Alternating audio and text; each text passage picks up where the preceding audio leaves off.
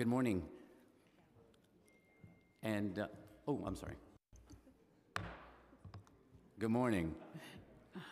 Uh, And welcome to the meeting of the Subcommittee on uh, Zoning and Franchises. I'm Councilmember uh, Francisco Moya, the chairperson of uh, this subcommittee, Uh, and we are joined today by Council Members Levin, Richards, and Grodenchik. Uh, If you are here to um, testify on projects that are on our calendar for which uh, the hearing was not already closed, uh, please fill out a white uh, speaker slip with the Sergeant-at-Arms uh, in the back and indicate uh, the name uh, or your LU number of the application you wish to testify on the slip. We will now start our hearings. Uh, Our first hearing is on LU 262, an application pursuant to Section uh, 20-226 of the Administrative Code by 931 Manhattan Cafe LLC, uh, DBA uh, Citron, for a new uh, re- revocable consent to maintain, operate, and use an unenclosed sidewalk cafe located at 931 Manhattan Avenue in Council Member Levin's district in Brooklyn. Uh, I now open the public hearing uh, on this application, and uh, I want to uh, turn it over to Council Member uh, Levin for some remarks. Thank you very much, Mr. Chairman. Um, We appreciate your working with the applicant and my office, as well as land use staff, um, Julia Lubin, Amy Levitan, uh, to make uh, a compromise possible on this application. Uh, And I will read um, uh, this into the record. This is from the applicant 931 Manhattan Cafe LLC at 931 Manhattan Avenue. Um, This is an application for a sidewalk cafe, um, and the letter reads, "Dear Honorable Chairperson Salamanca, Councilmember Levin, and members of the council, please accept this letter as confirmation of our agreement with Councilmember Levin. There shall be no more than three tables and six chairs, and all such tables and chairs shall be arranged parallel to and flush against the building. No table, table or chair shall be placed more than 24 inches from measured perpendicular to the building wall. No more than two tables and four chairs may be placed on the south side of the restaurant door, and no such table or chair shall occupy more than 18 inches measured along the building wall.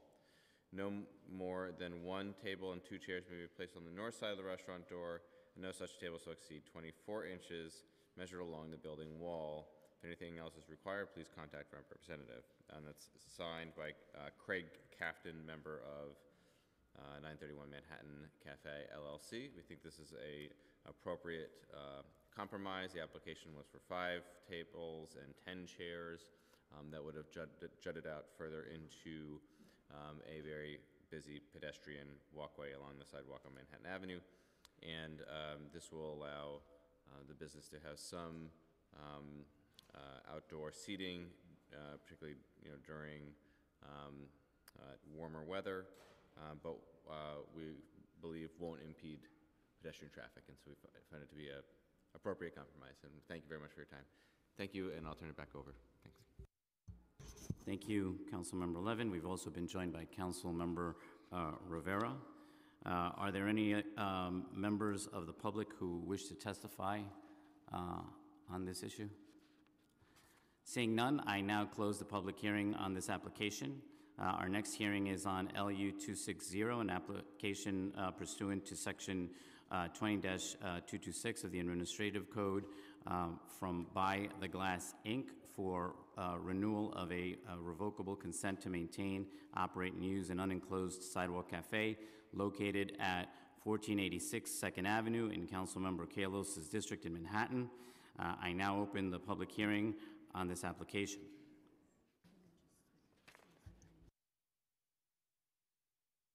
Uh, Are there any members of the public who wish to testify on this application? Uh, Seeing none, I now close the public hearing uh, on this application. Our next hearing is on LU 261, an application pursuant to Section uh, 20-225 of the Administrative Code from the Three Decker Restaurant uh, Limited for the renewal of a uh, revocable consent to construct and/or maintain, operate, and use an enclosed sidewalk cafe located at 1746 Second Avenue in Councilmember Kallos's district in Manhattan. And I now open up the public hearing on this application. Um, Are there, are there any members of the public who wish to testify on this application? Uh, Seeing none, I now close the public hearing on this application. Uh, Our next hearing is on LU uh, 263, an application pursuant to Section uh, 20-225 of the Administrative Code from 27 East Restaurant Holdings LLC, Fleming uh, Le Bil- Le Bouquet, uh, for a revocable consent to construct and/or maintain, operate, and use an enclosed sidewalk cafe located at 27 East 62nd Street in Councilmember Powers' district in Manhattan. Uh, I now open the public hearing on this application. Uh, Are there any members of the public who wish to testify? Uh, Seeing none, uh, I now close the public hearing on this application.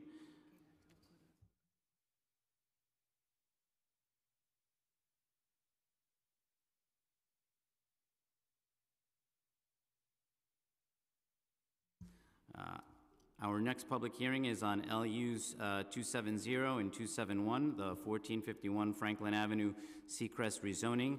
Applicant uh, Carmel Partners seeking rezoning of the western side of Franklin Avenue, uh, bounded by the midpoint between President Street and Carroll Street on the north and Montgomery Street on the south, and the south train tracks on the west, to an uh, R, R8X and an R8X C24 district.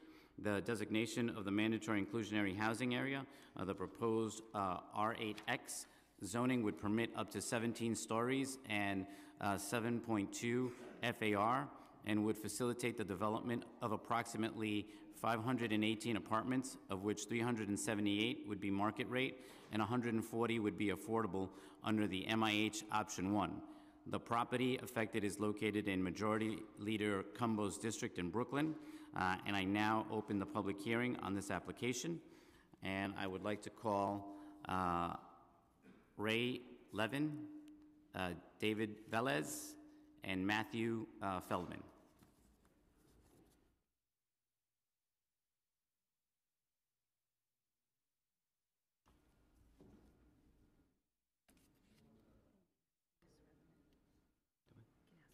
Okay, I'm just waiting for them to sit down. Yeah, sure.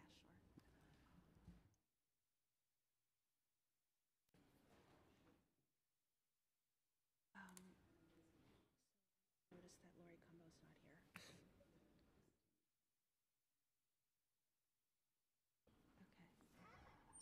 Well, she knows about the project, but I guess um,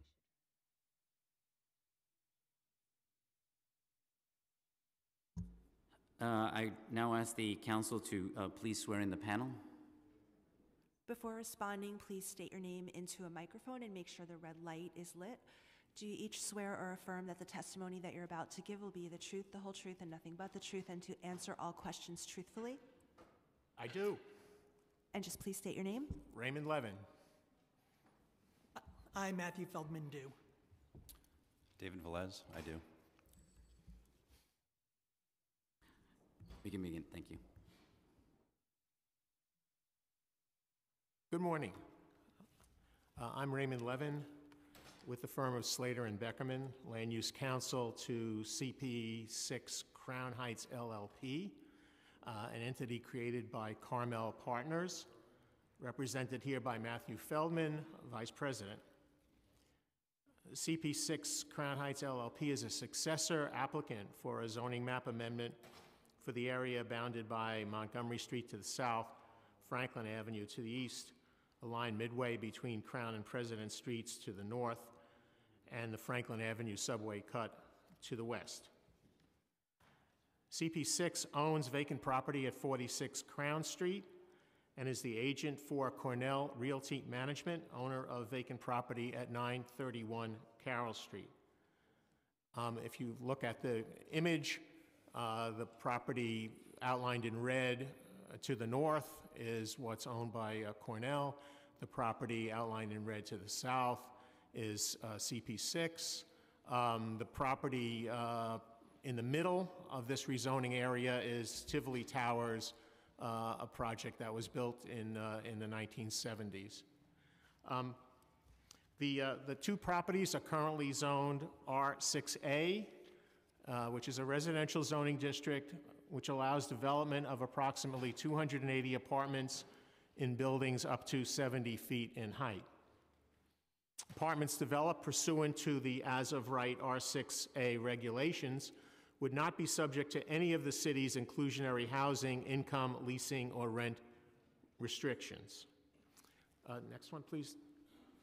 Um, The proposed R8X district would allow development of an additional 240 apartments, of which pursuant to the proposed mandatory inclusionary housing area designation, 140 of which would be income targeted. All the apartments, inclusionary and market rate, would be subject to rent stabilization with mandatory lease renewals and rent increases controlled by the Rent Guidelines Board. Um, As you can see on this chart, it outlines uh, the development of the two properties and the, uh, and the number of, uh, of units in each bedroom category that would be uh, uh, developed. Next, uh, Pat. The proposed buildings are located amid 33-story Tivoli Just go- Towers, which you can see. I don't mean to To interrupt you. Can you just go back to the- that last slide one more time? Certainly. Okay, thank you. I just needed to, Oh, okay. Um, Next. Um, The proposed buildings uh, are located uh, amid the 33-story Tivoli Towers, which you can see in this image uh, in the upper center. Uh, The proposed buildings uh, are 16 stories, so what's proposed, and they are on either side of Tivoli Towers, um, sort of looking orangey. Um, the 26-story Ebbets Field Tower, Towers, which are just to the south in the lower, uh, the lower left-hand corner of this image. Um, Across the street from the proposed project uh, is uh, an undeveloped parking lot that's part of Medgar Evers College. Um, And between uh, the project and the Brooklyn Botanic Gardens uh, are basically six-story uh, apartment buildings, um, I guess post-war apartment buildings. Um, uh, Next. We, we've reached out to our neighbors, uh, had meetings with most, have also engaged uh, with the broader Crown Heights uh, community over the last four years, um, making everyone aware of the project. We have uh, letters of uh, support uh, from the Haitian American Council, Tivoli Towers Tenants Association, Crown Heights Jewish Community Council, uh, Brothers in Growth, and St. Francis of de Sales School for the Deaf on Eastern Parkway. Um, And uh, we can provide those letters to the council. Um, This image just shows the same as the last image, except from the other direction, from the, looking at it from the west, you can see Tivoli Towers in the center, the two proposed buildings on either side, and the uh, six-story apartment buildings uh, between uh, the towers and the gardens.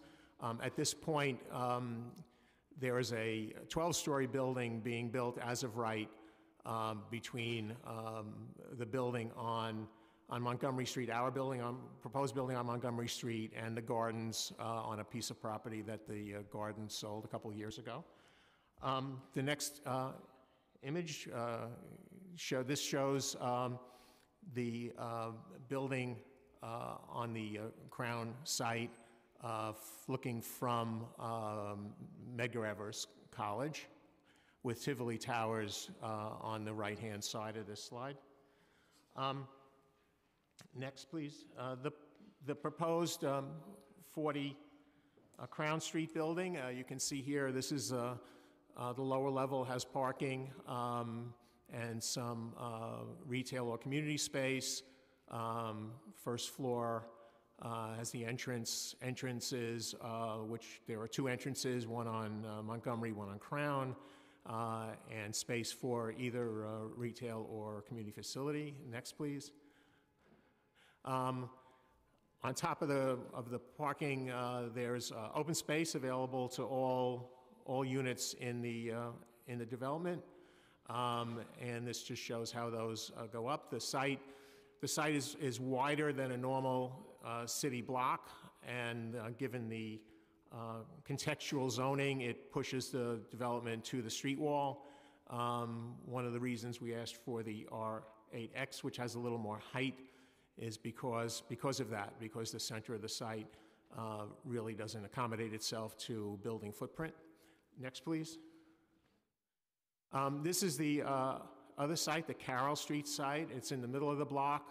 Um, Parking, parking below, uh, entrances uh, off of uh, uh, Crown Street and uh, apartments above. There is open space available to all the tenants to the, on the northern part of the site, above the, above the garage. Next, please. Um, And the building just goes straight up. Uh, So the, the, um, the building on, on Crown Street is 390 units, 105 of which would be inclusionary, 190 parking spaces in that garage. Um, And the, uh, on the Carroll Street building, 128 units, 35 inclusionary, uh, 64 parking spaces. Uh, Both buildings uh, will be broken down with 5% studios, uh, 40% one-bedroom, 35% two-bedroom, and 20% three-bedrooms. Um, In summary, uh, the proposed rezoning and MIH designation will allow buildings containing approximately 518 apartments, 140 of which will be income limited. Next slide, please. Um, As shown here, um, you can see the monthly rents depending on the size of the unit and the different AMA categories, AMI categories. So you can, um, you know, see that someone with a, who wants a two-bedroom unit, who earns 60% of AMI, there are so many units available for that, uh, that family. Um, So it's kind of a uh, mix and match is how MIH works. Um, But this is the, the breakdown, and then at the bottom, it shows how many units in each category uh, would be part of this project.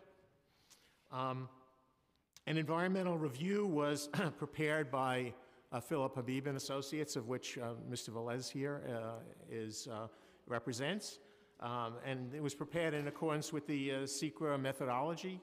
Um, And a negative declaration was issued by the Department of City Planning uh, stating that no significant, uh, no significant negative effects uh, on the environment were found.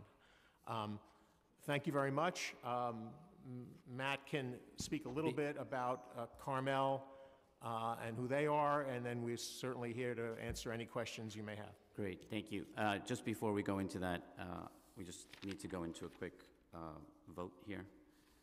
So,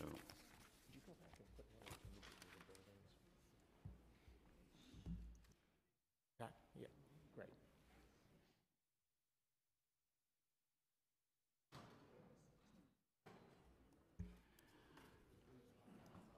Okay, Aye now call for a vote uh, to approve LUs uh, 260, 261, 262, and 263. Uh, The local members are in support. Uh, Council, uh, please call the roll. Moya, Ayano. Levin, Aye. Reynoso, I. Richards, I know. Rivera. Uh, The land use items are approved by a vote of five in the affirmative, zero negative, and no abstentions, and referred to the full land use committee and will, oh, Councilmember Grodenchik. Aye. The land use items are approved by a vote of six in the affirmative, no negatives and no abstentions, and we'll leave the vote open. Um, We'll leave the vote open.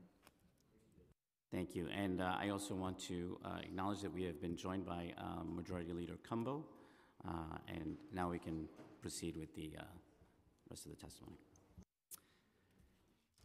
Thank you. Um, In addition to what Ray said, I just want to highlight some additional project benefits that uh, this project can offer to the community, in addition to the 140 apartments, uh, income targeted at 60% of AMI. Um, In addition, we have uh, met with IMPACCT Brooklyn and discuss sponsoring workshops for the community to make sure that applicants can be prepared when the community preference apartments become available, and to make sure that people have their required information ready for the lottery, and that people um, can get help filling out the applications if required. We also plan on meeting MWBE goals akin as if this was an HPD finance project. Uh, We're also, will commit to union staffing post-completion if this project is upzoned. Um, And we will also, even though it wasn't on the plans, include a community facility on the project that can be rented to community groups, um, either below market or free, depending on their needs. Um, In addition, you'll hear from the opposition that has attended prior public hearings. Most of the opposition has been concerned with shadow studies on the botanical gardens. Uh, I just want to say that the Botanical Gardens issued a letter on October 11th stating this project has no impact and that they have no objections. And with that, I'll be happy to answer questions. Okay, thank you. Um, One second.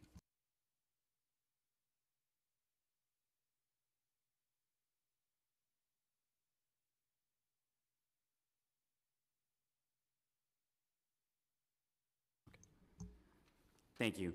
Uh, Just a a couple of questions. Um, In regards to this uh, in particular, um, can we just go over um, what the proposed uh, unit size mix, again, is going to be?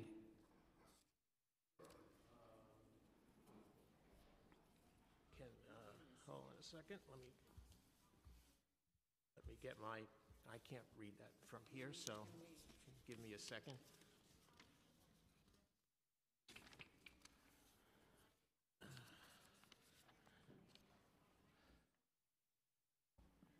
Okay, apart, you want apartment sizes, is that? Yeah, what is Okay. the, right, what is, you you you gave the breakdown before, if you could Yes, just go yeah, over that yeah, again. yeah. Stu- The the targeted apartment sizes uh, are studios at 400 square feet, one bedrooms at 575, two bedroom at 775, and three bedrooms at 950. Okay. Um, So are are you, uh, have you uh, had conversations to partner with some local non-for-profit organization uh, to be the administrating uh, agent for the affordable housing? Yes, as I said, we've met with IMPACCT Brooklyn to discuss workshops, and assuming we proceed with uh, the upzoning, we assume that they're going to also be the local administrative agent. Got it. Um, And do you think that it's important for members of uh, the Crown Heights areas to have uh, good jobs? And if so, uh, are there concrete commitments that you're willing to make here regarding that? Yes, as I said, for um, both local hiring and for um, subcontracting, we um, will adhere to the HPD guidelines as if this was an HPD-sponsored project. And what is your policy around uh, responsible contracting uh, for building service workers? And if you have one, uh, can you make it publicly available to us? So if this project gets upzoned, we will commit to union staffing.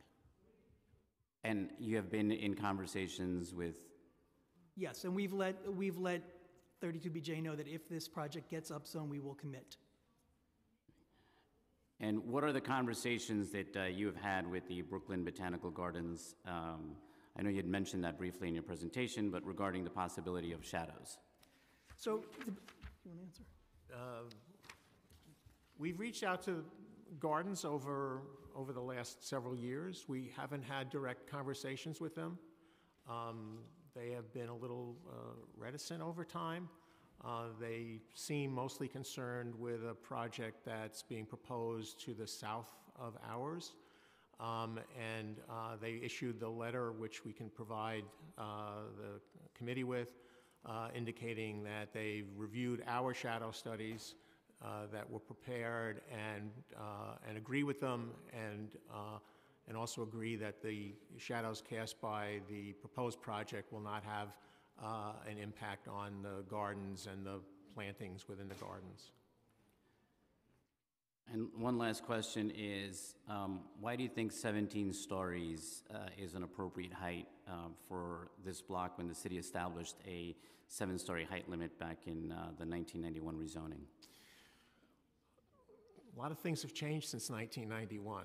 Uh, MIH came in, which, uh, which uh, the city uh, is supporting the development of affordable housing is in, in, uh, in, as part of uh, market rate housing.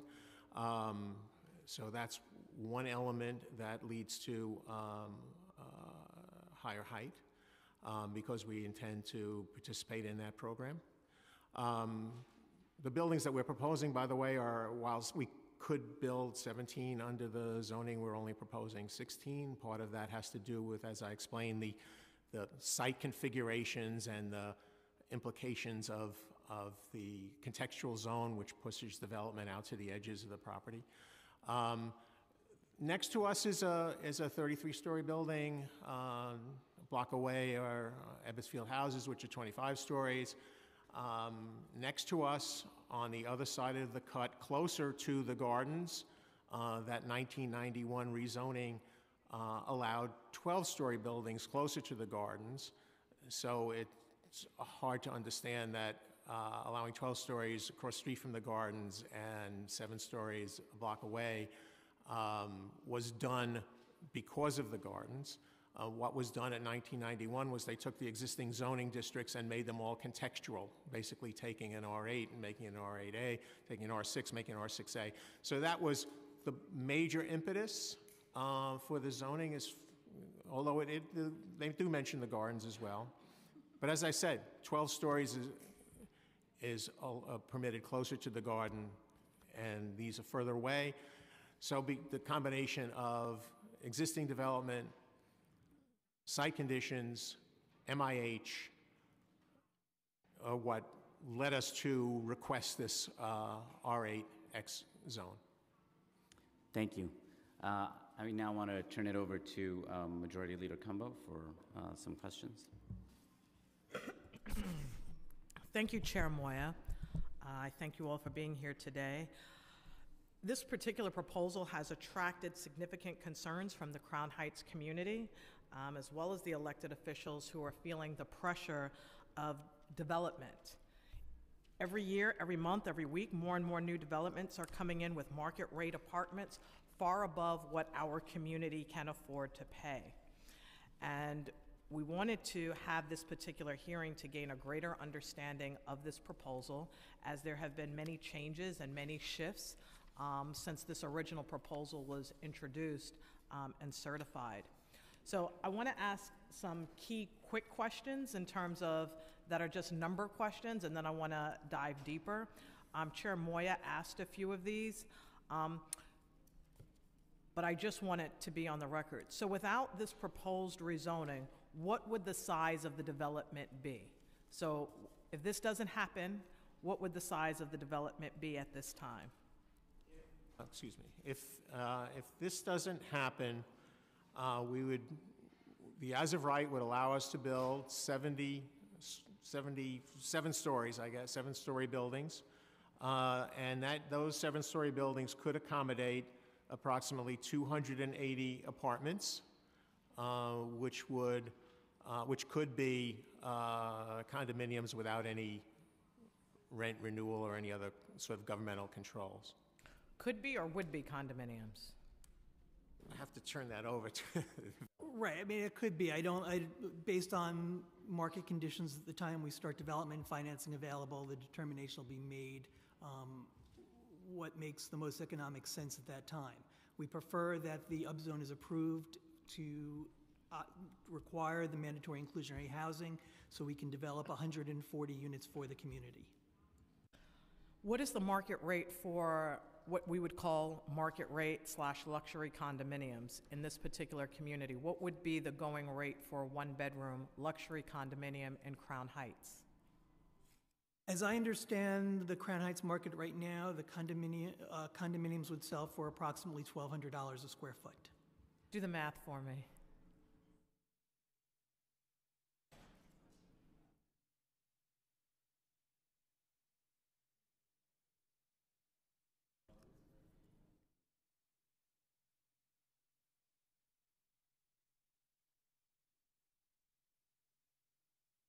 It's, it's just short of 900,000 for a one-bedroom. How much? Just short of 900,000 for a one-bedroom. 900,000 Yeah. for a one-bedroom. Short of that, yeah. Short of that? Yeah. So you would be building approximately 280 apartments, which on average, let's see, three, six, would be bringing in approximately 900 people, three people in an apartment. Some will be studios, some will be three bedrooms too, just a guesstimate. So 900 people would be coming in that would be purchasing on average, on the low end, a $900,000 condominium.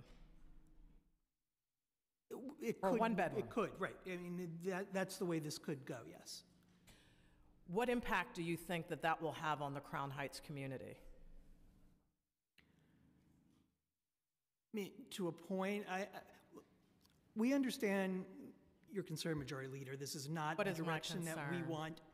Gentrification is an issue throughout the city. Mm-hmm. Um, and we, it's our goal to develop this project under mandatory inclusionary to make sure that there's apartments affordable at every income level, both income targeted for 40 AMI, 60 AMI, 100 AMI, and of course, the market rate units that are subsidizing these income targeted units.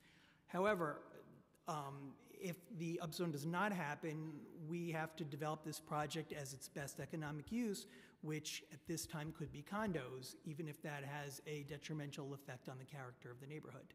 I'm gonna put on my Dr. Phil hat for a second. How do you feel about that?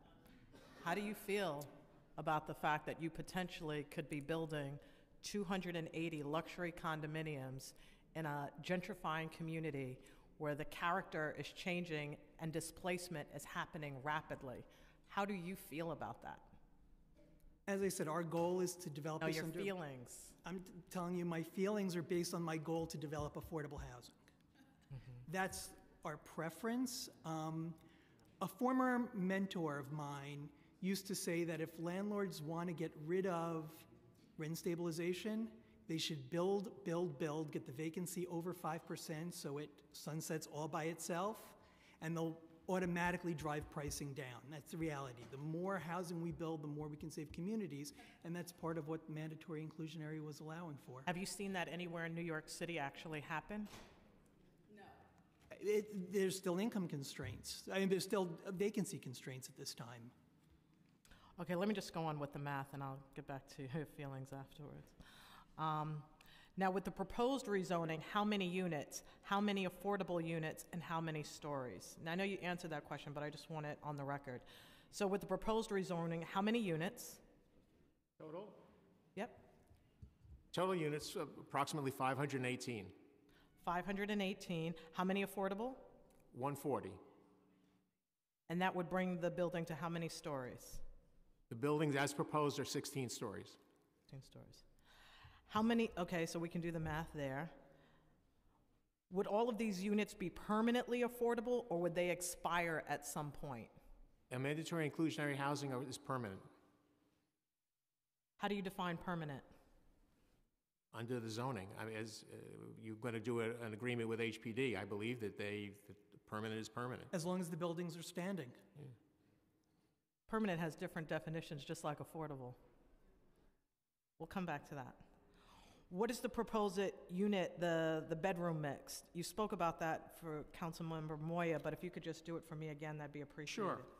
Uh, The bedroom mix, uh, the currently proposed, studios 5%, one-bedroom 40%, two-bedroom 35%, three-bedroom 20%. Can you talk to me a bit? One of the things that we have all been in discussion with, and I know that we left off with conversation about this, which I'm very interested hmm. in, is where your negotiations are currently with AFI in terms of the ability to include a not-for-profit partner into the project, for my purposes, to increase the level of affordability, but also to reduce the density. Where are you all with those particular negotiations? Well, um, going back in history, uh, a little over three years ago, um, there was a memorandum of of understanding uh, that was circulated uh, with uh, AFI, who owns that out parcel, Uh, In fact, we met in your office to discuss uh, the contours of that proposal. Um, That at, at a point, um, uh, AFI withdrew from that, from those discussions. uh, And uh, recently, uh, we've re-engaged them. We, uh, we reached out to them on a number of occasions and finally had a discussion with them uh, within the last several days, where they were going to look at how how we might, how, how from their perspective, we might come to some agreement. Uh, They were going to get back to us. They haven't as of yet. There are some impediments in the short term because there are restrictions on the AFI site that, uh, deed restrictions that HPD put on that site when they sold it a, a number of years ago. Um, So that Can you give me an example of what those would be? Like, what would prevent them from, Well, they, there, there was an accelerated UDAP, as we understand it, that was done to sell it to a, a- actually a predecessor to uh, AFI. Um, And they limit the number of units at the time that that um, sale uh, went forward. uh, There were buildings on the property, and basically, at the time, they were uh, intent on, on uh, rehabbing those um, for one reason or other, which I'm unaware of. Uh, They were take, the buildings were taken down, and the site was transferred from that owner that bought it directly from HPD to, to AFI. Um, uh, I believe that under the current deed restriction, um, something in the area of 16 units could be developed. that's it? Uh, I believe so. Um, We, when, going, going back again to the three, three years ago, when we were working with AFI and HPD, um, HPD prepared uh, a draft of a ULURP application to uh, remove those restrictions, and the notion was that they would put different restrictions on, on, uh, on the site that AFI would develop at that time, but Right. as I said, that, uh, those discussions evaporated. Um, So now, in terms of, of the discussions with them, we are waiting to hear back as to what, what they think. It seemed from the discussion that they were um, concerned about their independence, I guess is how I would say it. uh, Fair. um, And that uh, they believe that with the rezoning and with HPD's uh, concurrence, they believe that uh, 50 units could be developed on their, on their property under those conditions. Um, And we talked to them about squaring off properties, about additional properties, about, we discussed a, a number of things in a, in a relatively short telephone conversation with them uh, the other day, and they're going to get back to us. So we will see where it goes. And so if the zoning that you're looking for today were to be allowed on AFI's um, site, they would potentially be able to build 100% affordable units? 50, Whoa. 100% Yeah, affordable well, units? th- that's, that's their, they're, they're a mission-driven, not-for-profit. Right. Which they would, they believe, we- we'll, we'll have to see, but they believe that they've had discussions with HPD uh, where HPD would, would fund uh, an affordable housing project. Let me just say, the, the, the partnership with AFI is very important to me. So I would like for you all to continue to invest the time, energy, and resources to understanding what an AFI partnership would actually look like, and HPD uh, lifting uh, those restrictions so that we could understand what a partnership would look like. From my perspective, to increase the affordability, but also to decrease the total density of the entire project. That's my goal. You all have your goals, that's my goal. Um, Can you talk a bit about the borough president's recommendation? So the borough president recommended that a portion of the commercial space be set aside for local not-for-profit organizations, such as arts or cultural organizations at below-market lease terms. Have you considered this recommendation?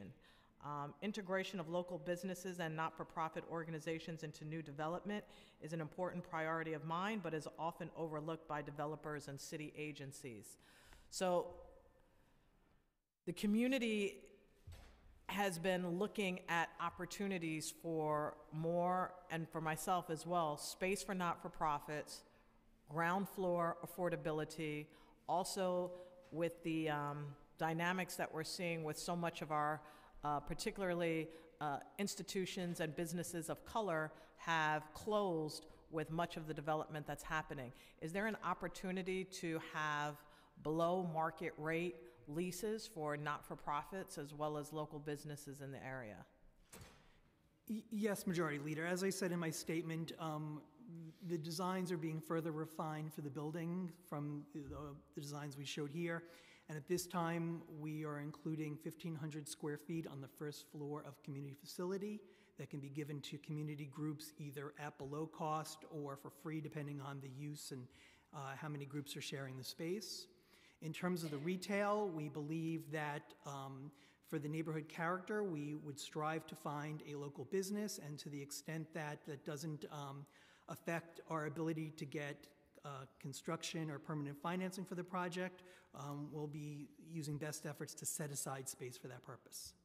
Set aside space at below or low cost? Uh, For local community businesses akin to, um, well, the community facility, yes, below cost or for free. Now, let me just say, 1,500 square feet is very small. That's about the size of a standard storefront space. Right. So that would only be like one space. Mm-hmm. So that's not really impactful, if we're talking about impact. This, again, I mean, all these questions sort of come down to where the zoning falls out. We would want to maximize the space as we can within the constraints of the zoning. So 1,500 potentially for community facility or uh, a not-for-profit organization. And what is the square footage for the retail that would be remaining? The overall square footage of retail is 15,000 square feet on, on gray, on the ground floor. Now we're talking 15,000 square feet. On the ground floor and in the, uh, and in the basement. So it's split, because the, the site has a big slope to it. So have you thought of any, from the conversations that you've had, and I understand that you've had multiple conversations with community leaders in the neighborhood, have you thought about how to program or to curate that 15,000 square feet? Well, I just We- wanted to do one clarification. It's up to 1,500. Right now, the basement is not being fully excavated. 15,000, right. It's not, it- it's 7, I believe it's 7,000 at grade and up to 7,000 below grade um, if the building gets constructed that way. Okay, we've, in, in terms of our discussions uh, with, uh, with community groups, uh, immediate neighbors and others, uh, that issue hasn't come up. The issue has not come up in terms of community needs. In terms of curating the space for specific users, no. Okay, so the next time that we're in this space together, I would like to have a further understanding of how you're going to program that and how it's going to be uh, a representation of the needs of the community. You have Medgar Evers College, a stone throws away. You have over 10,000 families in Ebbets Field. You have Tivoli Towers. You have many different services that need to be fulfilled there.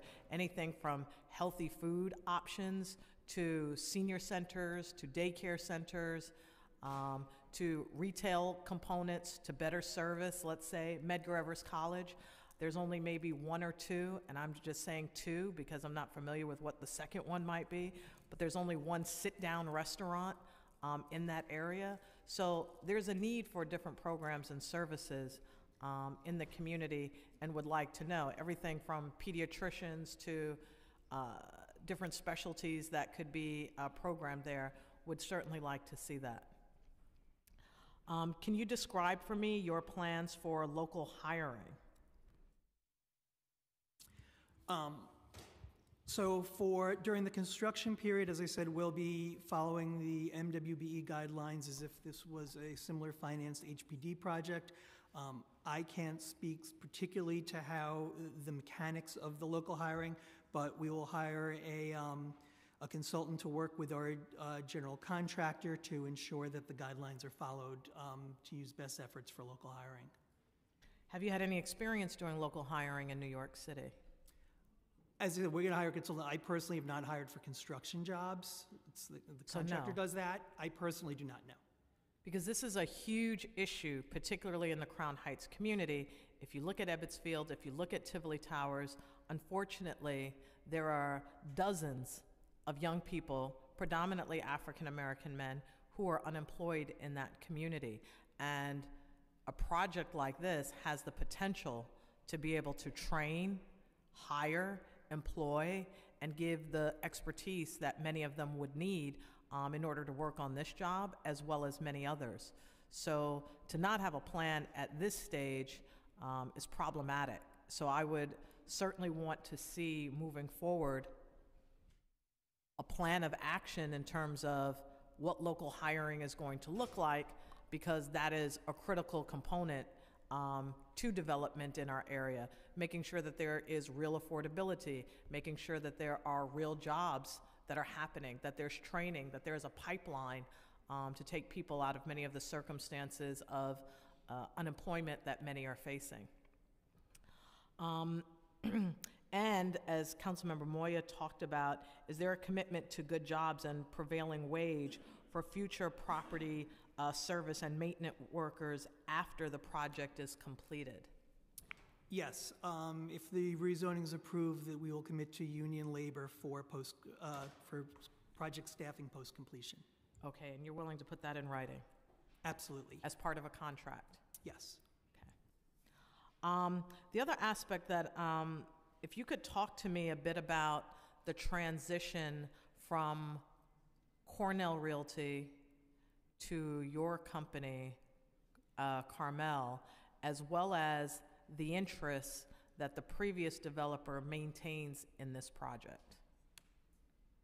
Um, Not sure exactly what your question is. We purchased the site from Cornell, who had started this process. Um, It was an arm's length at market purchase.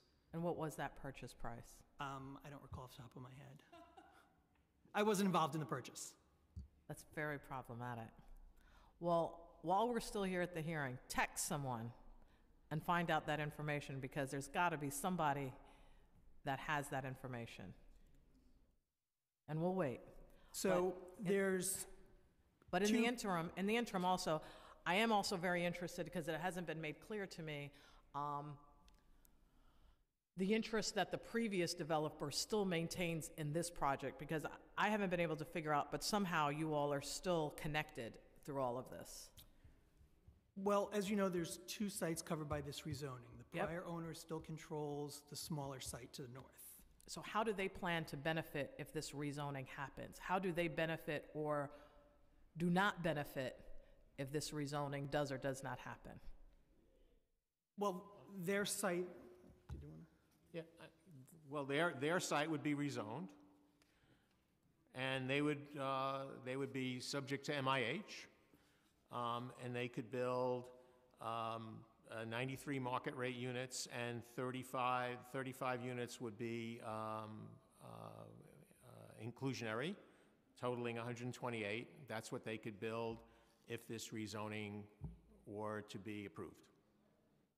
And would you have an interest or a stake in their development?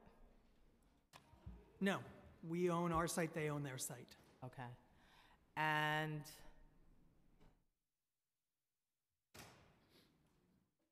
and if the development does not happen, how does that, if- excuse me, if the rezoning does not happen, how does that impact Cornell? Uh, Hold on one second. I will uh, No problem. do that answer. And I hope we're looking for the other answer. I hope someone's texting no, someone I have it. feverishly. Okay, uh, I'm sorry, okay, um, so let's see, the, the other site without the rezoning.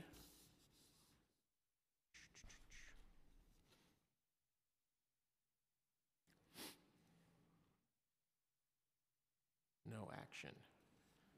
Uh, 69, 69 apartments. Okay. Okay. Um, and to my other question, Sure. So um, the purchase price for the as of right for the larger site was 40.5 million. Um, If the uh, sites get rezoned up to the R7X, the purchase price for the large site becomes 64 million. How much? I'm sorry, ma'am, but you, for the audience, please, we just need everyone to, So 64 million if the rezoning does happen. Okay, those are all the questions that I have. I think I've been very clear in terms of what my um, interests are, what I want to see. I'll just reiterate as well. Um, Definitely want to continue to see how the partnership with AFI unfolds. Want to understand what your real local hiring plan is going to be and how it will be executed and what partners you plan to utilize for that. Would like to understand and have a better uh, in writing understanding of how uh, hiring will happen um, post the completion of the project and how you will work with uh, our unionized workforce in order to make that happen. Want to have a real understanding of how the AFI partnership will increase um, affordability and to reduce uh, the height of the buildings, and want to have a real understanding of how the commercial and uh, retail space will be utilized for not-for-profits as well as local businesses in the area in a way that is both affordable as well as permanent um, as it relates to the entire project. Thank you. Thank you, Majority Leader. We look forward to talking with you this- about this. And we'd like heat next time we're here. Keeps Thank you you very awake and alert. that's right. Thank you, thank you for your testimony. I want to call up the next panel. Uh, Dale Ferdinand, Sam Pierre, and Ellie Cohen.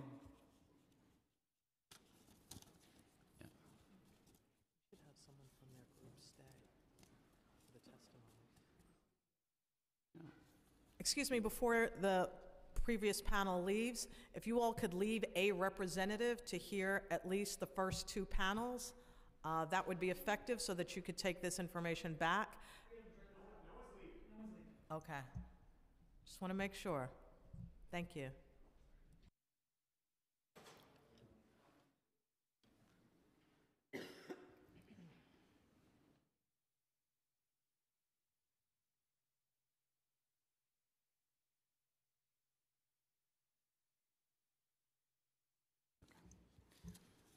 Thank you. So uh, you have two minutes, and uh, we're going to start um, on this side. Are you, your name? You have to push the button to, uh, Sorry. Thank you. Sam Pierre. great. Thank you, Sam. You may begin. Thank you. Um, Good morning, uh, council members and the community. I'm very excited to be here. Um, My name is Sam Pierre. I'm the Executive Director of the Haitian American Caucus, also the uh, Chairman of the Haitian American Supplier Diversity Task Force. Um, And I just want to be very brief about the, the- the points that we have on this project. Uh, We are actually in support of this project. This is the first time that the Haitian community has actually been brought to the table uh, with a developer on a opportunity to do an affordable um, housing uh, project in addition to uh, um, helping with the management of the community space that will be developed. Um, Yes, we do understand that there's a large opposition against this project. However, we have yet to um, hear what are the recommendations or the solutions uh, to the, the from the opposition. Uh, We have sat with the table, we have sat at the table with the developers and, um, and understand that this is an opportunity to bring 140 affordable housing units to our community. Um, You know, we've gone back and forth and we said, okay, we always have fights, we have conversations about bringing affordable housing, but there's no other solutions. Um, I, we've, I've spoken to, and our organization has spoken to so many different community partners, and everyone has told us that yes, they have concerns, and we should have concerns, and we need to keep the developers' feet to the fire. However, this is an opportunity to bring affordable housing to our community. Um, the Haitian community has lived in Crown Heights for a very long time. Many of them cannot come back after the students graduate, go away from school to school. They can't come back because they can't afford it. Um, having affordable housing and market rate housing would be a great way for members of the Haitian community to come back and live in Crown Heights. Um, the last point I also want to make is that um, the, the Haitian Supply Diversity Task Force is going to be sitting with them. Um, is going to be sitting with the developers so that we can hold their feet to the fire to make sure that they actually do what they say. Many a times, the opposition we say we don't want it, but we never sit with the developers through the lifeline of the project. We're committed to doing that, and I, I understand I might be demonized by the community, but I'm not afraid. We're going to fight. We're holding um, strong, and we want to make sure that our community has access to 140 affordable housing units. Thank you. Thank you. Dale? Yep. Just state your name and you may begin. My name is Del Ferdinand. Just go for me. Oh, sorry. My name is Del Ferdinand. I am a small business owner and also a member of the Haitian American Suppliers Diversity Task Force. And um, I s- be real brief. I'm actually here today as a proud Haitian American, um, a proud lifelong resident of Crown Heights, and also a proud servant of the needs of my community. Um, I know firsthand, um, living in Crown Heights, that rent has gone up dramatically. Where a lot of my peers were forced to like move down south because you know they could simply afford it. I was actually in a situation um, where I was unable and I had to make a decision whether to pay my rent or to buy groceries to feed my daughter. So I'm a strong believer that if anyone doesn't understand the needs of our community, they, there's no reason for them to be there. And I felt as a community, being from Crown Heights, that we refuse to have our needs ignored. Uh, we refuse to have our concerns thrown on the back burner, and we also refuse to not have a seat at the table. And taking all of this into consideration, um, actually speaking with the developers, this is why I and the members of my community also agree that this um, rezoning proposal should be approved. I do also know that uh, this committee and the city council has also made a lifetime worth of good decisions. And choosing to approve this rezoning proposal will be yet another good decision that they can add to list of good decisions that they make. And with that, I yield the rest of my time. Thank you. Good morning, council members, especially our own uh, council member Cumbo who's here. Um, I'm Rabbi Eli Cohen, and I'm the executive director of the Crown Heights Jewish Community Council. And we're also coming to speak in favor of the projects. And I'm assuming this goes for all of the projects that are under con- consideration under this um, the, this rezoning. So, um, the, the the real benefit that we see to the community is that housing. You, we speak to everybody, all, all our clients, if they're African American, Caribbean American, Jewish American, whatever, whoever.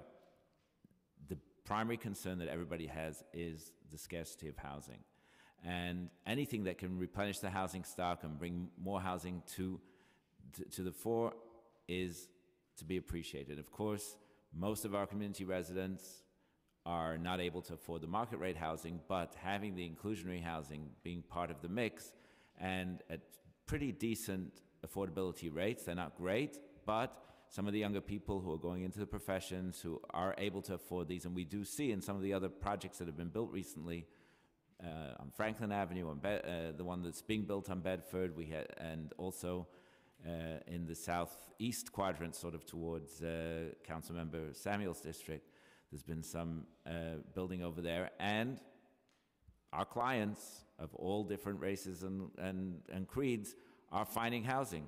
So it's not hundreds of people, but it's a uh, it's taking the pressure off. There, the de- there is stuff out there for people to look for and find, and I think that's the biggest benefit. Um, we certainly support uh, the council members' uh, attempts to get the maximum benefit to the community that we can, and I think that's good. It's not, we're I, obviously, the developer stands to benefit, and some of that benefit, it'd be great if it can be shared with the community, and the avail- availability of other uh, amenities like community space, etc. I think is also a positive thing. So, all over, I think we. ha- Oh, I just want to say one more thing, and that is to some of the negative that's been said about uh, the height and the density and so on. I live right across the street from Carroll Gardens, which is a very similar building to Tivoli Towers. It's the best neighbors you could have. It's calm, it's quiet, it has parking, it's, it really gives the ability to, for us to enjoy our, uh, a standard of living which is better than the neighborhood around. Thank you.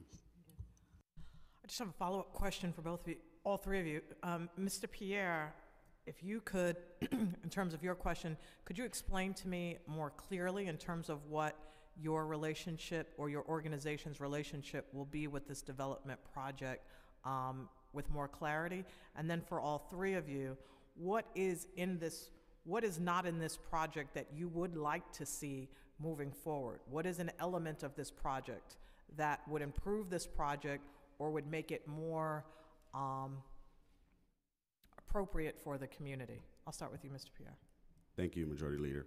Um, so we are um, we are in communication serving as their um, housing advocacy um, group, so that we can um, consolidate a lot of the different um, housing nonprofit organizations that are looking for affordable housing opportunities for their clients, uh, for their constituents. So we are in communications with different housing organizations all over Brooklyn and bringing them to the table because one of the biggest issues that they have is that they, if, if their clients are looking for affordable housing, if they don't have projects where they're in partnership, right, with the developers, then they don't have a list to even offer their clients. So we're trying to create a, a relationship where, okay, there's 140 potential um, affordable housing units that are going to be available.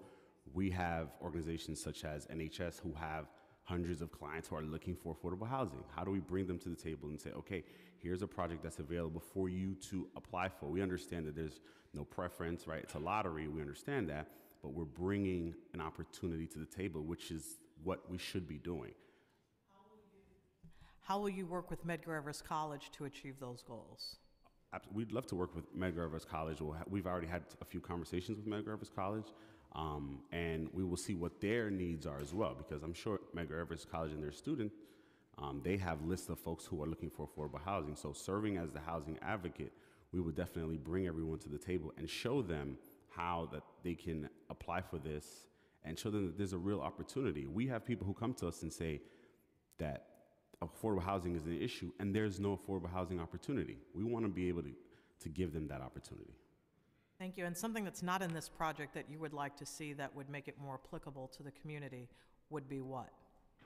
Um, something I'd like to see is like a tech center. I, we all understand that technology is a new wave, um, and having like a tech center there for the community so they can learn about coding, they can learn about STEM, they can learn about different things like that would I think would be great because um, now the community can benefit and learn a skill that they can actually use right away. So that's one of uh, the key things that the Supply Diversity Task Force is doing, the MWBE piece, right? We, we are going to be um, working directly with the developer to ensure that on our task force we have MWBE consultants that will ensure that all of the suppliers that are on there, right, that they've gone through the MWBE check. So this is an, an opportunity for us to be able to, to work on a real project and get real results.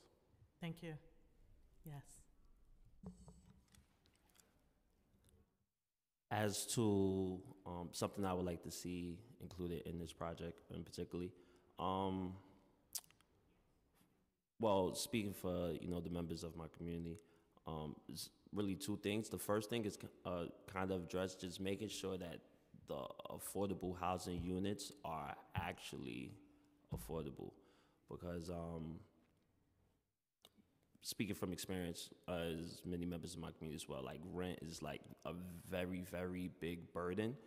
So just, and the developers are um, actively working to make sure that these units are actually affordable. So that, that's the first part. The second part would kind of be to um, also to see that there are actual programs that allow the members of the community to to enhance their skill set so they can go out potentially and uh, gain employment or you know create new opportunities for themselves so the first part would definitely be make sure that affordable housing is actually affordable for the members of the community and then the second thing is to implement programs that sharpen the skill set of the members of the community Thank you.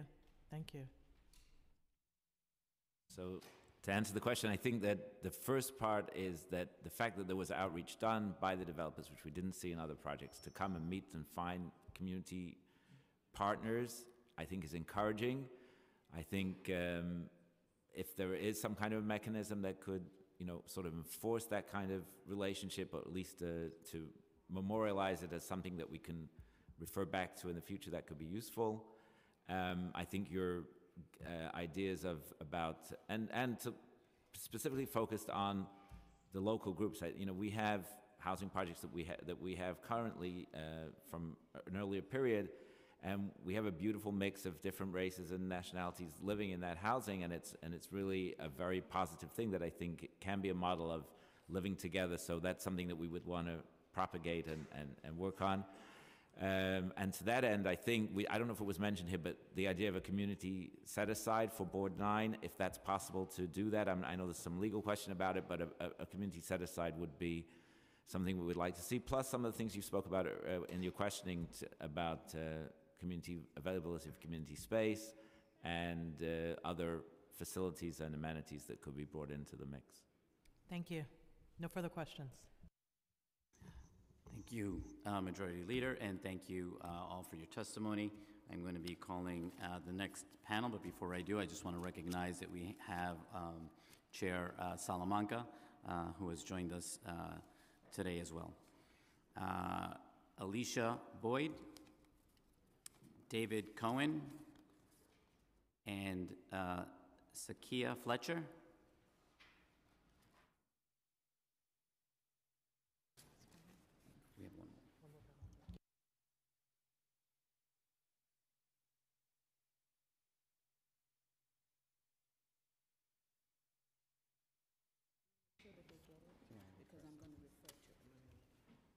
And, and we can start with uh, Sakia. Hello, good morning. My name is Sakia Fletcher. I'm currently a student at Medgar Evers College. Hold the mic. Move the mic closer, yeah, thank you. Hello, um, good morning. I'm current, my name is Sakia Fletcher. I'm currently a student at Medgar Evers College. I'm a public administration student, and I'm here today in opposition of this project. And I'm also the president of the Public Administration Club, and I stand with my members that we are also in uh, strong opposition of this project.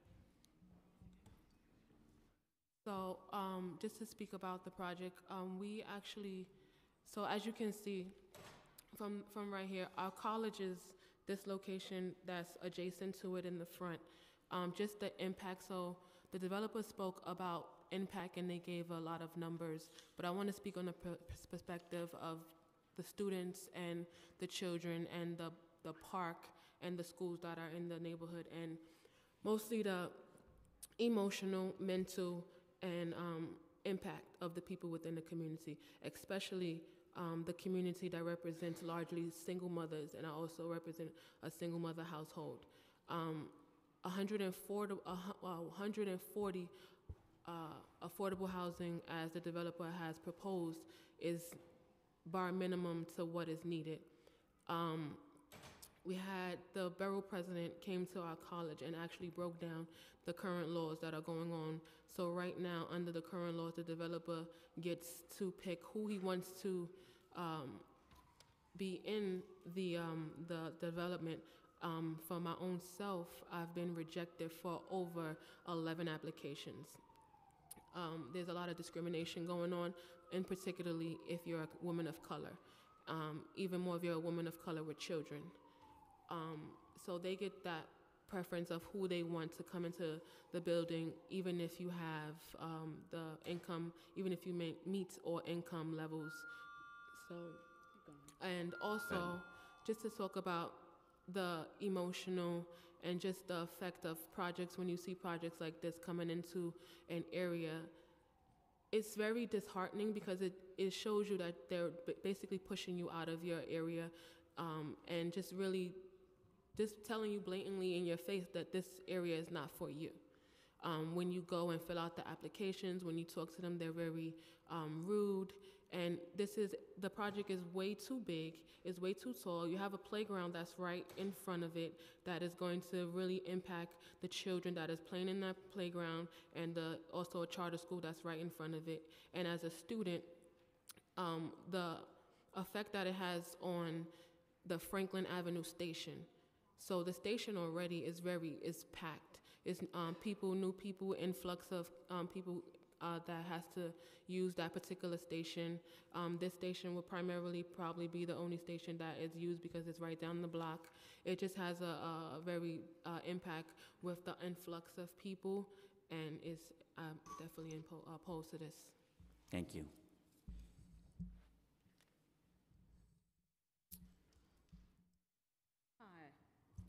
Hi, my name is Alicia Boyd. I'm a resident, a longtime Brooklynite. I represent the movement to protect the people and Black Flower Lovers Against Corruption. I have presented to you um, a document from the state senator's office. Do you have that in front of you?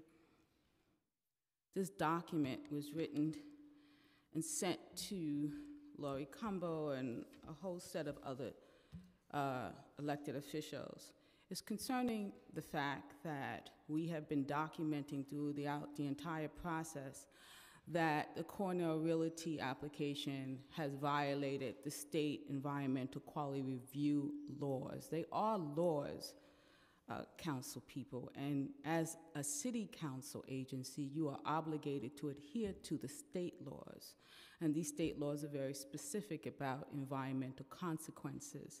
So his Senator Parker, this development is in Senator Parker's jurisdiction, so his letter should hold some weight in when it comes to any decisions that the council is going to make.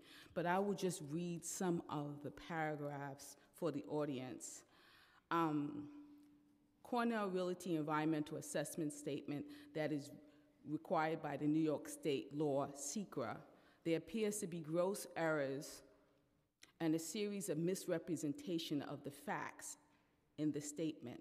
This, in turn, has prevented the application from being subject to an environmental impact analysis to determine the negative environmental consequences to the community, the garden, our water, and sewage facilities. On the second page, fourth paragraph, pursuant to Section 691 CRR 617.7 and 8 State Environmental Quality Review, a lead agency must check to ensure a proper analysis is done to determine if an environmental impact statement must be conducted, and the New York City Department of City Planning is the lead agency. Thus, he requested that Cornell Realty's application be reviewed for accuracy to determine if the EAS had been um, conducted appropriately and that he be kept informed and also that the Department of City Planning was supposed to then provide a description of the rationale and the quantitative data that informed the agency's determination. None of this was done. The, the main issue, yes, the main wrap it up. issue is that on Cornell Realty's application, there is a section in the environmental assessment statement which asks very clearly, do you, is your development going to make more than 400 residential units? Cornell Realty said no. As a result of that, and that's on the second, that's We- on the second to- one. We have to keep it to two minutes. Okay. Okay, if Af- you can just what wrap it up. they did is they stated no. And as a result of them stating no, they did not do an environmental assessment statement on the water and sewage.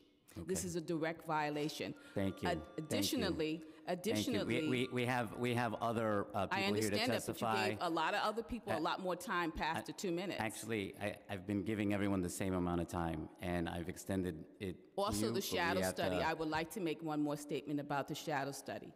The shadow study that they had performed did not include the bulkhead. Thank This you. is a violation of the SEQRA Thank, laws. thank you for your testimony.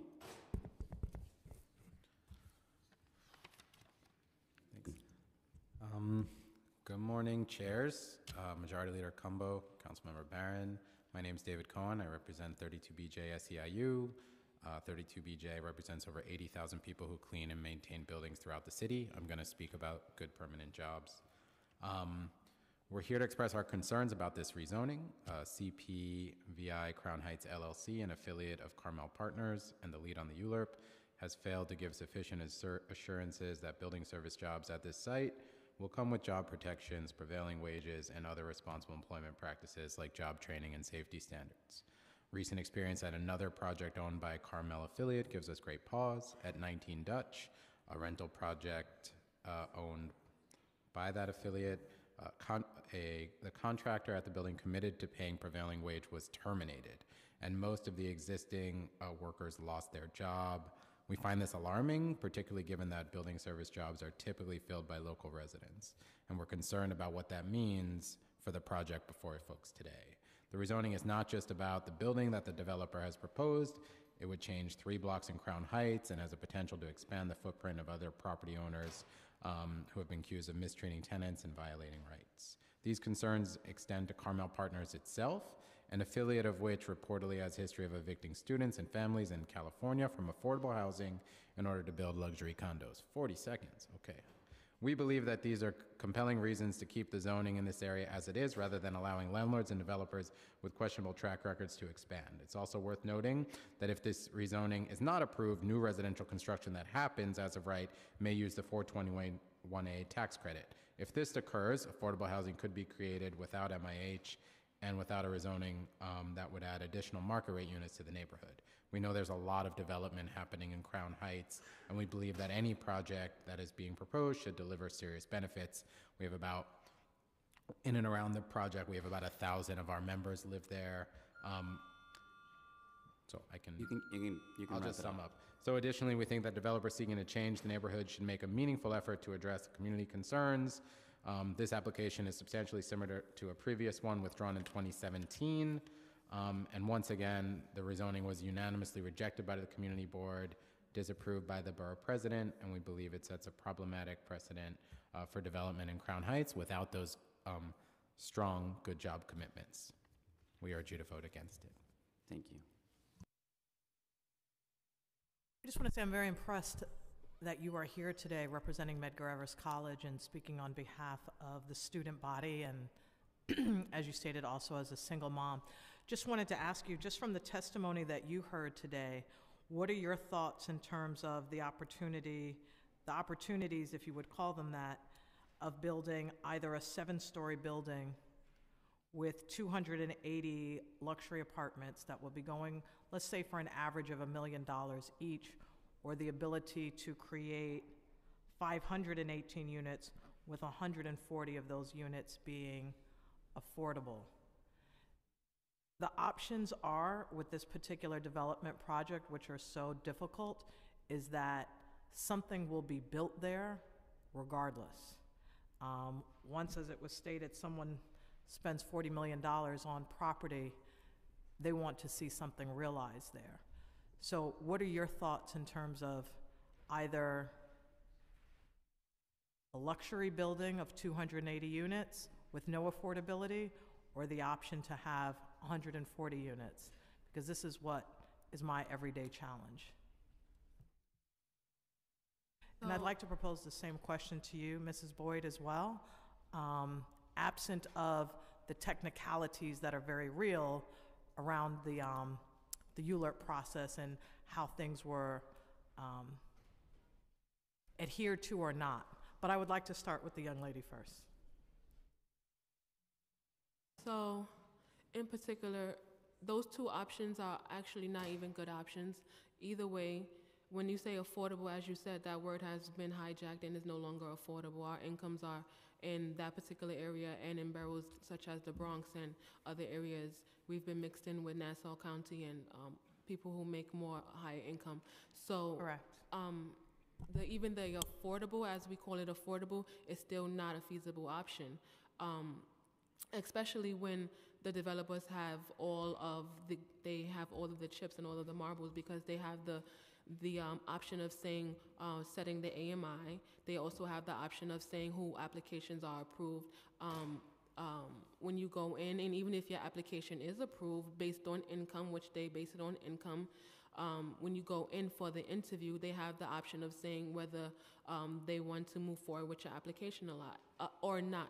Let me ask you this question because you also stated that you had been rejected 11 times. Have you made it to the interview process? Yes, I have four How many times. Four times? Four times. And what happens at that interview process? Are you explained as to why you were not able to move forward? Because we do hear this particular issue come up quite frequently. So, um, the first time when I was rejected, I made it to the process of um, being able to actually have a sit down interview. And they told me, you know what, this um, project is not for you. Um, the preference actually is not set for you. So, they also have the option of saying which preference, well, your um, zip code doesn't fall within the preference. So you meet the income level, but because of you eat, meet the income level, but because of the preference, you don't fall, but but within the preference that they set for that particular project. So that was one of them. Another one, they didn't give me a, a definite why I don't meet it. The only thing that they said, we're going to further review your application, and based on, I think they only set it may be either 100. So say, let's use this project for example. If they say 140, you have one bedrooms. I'm a single mother. I live by myself, head of, head of household. Um, in, in my category, it might be only four, four for a person that meets single, um, one person, head of a child. It might only be four actual apartments for my particular, because then you narrow down also. So if those four apartments are gone, then you don't, even though you meet the income level, you're four is you're out. Doesn't we, you don't meet any other. So that's the way they set it down. They cut it even more based on um, also um, the uh, component who who's in your household, how many people are in your household. So it's not only income but household composition also. So just in closing, both options on the table, hmm both are horrible options. Yes. Which option do you choose? I definitely don't choose to raise it to 17 feet. The option that that's definitely not. So you, you choose the luxury condominiums. um, I don't choose either option, but if that was on the table, if that so if this so feasible, um, if that was on the table, as you stated, there is going to be something on the table that we go back into the, the negotiation, in particular with Medgar Evers College, seeing that if they wanted to put another application instead of those condominiums, maybe adding a component that would even be a higher benefit unto to the people that was that's in the community. I hear you. All right, thank you very much. Mrs. Boyd? First and foremost, that area is rezoned to protect the garden. And the shadow studies that were produced by the city in 1991 stated that anything past 13 stories would be detrimental to the garden. So now we're proposing 17 stories because we want a few affordable housing, which is never affordable to us when we look at the AMI of $104,000, where our AMI is 40,000. So we know the affordable category does not apply to us. It actually applies to a community that will come into the community. So I don't buy the affordable. And I do not think that we need to be endangering our public green spaces for a few crumbs of affordable housing. If the developer wanted to build affordable housing, there are lots of pieces of land all over Brooklyn that they could buy, have affordable housing, and not impede upon our green spaces. But they don't do it because they want affordable housing, they do it because they want park views. And that's why they're doing it.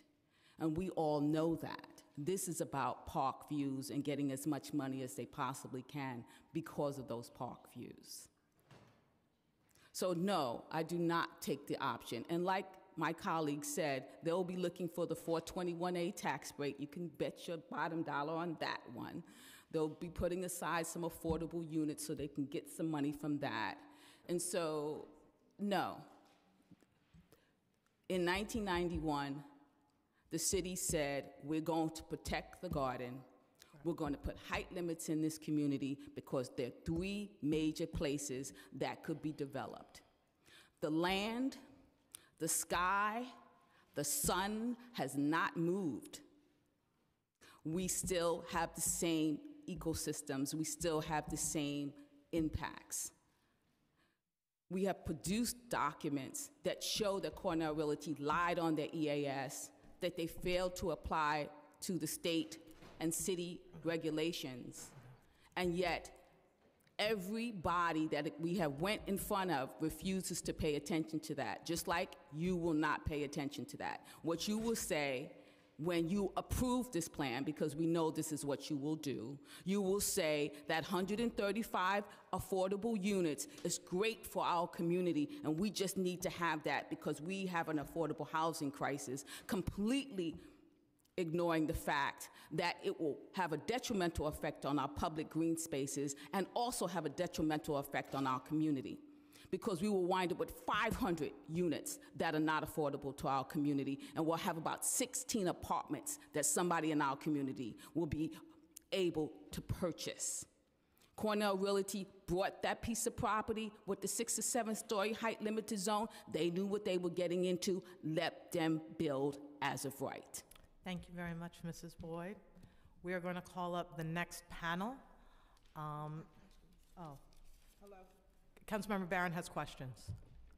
We'd like to recognize Councilmember Barron. Uh, Thank you very much. Just briefly, you represent, you're representing the student body at Medgar?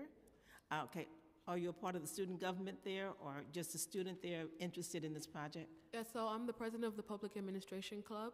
Oh, great. So I also sit on the um, SGA as um, the representative, as the leadership of my department. Good. I'm glad to hear that, because I am the chair of the Committee on Higher Education, and I'm always pleased to see that students are involved and raising their voices. Uh, So I just wanted to clarify that. And in terms of, uh, Ms. Boyd, your position of inaccuracies in the application, the application then said that they would not go beyond a designated number of apartments, and now the project is beyond what they had said they would do? I, I can show it to you. If you look at page, this is the second document that I produced Okay, here. you- the clerk will give it to me. I And on page seven of that document, did the clerk give it to you? Um, I'll, he'll give it to me afterwards. on the, underneath the water and sewage infrastructure, it asks, does this project produce more than 400 residential units? And they checked no. As a result of them checking the no, they did not have to take a look at the water and sewage analysis that's required by the city and the state. So that means is that we will have 565 residential units that will be putting strain on our water and sewage systems, which are out of compliance as it is with the federal government, and not having the developer take a look at that and talk about how they can mitigate that. Okay. And finally, I'm very concerned about density all across the city. And we had a project in my district that, I don't remember the proposed number of stories, but it was across the street from a garden. And the city at that time tried to say the garden was not protected. But as God would have it, we had someone do some research and find documents that attested to the fact that the city had at some point conducted that property as a garden. So we were able to get the garden protected and preserved because the city was not going to keep it. And a part of that requirement was that they had to do the shadow analysis for the entire year and show what the impact was on that particular garden. Mm-hmm. And be, based on that information, we did have them reduce the height, and we did have them enter in an agreement with the gardens that would give them benefits for the duration of the time that they're there. So I'm very much concerned about gardens and protecting them and not losing open space. And we look forward to further investigation to find out Wha- if, in fact, there was some misrepresentation or change from the document that was initially subject, uh, submitted. And if there's change, then they need to comply with the requirements of the change. Well, what we did is we conducted two independent studies that we have given to uh, to um, this ULURP application, and both of our studies showed that the potential impact on the garden would be negative based upon Cornell Realty's application. So we have provided that documentation. It is a part of the ULURP process records. And so we will move forward with challenging anything that the city council does because we're basically saying that we have proof that this development will have a detrimental effect. Okay, thank you. Thank you, Mr. Chair. Thank you. Uh, Thank you all for your testimony today. I'd like to call up the uh, next and last panel, uh, Jeffrey Davis, uh, Demetrius uh, Hawkins, and Jennifer Sun. I just want to say, or to add to the record, just so that those that are watching or viewing at home, the proposed units for the affordability, the permanent units, would be approximately 52 units at 40 AMI. So 52 units, quote-unquote, affordable at 40 AMI for a family of four would be a combined household income of 41,720. So there would be 52 units set aside for a family of four making $41,720 a year. There would be 26 units at 60 AMI, and that would be for a family of four, $62,580. And there would be 52 units at 80 AMI, which would be $83,440. So right now, minimum wage is $31,200 a year. So one person making, uh, working at, let's say, a fast food industry, a restaurant, a McDonald's or a Wendy's in the nearby area, making $31,200 would qualify. Uh, A couple together, both making minimum wage, would qualify at the 60 AMI. And potentially for the 80 AMI, that would be maybe an early child care worker um, and a partner potentially at the 83,440 area.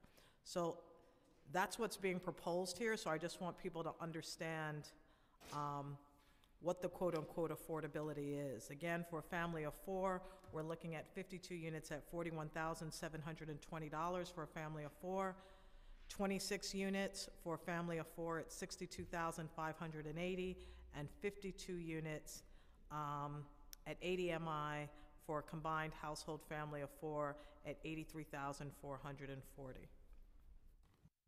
Thank you. Uh, We're going to start with uh, Jennifer. Good morning, Chair, Councilmember Cumbo, and Councilmember Barron. Thanks for the opportunity to submit testimony. I'll read an abbreviated version, um, but you do have a fuller version of our testimony there.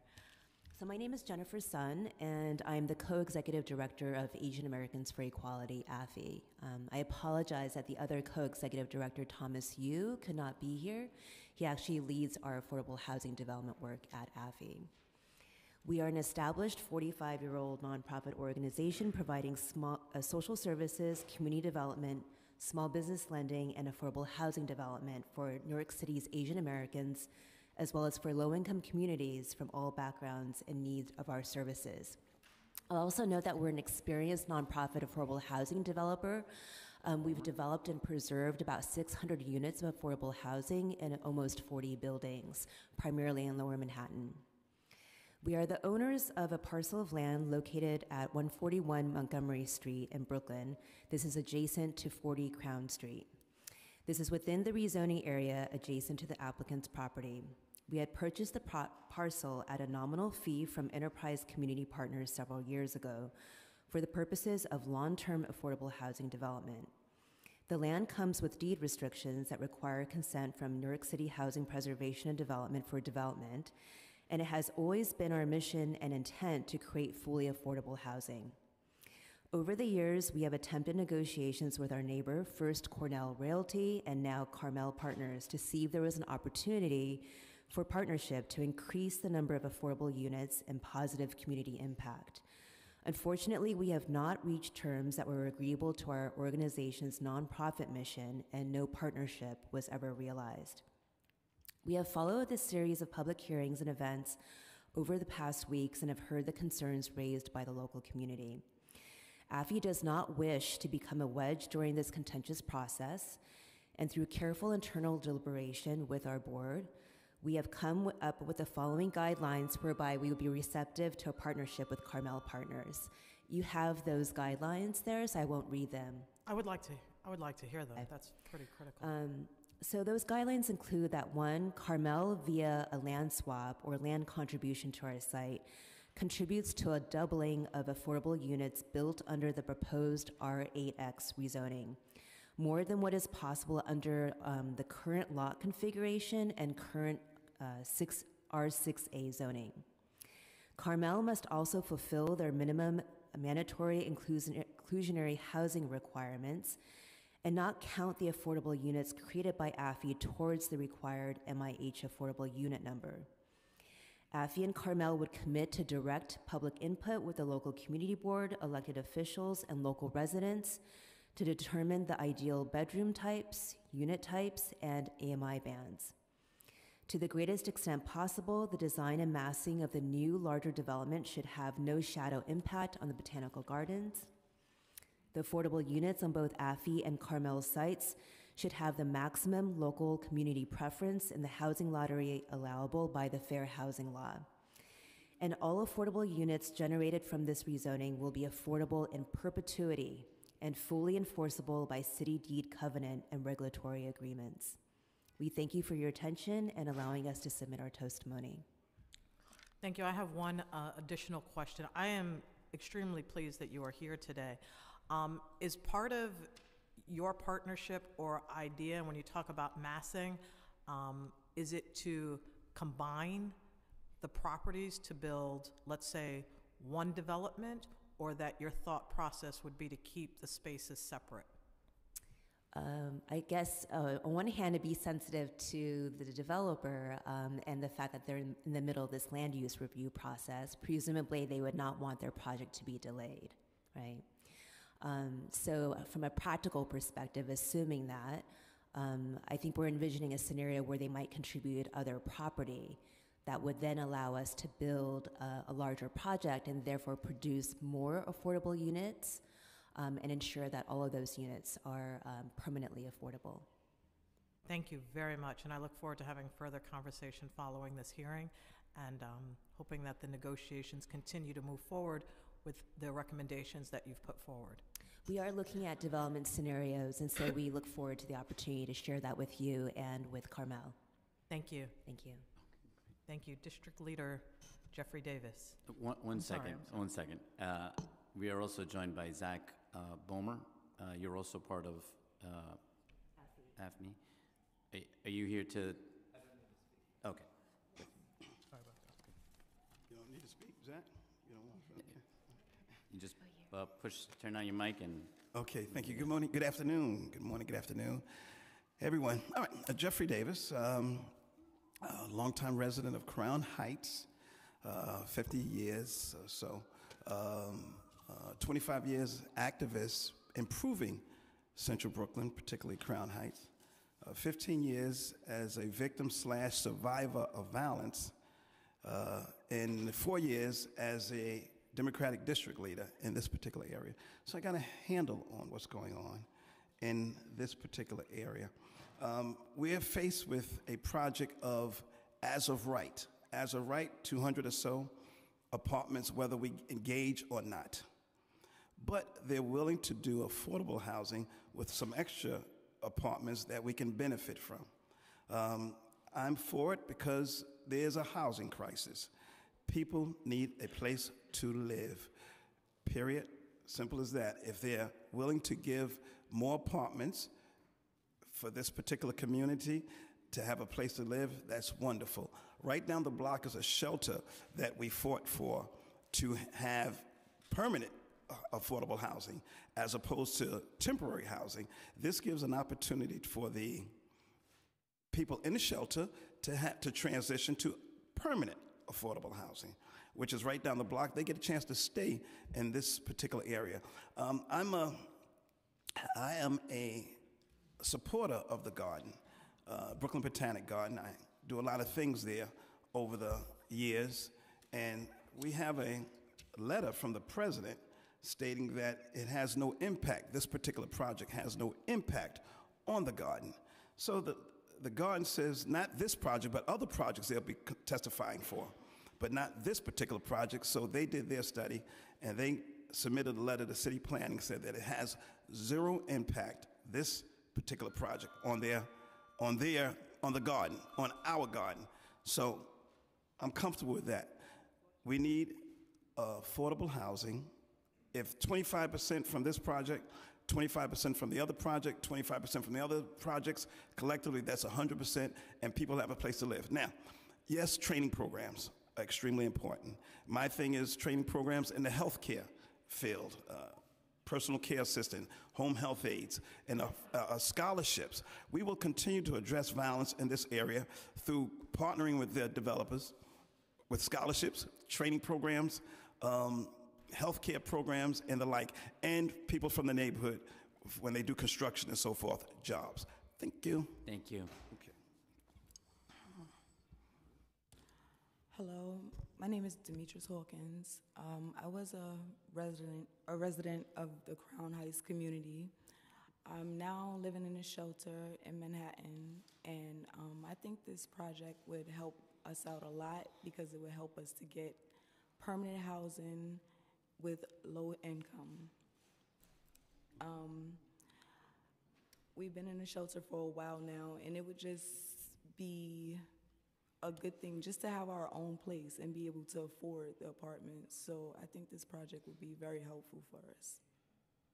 Let me ask you a question. Have you, during the time that you have been in shelter, have you been assisted or supported in applying for any of our housing lotteries? Um, there's very little assistance, but um, there's a website that you could go on, and if you're connected to the website, they send you all the different apartments that you are able to apply for the apartments for lottery and different housing. But where you are in Manhattan in shelter, is there a system set up where you're constantly able to have access to support, to individuals, to people that can help you along the way throughout the application process, whether it's helping to fill out the forms, whether it's helping to um, create an application that makes you eligible. There are people, but I don't think there's enough. I think they need help in that area. Okay. I'd love to talk with you more about that. Okay. Um, but thank you, Chair Moya. Uh, Councilwoman uh, Barron has a few questions. Thank you, Mr. Chair. I have a question uh, for Ms. Sun. And you say in your testimony that you purchased prop, you purchased the parcel at 141 Montgomery Street. Uh, how much did you pay for it? I don't know the purchase price, but I can find out. Okay. When did you purchase it? A few years ago. Um, so I have to apologize. I was appointed co-ED in July, um, and I am just learning about our real estate portfolio in terms of the details. But again, I'm happy to follow up with the information. And where are you in your uh, project to develop housing, affordable housing? How far along are you in that goal? For this particular site or just That in site. general? For this site, uh, we have not been actively looking at uh, redeveloping this site. Um, we were interested in seeing how this might, this process might unfold before pursuing that further. Okay, so you're, what is your position on the project as it currently exists? I think we share the community's concerns about the amount of affordable housing that would be developed as a result of this rezoning. And what about the density, the height of the project? Um, I think also we're sensitive to the community's concerns about the impacts that it might have with the surrounding community and the garden. Okay, thank you very much. You're welcome. Thank you. Uh, Thank you to the panel. Um, Are there any other uh, members of the public who wish to testify? Uh, Seeing none, uh, I, I now close the public hearing on this application, and it will be laid over. Uh, Thank you. Our next uh, public hearing is on LUs 272, 273, 274, 275, 276, 277, the Marcus Garvey Village rezoning. Uh, l and M Development Partners seek a zoning map amendment to change portions of the existing R6 zoning district to an R72 and R72 uh, C24 districts, a zoning text amendment to establish a mandatory inclusionary housing area, a special permit to modify allowable lot coverage, height, setback, and distance between buildings, and a special permit to waive parking requirements in order to facilitate the development of seven new mixed-use buildings with approximately 676 affordable housing units on unused portions of the existing Marcus Garvey, Garvey uh, Village uh, housing development in Brownsville. Uh, NYC HPD is uh, the applicant for disposition of city-owned property to allow LNM to acquire and incorporate two small pieces of city-owned vacant land into two of the development sites, and the NYC DPR is the applicant for site selection and acquisition approval for a 5,200 square foot parcel uh, located across Bristol Street from Betsy Head Park to become a community garden. Folks, if you can uh, please close the door or keep it down. Uh, The proposed uh, new mixed-use development will create uh, seven new, uh, seven to eight-story buildings uh, to be built in at least three phases with approximately 676 affordable dwelling units. The property affected is located in Councilmember Barron's district and in Councilmember Ampry Samuel's district in Brooklyn. Uh, I now open the public hearing on this application, uh, and I will call up, uh, oh, well, before I do that, uh, Councilwoman, do you have any uh, remarks before we begin? Okay, okay. Uh, We will call up the first panel, uh, Richard uh, Lobel, uh, Joshua uh, Weistek, uh, Jenna, Gen- Genevieve Michael, and Lisa Gomez. Uh, Council, if you can please swear in the panel. Before responding, please state your name, making sure that the red light is on, on the mic. Do you each swear or affirm that the testimony that you're about to give will be the truth, the whole truth, and nothing but the truth, and to answer all questions truthfully? I do. Richard Lobel. Uh, Genevieve Michael, I do. Lisa Gomez, I do. Josh Weistuck, I do. You may begin. Thank you, Chair Moya, council members. Uh, Richard Lobel from Sheldon Lobel, and I'm joined by l and M Development Partners with regards to the Marcus Garvey extension. Uh, Briefly, this uh, proposal involves a series of zoning actions which require us to go through ULURP, which include uh, rezoning of parcels from R6 to R72C and R72C23, as well as a large-scale general development. Uh, And in addition, um, certain other zoning actions, including a text amendment to map the area with a mandatory inclusionary housing designated area. So I would uh, turn this over to Josh, who will run through the presentation, and the panel is available to answer any questions. Thanks, Richard. Um, so I'll give you a brief history first. Between 2014 and 2016, L&M rehabilitated the 625-unit complex that spans 10 city blocks known as Marcus Garvey Village. Since completing the rehab, the near 100 vacant units, which were one of many symptoms of the disrepair at the complex in 2014, is now over a one-year wait list. Safety enhancements across the sites with security cameras and increased staffing has significantly decreased crime. And overall quality of life for residents is improved. Additionally, we exceeded state, uh, local, and MWB hiring goals during the rehab work. Um, L&M makes every effort to engage with residents. Marcus Garvey's Family Day is back as a result of a, the strong TA and ownership listening to residents. Residents continue to pay rents no greater than 60% AMI as governed by the state low-income housing tax credit and Mitchell-Lama regimes, and the project will remain affordable for 40 years. Um, L&M involved other organizations at Marcus Garvey. A needs survey was conducted by the Sabaeth Group that provided helpful information of what residents would like to see at the site. In response, we brought on Project Eats that has provided the community with affordable fresh produce and now has a fresh juice cafe. There's a summer camp and after school program um, in the community room at Marcus Garvey, uh, provided by Grand Street Settlement. And BCJC built and now runs a youth clubhouse and center in response for the need for youth programming. Uh, while the Mark Garvey project is running well, we aim to further enhance the neighborhood and facilities and activate Brown- the Brownsville community with the council's approval of this proposal. So, what are the actions? Uh, Richard just went through a few of them. Uh, essentially, we are adding a com- commercial overlay to the resident, existing residential district to allow retail along Livonia Avenue. There's a zoning text amendment to establish mandatory inclusionary housing to ensure affordability.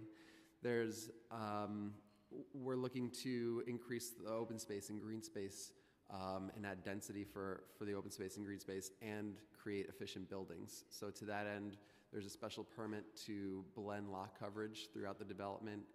Uh, we've um, brokered an agreement with the Green Thumb from the Department of Parks. They have a site that's 3,000 square feet adjacent to one of the developments, and we're swapping that with a 6,000 square foot site owned by the applicant. Um, so they're doubling in size, and they have a, a space that's actually closer to the operator, the MHDA Academy. Um, there's a disposition acquisition of an HPD-owned vacant lot adjacent to Site E, and a special permit to waive the existing parking requirements. So here's a site plan. Um, the dark gray, seven dark gray buildings, are the development sites. A, B, C, D, and E go up and down along Livonia on, on either side. F and G are uh, at either ends on the left and right uh, of the T shape of the development. The lighter gray and green is the existing Marcus Garvey. Uh, what are the benefits to, to the Brownsville residents? Uh, this project will uh, maximize opportunities for affordable housing, uh, generate ground, uh, ground floor retail and community facility. There are jobs uh, generated both in the construction, ongoing maintenance, and generated also by the tenant, by the occupants of the retail and community facility. Will eliminate underutilized space um, from the lots, and inherent with the development, there's improved security and lighting along Livonia. And the project includes youth and senior programming and other opportunities for resources to be used by the community.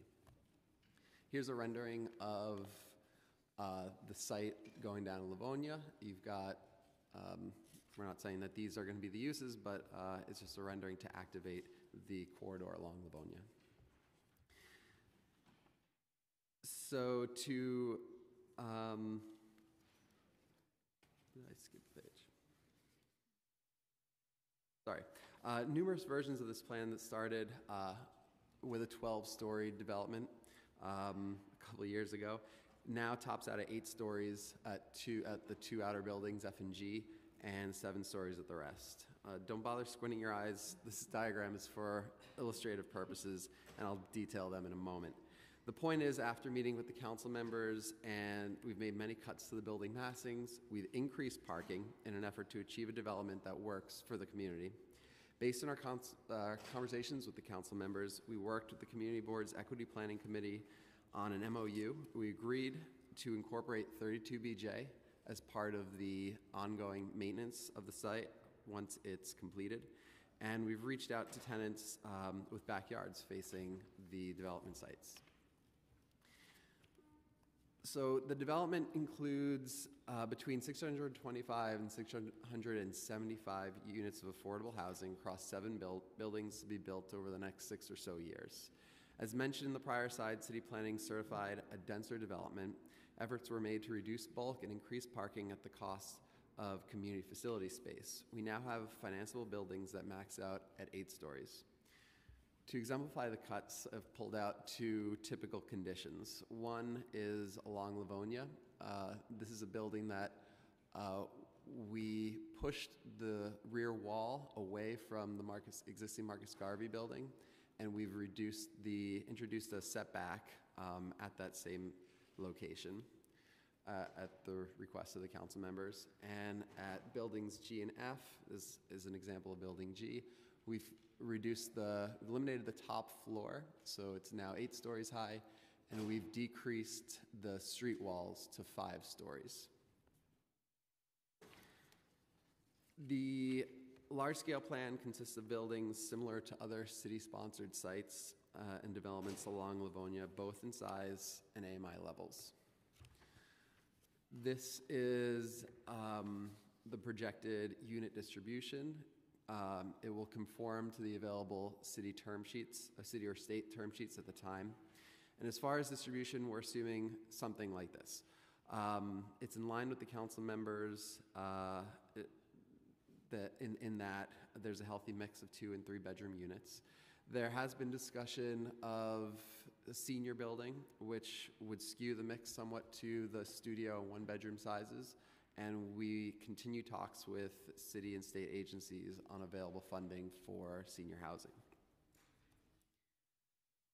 The project will have uh, rents as low as $215 for studio units um, and have AMI levels tiered at 60% and below for 80% of the units. And the balance of the units will be between 60 and 80% AMI.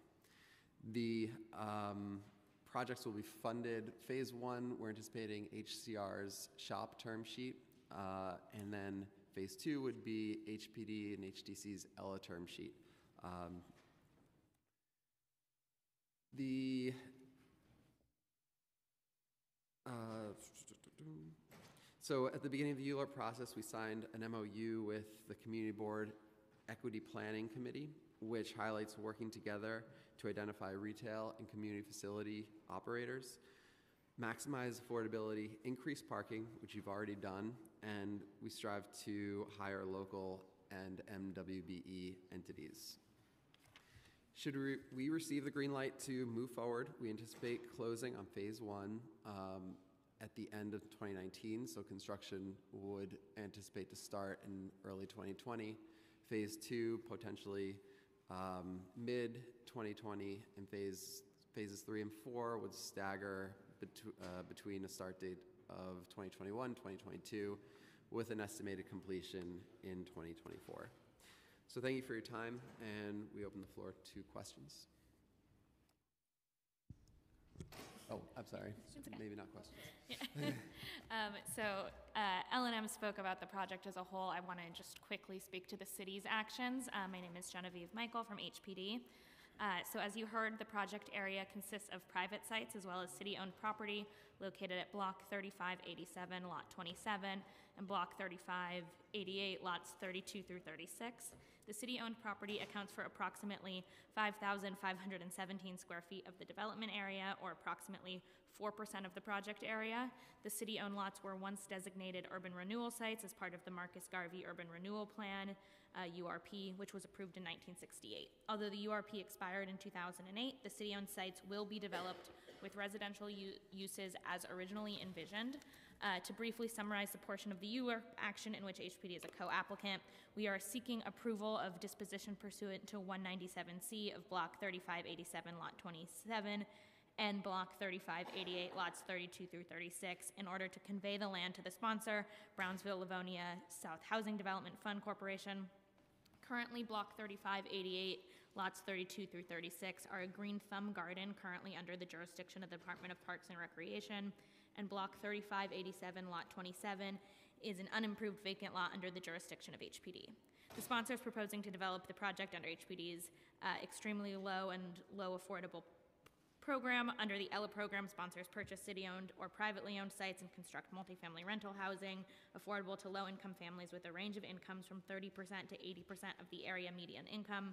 Projects may include a tier of units with rents affordable to households earning up to 100% of AMI, and subject to project underwriting, up to 30% of the units may be rented to formerly homeless families and individuals. The buildings that will be developed on the city-owned sites and adjacent privately owned lots on development sites C and E will have a mixture of unit types, um, which L&M spoke to.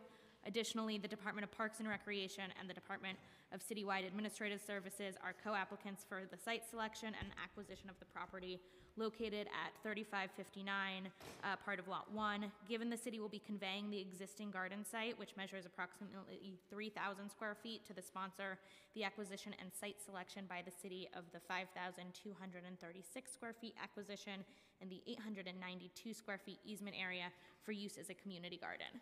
The new community garden on the acquisition site and easement area will be approximately 6,128 square feet, more than twice the size of the existing uh, approximately 3,000 square feet community garden. Um, And now I think we can open it up to questions. Uh, Thank you. I just want to acknowledge that we have been joined by Council Member Ampry Samuels. Uh, Just a few questions before I turn it over to my colleagues. Uh, I knew that you had mentioned in the presentation the modifications to the setbacks. Um, Are are those in line with the recommendations from the local members and the borough president? Basically, yes. We, we met with the council members, I guess, 10 days ago, two weeks ago, and reviewed them. There were some discrepancies between what the borough president and the, um, the council members' calculations, but I think they're in the spirit of, of what the borough president um, was recommending. We did speak to the borough president's land use staff and let him know that we were in discussions with the council members. Okay. Um, For the sites on Livonia Avenue, uh, how will the project mitigate the noise from the elevated subway tracks? So we've built a number of buildings along subway tracks uh, pursuant to um, SEQRA and other environmental regulations. Windows have to be double and triple glazed. We're going to minimize the amount of windows that we need to put along Livonia. For example, if you're at a corner facing Chester and Livonia, we'd have a, a blank wall on the Livonia side. Um, There are a number of projects up and down Livonia that have been built in this fashion. Okay. Uh, And there's, this is a large-scale project with, you know, seven development sites, and I know you touched a little bit uh, about senior housing, but has there, can you go into a little bit deeper of uh, those conversations in regards to uh, bringing in senior housing to this project? So we know that there is a, a- a need in- in many, many communities across the city for aging, aging populations and aging in place. There are not a ton of, of available funding programs, and we're- we're not, we certainly can't say that anyone's committed to funding it. We know it's an interest. Um, It's something we're going to pursue, and hopefully with the help of the community and the electeds, we'll be successful. Um, you know, we're very happy to do it. We think it would be great for the neighborhood, but we cannot represent that anyone has committed to fund it yet. And uh, what uh, resiliency and uh, sustainability measures are plan for this project? Uh, Solar panels, rain gardens? We, we always consider solar panels in all our rehab and, and new construction. At the existing Marcus Garvey, we brought in uh, four, a 500 kilowatt uh, solar grid, as well as a fuel cell, the first in the city, that produces electricity from natural gas. And we also have a battery that helps shave peak loads and, and get off of Con Ed's grid during peak hours. So there's there is potential to actually tap into some of that existing um, structure at the existing Marcus Garvey. And of course, we'll do enterprise green communities and low flow fixtures and LED lights um, and the suite of available efficiencies uh, for, for the new buildings. Great. I'm also very glad to hear that there's been a commitment to good jobs on this uh, project. Uh, I think that's uh, a great way to start. Um, And the last question is, can we just go back to the uh, AMI breakdowns and the size of each unit?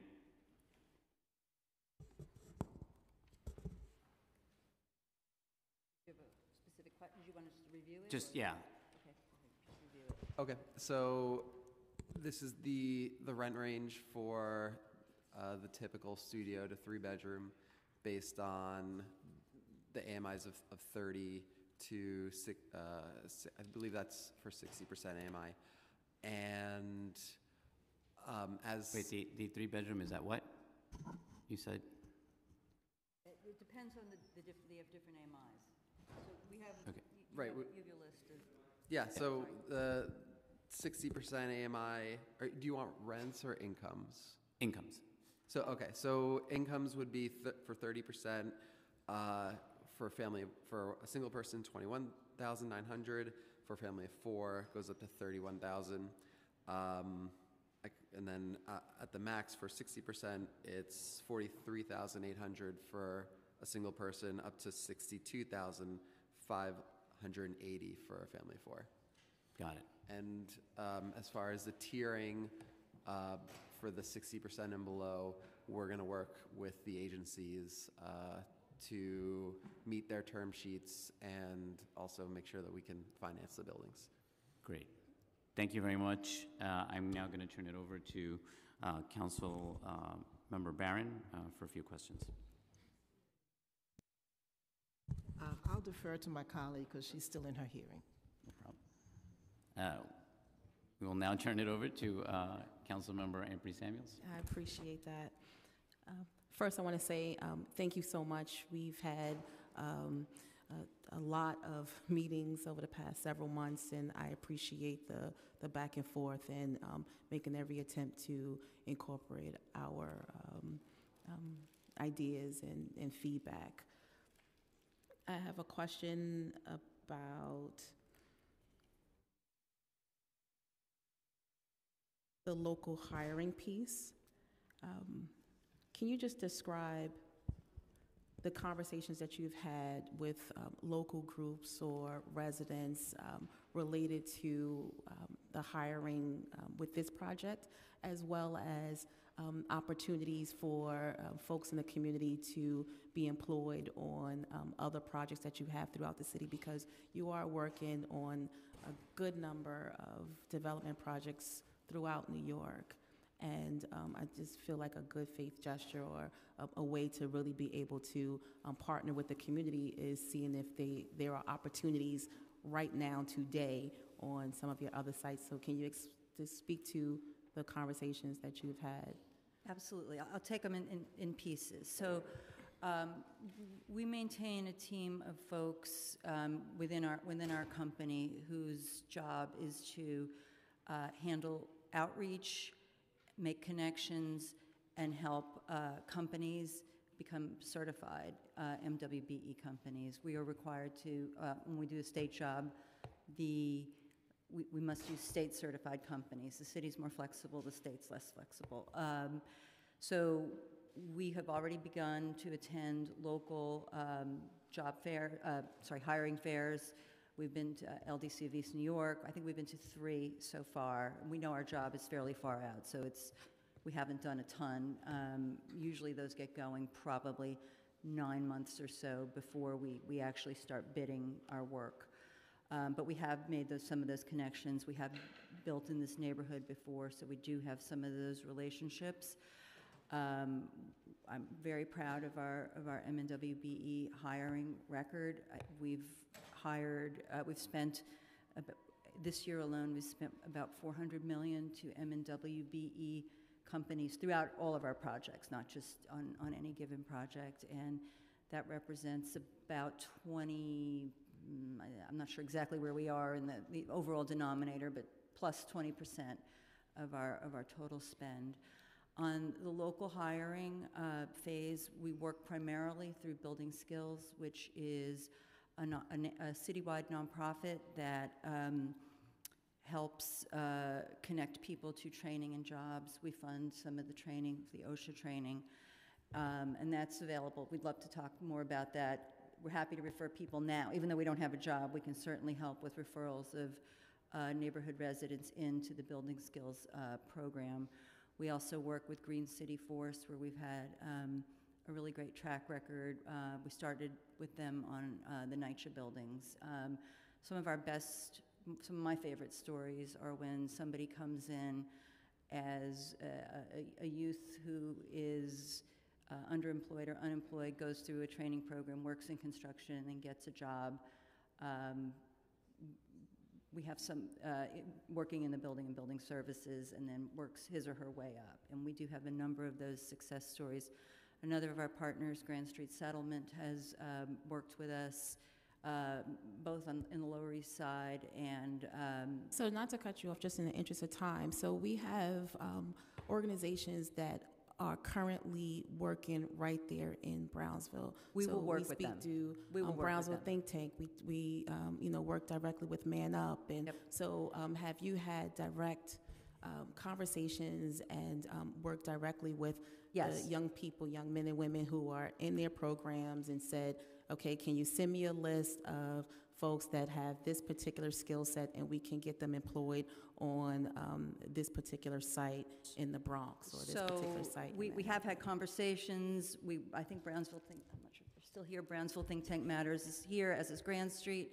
Um, We, I can't answer if we've gotten anyone employed. I will find out the answer to that for you.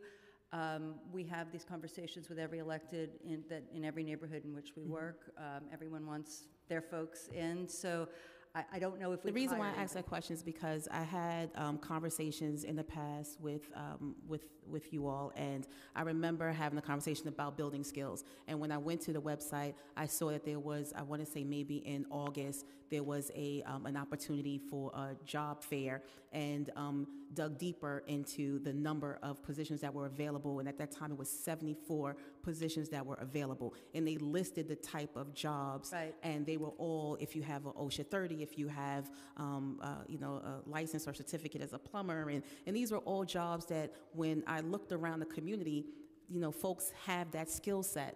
And um, then uh, the conversation turned into, well, if you submit the names of folks, then we can get them hired. So we sent our people to the um, fairs and, well, whatever this particular fair was with building skills, and no one was hired. And so I'm just trying to figure out if there's some, um, like, conversations being had with the organizations and maybe the people that we sent directly just weren't connected or not part of the network and they didn't know that they were coming from our office or coming from our community. So I'm just trying to, you know, I- like I get don't know, I can't speak to that. and I don't wasn't wanna aware take up that too you much had time, sent, but I'm happy to follow up afterwards and, and figure out forensically what happened there, and, and if, if that process broke, we'll fix it. Okay, all right. And um, the last thing I see on, uh, that's part of Phase One, sites B and D, that sit on my side of, my side of the tracks, right? In my district, literally. Um, That's with um, SHOP and state funding. Correct. And um, there's also supportive housing included with these developments. So can you just speak to the populations that are going to be targeted um, within the supportive housing? So- And um, is there a set aside for um, homeless families or individuals? So I think that's speak to? something we want to, it's, it's something we heard sort of both sides of throughout the conversation with the community in terms of concerns as well as opportunities. So I think we'd want to talk, before we sort of settle on a population, I think we'd want to talk with you all about uh, sort of what makes sense as well as providers who make sense. So um, I think that's, a- that's a conversation that, you know, we'll want to engage with you all and, and probably others a little bit more deeply. Okay, so you not, you have not had No, those no, we have, conversations and there's no, we have not had these conversations. It's, the state's not even going to talk to us until early in the new year. So I think we've got time. Um, You know, it's, we're probably over a year away from closing. and this is really my last. Um, um, we mentioned um, the, the like our goal um, to make sure that there's real ownership in our community and everyone has a uh, you know a part of the process and have a piece of the pie. Um, can you speak to um, your ideas around community land trusts?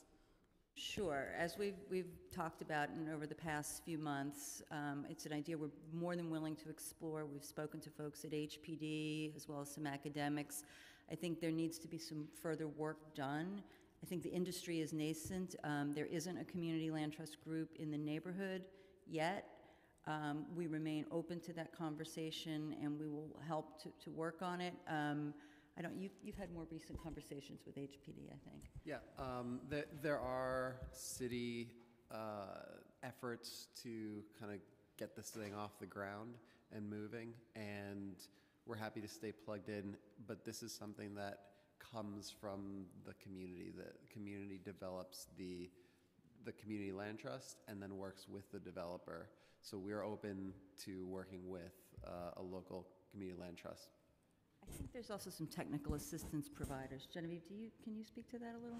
Um, I can't speak in depth because I am certainly not the HPD Community Land Trust expert, um, but I know that folks are definitely working on it. We've heard, you know, I think loud and clear from several council members that there is an interest in strengthening uh, community land trust and figuring out a way to make it work.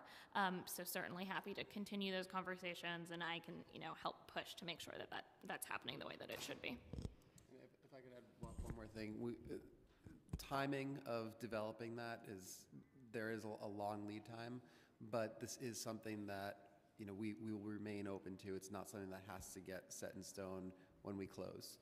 So um, we're willing to be flexible. Thank you so much, Chair for your leadership, and thank you so much for allowing me the time, um, Councilmember Barron. Thank you, um, Councilmember. Uh, Now I turn it over to Councilmember um, to uh, follow up with questions. Thank you, Mr. Chair, and thank you to the panel for coming. And uh, it's been a battle, struggle, getting here, but I want to echo the comments of my colleague that we've had a very good working relationship in terms of making adjustments to the plan that was originally presented perhaps some three years ago or thereabouts. So I do appreciate that.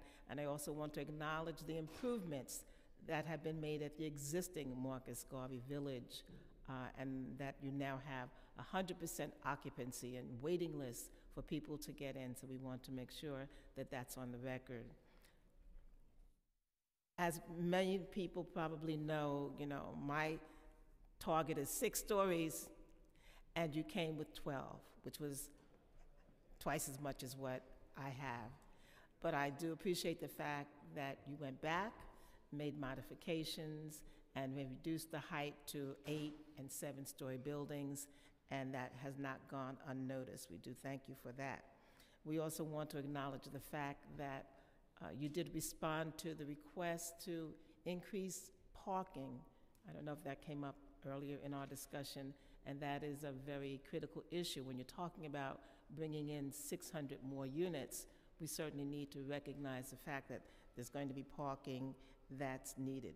I want to acknowledge you have reduced the bulk, as we talked about, and also that your history talks about MWBE local hires, and we're looking to make sure that that same record that you have brought continues. I believe in looking at people's history, looking at their past. You can make all kinds of promises about what will go on in the future, but your past speaks to me as to what I can expect to go forward, to see in the future going forward. I do have other questions. So, in terms of the AMI bans, I see your chart here which talks about affordability and which talks about the rent range and a studio apartment uh, ranging from 215 to 837 dollars. That's important to me because in our community, as you know, the AMI is about $34,000. That's the median income, basically, in my community. So that speaks to recognizing I'm not supporting shifting the people who have gone through the hard times and now have an opportunity to participate in new, uh, lug- not luxury, but uh, well apportioned properties to be able to benefit from that and to apply for that. What is the size of the studio apartment? We know, we know that you don't like small studios, but our plan is to follow the HPD design guidelines, which is a minimum studio size of 400 square feet. 400, okay. And in terms of your commitment to 80% of the housing at or below 60%, 60% of the AMI, I would still want to know what were the income bands, how many at 30, at 40, at 60, at 70. I would like to know what you're projecting to be the number of apartments at each of those bands. So I think it's, a without sort of having the financing nailed down, it's a little bit difficult to tell you specifically by building. I think we have it for B and D, right? Do you have it for B and D? Um, yeah, it's, I mean, we're, again, it's based on what the conversations are with the state. So we, we can discuss uh, where we are today with B and D. Um, And again, there's always new term sheets that come out, so we'll be subject to those in the future. Right. We so, everyone sort of follows the same term sheets, and there, there's, you know, there, the, the agencies sort of prescribe the different um, levels. Do you have the shop term sheet? I think we have the shop term sheet. Yeah, okay.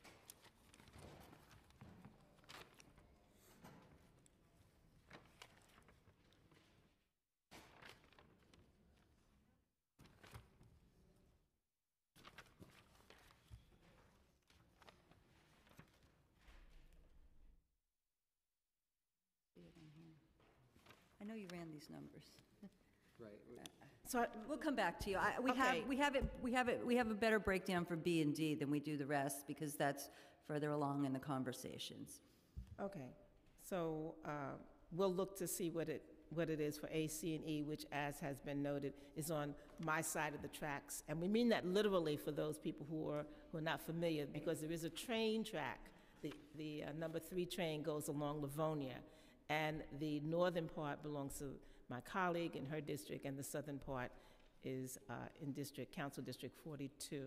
So on A, C, and E, uh, which would theoretically, HPD and HDC tell us, remember, we haven't committed to you yet. Um, The, the term sheets read at um, 10% at 30, 10% at 40, 10% at 50, and the remaining units up to 60 is the current term sheet. 10, 10, 10 for 30, 40, 50. And, and 10 for formerly homeless. 10 for formerly homeless. So that's basically 40% below 60, with the remainder being at 60. Okay. And, and uh, the other questions that I have regard the senior building. Where are we in terms of getting a firm determination on the senior building? We won't be able to sort of have those financing conversations till early in the new year with either the state or the city.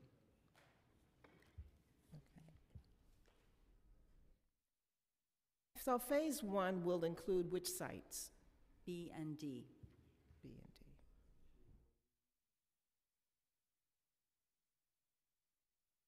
And we had spoken about uh, additional community benefits in terms of agreement, an agreement that your company might offer so that the community will not just get the opportunity to have these beautiful new apartments, but also other general community benefits. So where are you in that kind of discussion? So, a- as we mentioned, we will continue some of the programming that we've done at Marcus Garvey in terms of after-school uh, youth uh, anti-violence work. We will work with a subcommittee of the community board to advise us on uh, ground floor uses, be they community facility or retail, along Livonia. Um, We will work, we will continue dialogue with the community board in terms of making sure they're updated on progress, um, as we have been. And if there, there are other sort of specific things that folks are, are interested in, we're, we're more than willing to engage. In terms of phase three, do you expect that the same affordability will be applied in phase three as in the other phases? Uh, Generally, yes. And the larger buildings that are a part of uh, phase three, we had talked about more than just two elevators based on the fact that these are rather long buildings.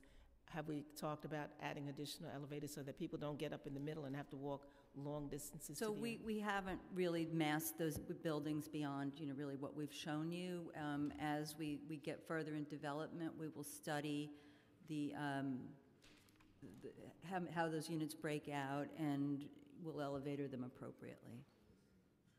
And the commercial space that's going to exist, I'm really excited about the project. I think that it uh, reflects what our community is entitled to in terms of having nice new construction, and it reflects the population that currently lives there, which, as I said, has an income of about $34,000 for a family of three. In terms of the commercial space on the ground floor, have you given consideration to having affordable rental fees for the commercials that will, commercial activity that will take place there? I think we're very open into understanding how that, how we could make that happen. I think it's pretty tough for affordable housing to cross-subsidize commercial space, so I think we're, we're open to creative ideas. I think we'll apply to the state for what they call SIF funds, which is um, commercial revitalization funds that, that help sort of buy down the cost of construction. There are not a ton of resources out there for commercial stuff, but I think we're all ears and would be eager to work with you and Council Member Samuel uh, in terms of identifying other ones. Thank you. I just want to again commend you for all of the accommodations that you've made to the requests and concerns that my colleague and I have had, and look forward to coming to the conclusion. Thank you, Mr. Chair. Thank you, uh, Councilmember Barron. Um, Thank you for the panel. Thank you for your testimony today. Okay,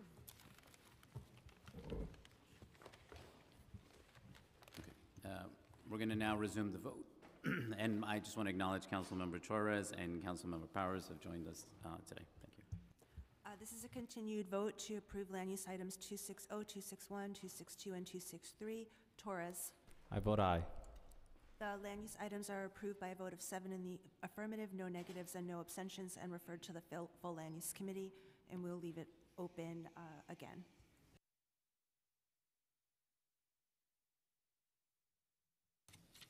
Thank you. I will call now, I will call up the next panel now. Um, Clovis Thorne, Zamir Khan,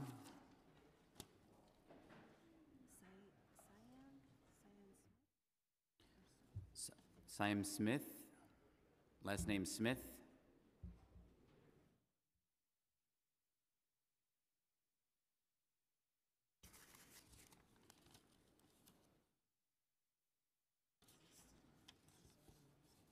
Yes. Uh, Let's start with uh, Zamir. Uh, Just uh, turn on your microphone, uh, say your name, and you may begin. My name is Zamir Khan. Uh, Good afternoon, Chairman Moya and members of the subcommittee. I'm here speaking on behalf of uh, Local 32BJ. Uh, I'm a doorman from the Upper East Side of Manhattan. Uh, I've been uh, working with uh, 32BJ for the past nine years.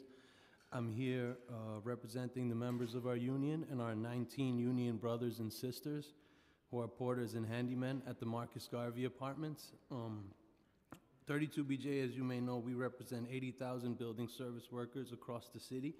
And we're here today to express our strong support for the Marcus Garvey infill project proposed by Brownsville Livonia Associates LLC, an affiliate of L&M Development Partners, Marcus Garvey Preservation LLC, and the city.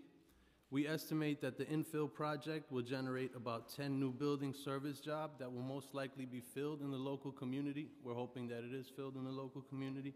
We're happy to report that the applicants of this ULURP have committed that these jobs will be good jobs that pay prevailing wages and give workers dignity. Uh, That's close, it hits close to home for me because these are the kind of jobs that enabled my father, a 40-year member of 32BJ, to provide for myself and my siblings growing up. And now, as a 32BJ member, I'm allowed to provide for my two children and my family as well. Uh, HPD's commitment to support community objectives around affordable housing and economic opportunity throughout the Brownsville Plan is thoroughly executed by the Marcus Garvey infill project, and we at 32BJ believe that the project should be looked at as an example for affordable projects that are su- subsidized throughout city financing. The creation of 724 units of affordable housing and a commitment to good, prevailing wage jobs sets a precedent for affordable housing projects that uplift working families. For these reasons, we, respect, we respectfully urge you to approve this project. Thank you for having us. Thank you.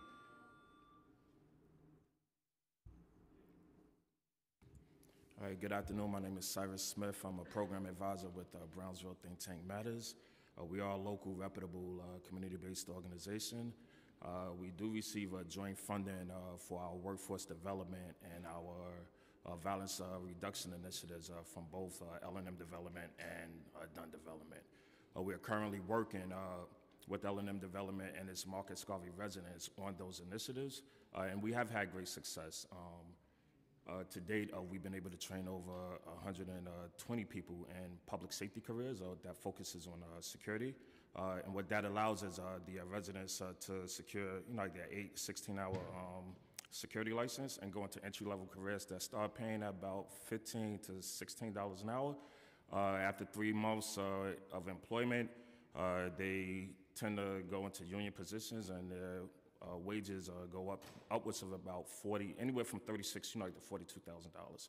And we're seeing great success there. Uh, with our OSHA training and certification, uh, we do enjoy a good relationship with our building skills. Uh, our records indicate that uh, we were able to have six successful placements with building skills as our participants completed their 30-hour OSHA training. Those who had more experience was able to go through the building skills process and find some employment. Uh, however, uh, we do have uh, a lot of resources in community where we do ask residents to build on their social capital. So once we have our OSHA training, our residents are prepared to go into their own network and find employment um, on their own. But we do use other resources uh, such as Workforce One, uh, the Jobs Plus Center, and again, uh, our participants tend to find work in their area. Uh, we do support this initiative as uh, we are in community, and we feel if you activate those lots with additional housing, uh, will you know like increase uh, uh, public safety concerns. Thank you. Great, thank you. Thank you. Good afternoon. Uh, my name is Clovis Thorne. I am with Grand Street Settlement. Grand Street Settlement is a 102 year old community service, services provider in New York. We provide uh, intergenerational services, everything from pre K to senior centers, uh, to around 10,000 families in New York City a year across the Lower East Side and Brooklyn uh, at 28 different sites, and over half of our sites are in Brooklyn.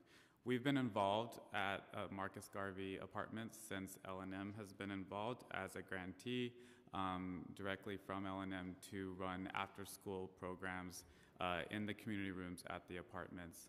Um, that has proved very successful. In fact, it was uh, so highly sought that we uh, they gave us an additional grant to add summer programming at the apartments. This is just one example of uh, the incredible need in the area for community services. Uh, we run several other uh, community centers, mostly NYCHA Cornerstone Community Centers in the neighborhood. Nearby uh, in East New York at Unity Plaza, our community center is oversubscribed by 200%. So we have waiting lists for these programs. Um, we very much support this project and this expansion. Uh, L&M has been a thoughtful partner on this and other projects, and we are interested in continuing this partnership to bring high quality community services to families in Brownsville. Thank you for your time today. Thank you very much. Thank you very much for your testimony. Um, are there any other members of the public who wish to testify? Uh, seeing none, I now close the public hearing on this application and it will be laid over.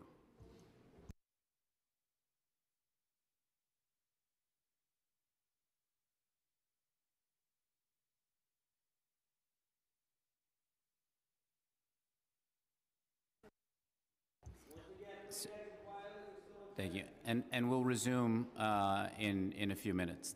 Thank you.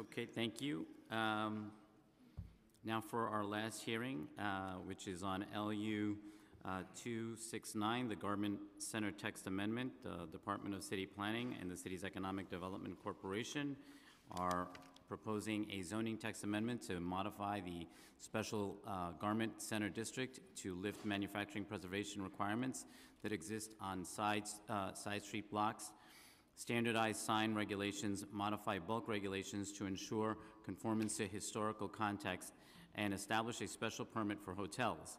Uh, The property affected is located in Speaker Johnson's district in Manhattan, Um, and I now open the public hearing on this application. Um, I just want to make sure we have all the panelists here. Um, Dylan Sandler, uh, Cecilia Kushner, uh, Edith Hsu-Chen, and James Patchett. Great. Uh, Counsel, please swear in the panel. Before responding, please make sure the light on your mic is on and also state your name. Do you each swear or affirm that the testimony that you're about to give will be the truth, the whole truth, and nothing but the truth, and to answer all questions truthfully? James Patchett, I do. Cecilia Kushner, I do. Edith Hsu-Chen, I do. Dylan Sandler, I do. Great, thank you. Uh, And now I want, Uh, now I want to turn it over to um, Speaker Johnson for um, some remarks. Uh, Thank you, uh, Chair Moya, for uh, the opportunity to deliver a few brief remarks before we hear from the administration. I want to begin by acknowledging uh, the partnership that we have had with Borough President Gale Brewer, uh, the administration, myself, and many of the stakeholders and other local elected officials. The Borough President has, over the course of more than two years, pulled many of us together to debate and develop strategies for preserving the fashion incubator that is the Garment District. I also want to recognize the hard work and dedication of many of the participants of the Garment Steering Committee who developed the ideas and recommendations that we now have in front of us. And I want to thank the agencies that are with us today. The Economic Development Corporation, led by President James Patchett, who has been a great partner in this work, and the Department of City Planning for their willingness to accept feedback and to change course when needed and necessary. Before we hear from the agencies, I want to offer a few thoughts on the text amendment that is before us today. Many New Yorkers have deep ties to the Garment District. For decades, it was the place where people came from all over the world and found their first job, and in many cases, built a company. A hundred years ago, most women's clothing made in the United States of America was made in the Garment District.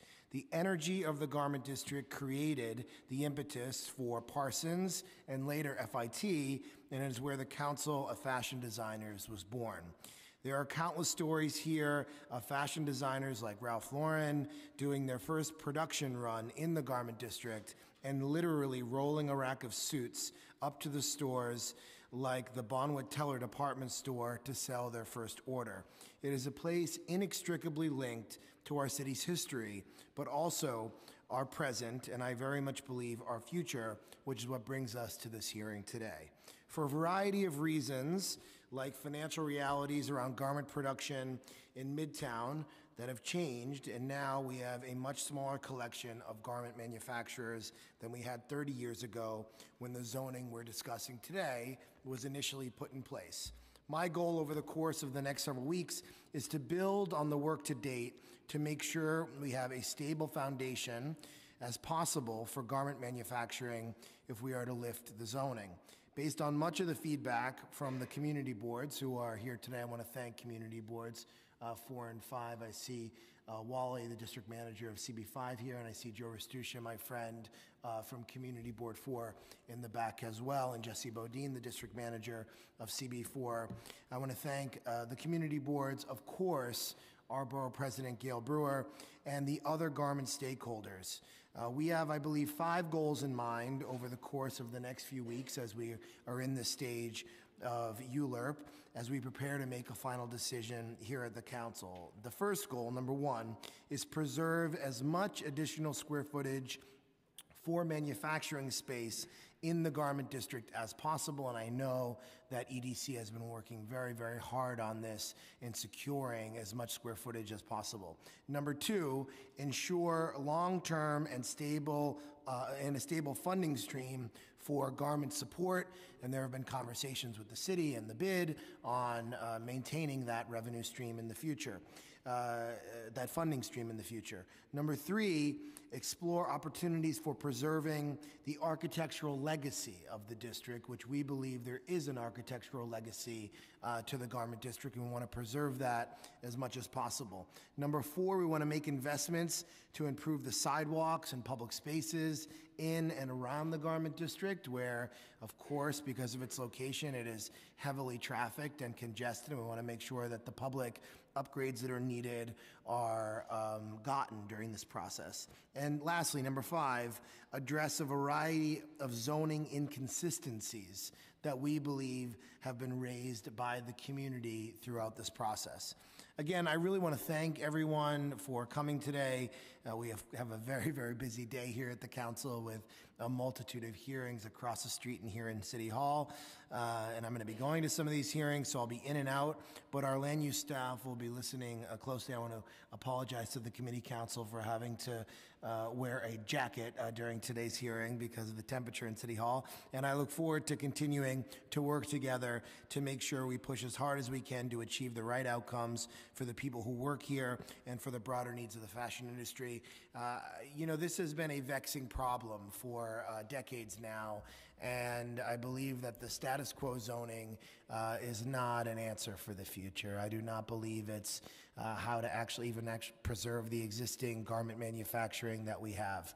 And so this has been uh, a sometimes painful conversation uh, because it's complicated and uh, because there are many different factors at play.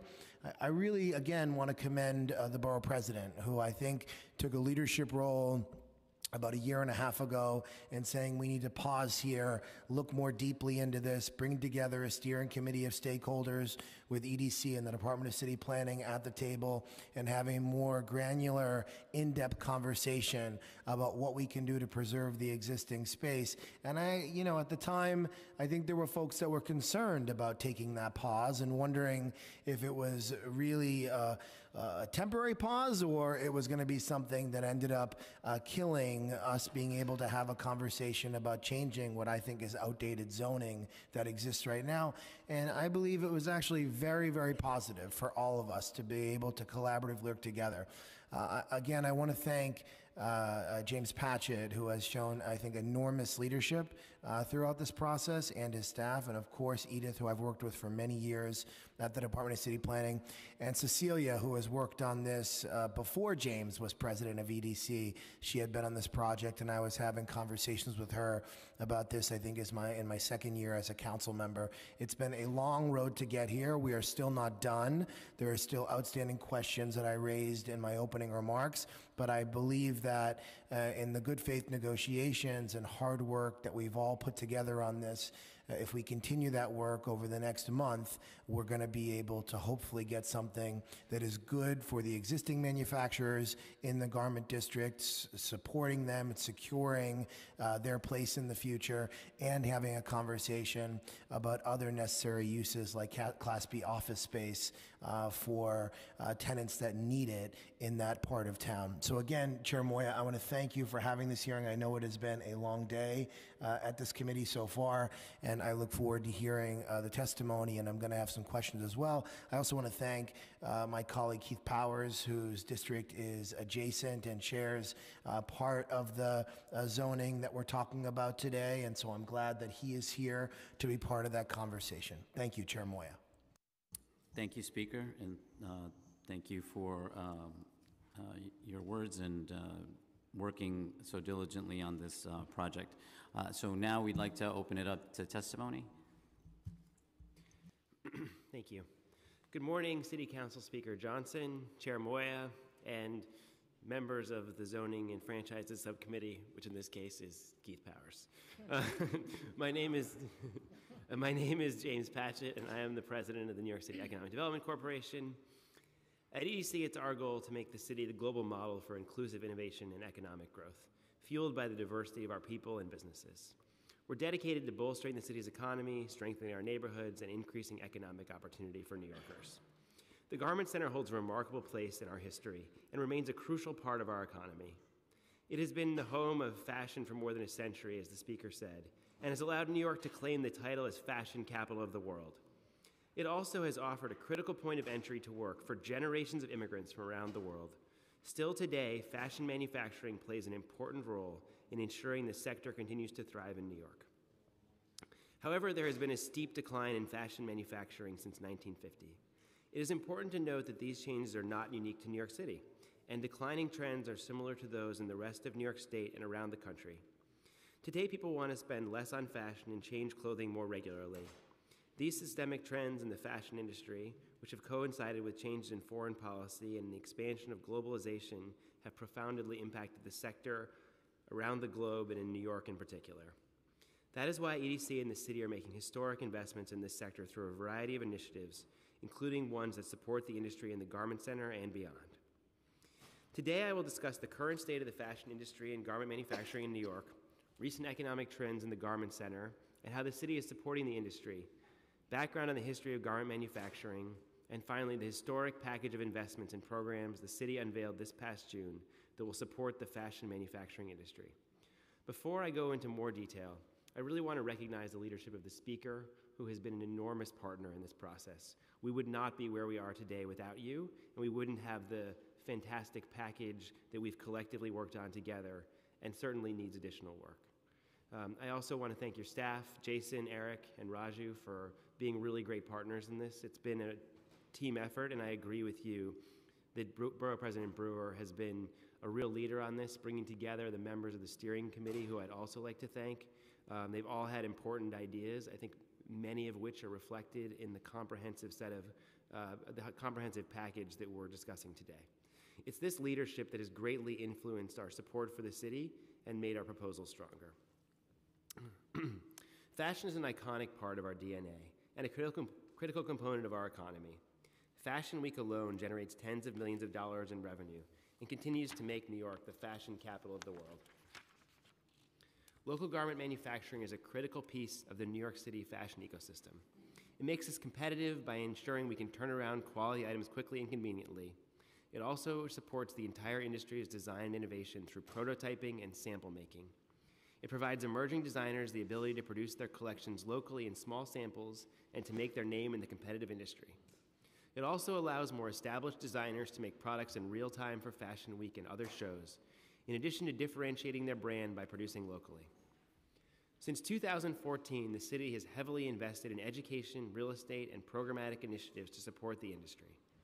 Early in the administration, we committed $74 million to build FIT's new building on the, its, first, uh, its first new building on the campus in decades. Through a variety of initiatives, the administration also tripled direct industry investment from 5 million to 15 million. Through partnerships, our goal is to create and retain quality jobs, as well as catalyze innovation and support business and entrepreneurial growth. Under the umbrella of the Made in New York brand and promotional campaign, EDC has launched a range of initiatives to support the entire value chain of the fashion industry.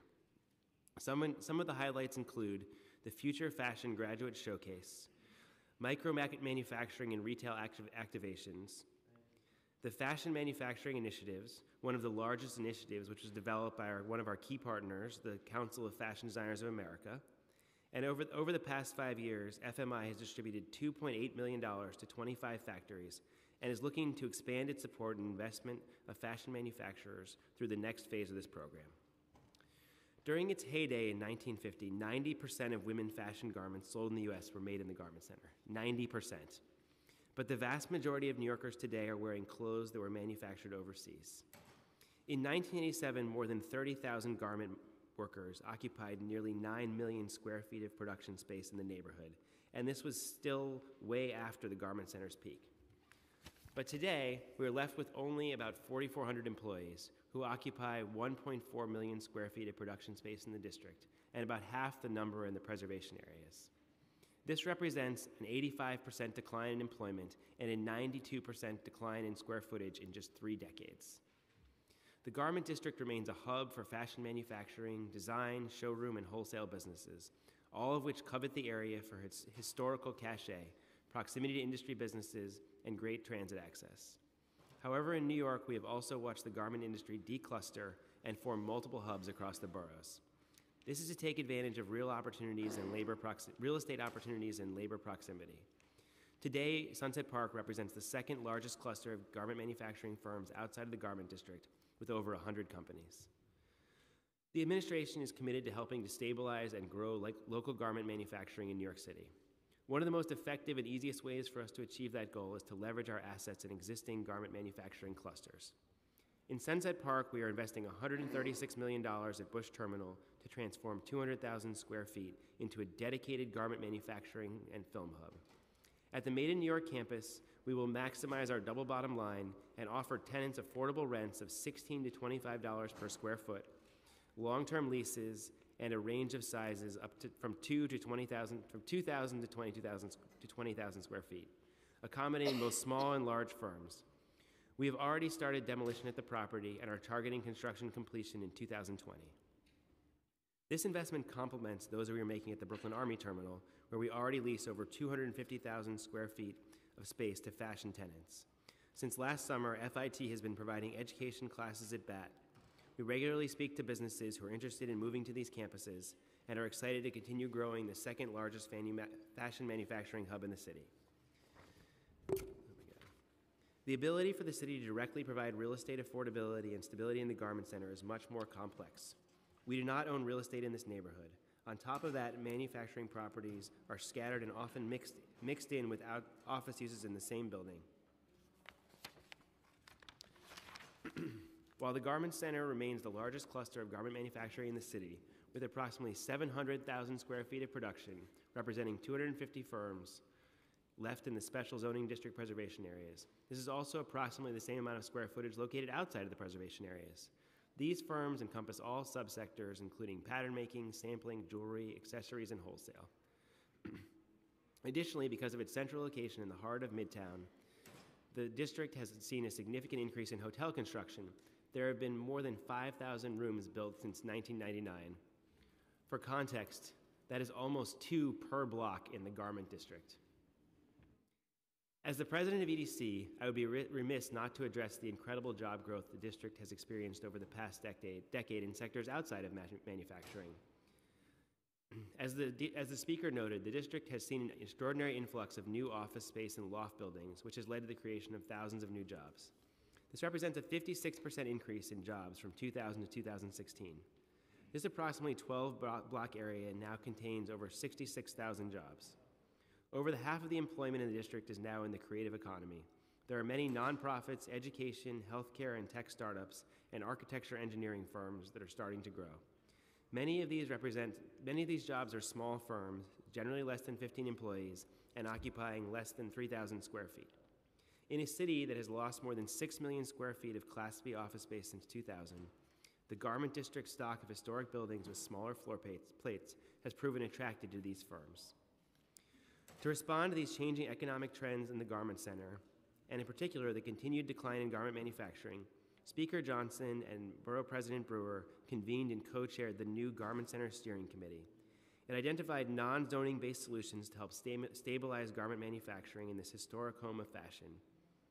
The steering committee was comprised of a group of stakeholders representing the industry, community boards, advocacy organizations, and real estate interests.